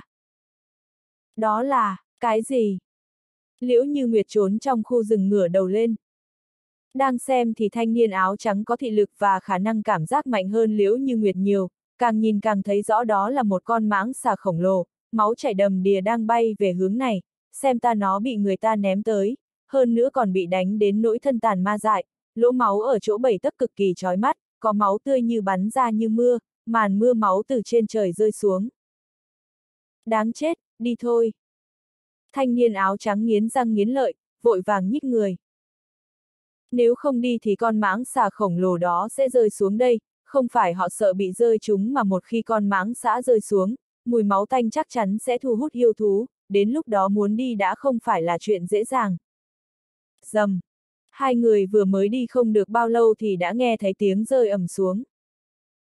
Con mãng xà khổng lồ rơi xuống đất khiến một tảng đá to phải vỡ vụn, luồng khí mạnh mẽ lan tràn khắp nơi, khiến cây cổ thụ che trời phải ngã xuống, thanh niên áo trắng và liễu như nguyệt chưa chạy được bao xa đều gặp nạn, bị luồng khí đó làm cho choáng váng, hất bay thật xa. Kẻ nào chơi ác thế không biết, thanh niên áo trắng thầm mắng. Mặt mũi liễu như nguyệt cũng không khá hơn là bao, nhếch nhác không sao tả nổi. Trời đất chứng giám, ta thật sự không biết hai người đang ở đây. Đó chính là lời giải thích của Triệu Bân. Nếu biết hai người các ngươi sẽ né được thế này thì chắc ta sẽ ném chuẩn hơn một tí. Gào. Con mãng xà khổng lồ gào lên, đau đớn và thảm thiết. Rắn bị đánh trúng bảy tấc thế này cảm giác chẳng thoải mái tí nào, hơn nữa Triệu Bân còn quậy một trận trong bụng nó, không biết nó đã trúng bao nhiêu kiếm, bây giờ đã thành thân nửa tàn, bây giờ rơi xuống nữa thì tàn hẳn. Gào, gào. Sau đó là một màn cực kỳ thảm thiết. Có lẽ mùi máu tanh quá nồng, có lẽ con mãng xà khổng lồ đã xông vào lãnh địa của loài khác nên rước lấy rất nhiều ác điểu, trong đó có đủ loại yêu thú đáng sợ, chẳng hạn như con sư tử lửa kia đã nhìn thấy con mãng xã khổng lồ, nửa đêm bị phá tỉnh, bị xông vào lãnh địa, tất nhiên nó cực kỳ khó chịu nên phải chén một bữa no nê. Bên này, Triệu Bân đã thoát khỏi ma đạo. Trạng thái ma hóa kéo dài không lâu nên cắn trả cũng không còn đáng sợ như trước. Ít nhất thì bây giờ hắn vẫn còn đứng vững, đang vịn một thân cây to khụ máu, cũng may hắn đủ mạnh, chưa bị mãng xà khổng lồ tiêu hóa, nếu không chắc sẽ ngã xuống trong bụng nó. Lão già. Nuốt một viên thuốc, Triệu Bân bắt đầu lên tiếng gọi. Đáp lại hắn chỉ có tiếng thú gào giống, có rất nhiều yêu thú đang tiến về phía này. Triệu Bân không dám la to, lặng lẽ nín thở bỏ chạy. Hắn không dám hét to thì tất nhiên dâu chữ bát cũng không dám, lão ta đã trúng một đòn từ đuôi của con mãng xã, bị thương rất thảm, đi đường cứ lảo đảo mãi, cho đến khi tìm thấy một hang động mới dừng lại để chữa thương, không biết Triệu Bân đã giết con mãng xà đó chưa, cũng không biết hắn còn sống hay đã chết, chỉ biết mình không thể tạo ra tiếng động quá lớn. Vì mùi máu tanh đó, tối nay yêu thú trong rừng sương mù đều hào hứng đến lạ. Chấm. Đêm trong khu rừng sương mù, không biết nó đã yên tĩnh từ lúc nào. Con mãng xà khổng lồ đã bị ăn sạch sành xanh, còn mỗi bộ xương, yêu thú bị đánh thức cũng đã trở về ổ của mình, thi thoảng lại có tiếng gầm khe khẽ, không biết là mơ hay đang công khai thể hiện chủ quyền lãnh thổ. Đừng để ta tìm thấy các ngươi. Sâu trong khu rừng, ánh mắt thanh niên áo trắng lạnh lẽo như băng. Kế hoạch đang tiến hành êm đẹp thì đã bị một đám yêu thú phá nát, tất cả đều rối tung hết lên.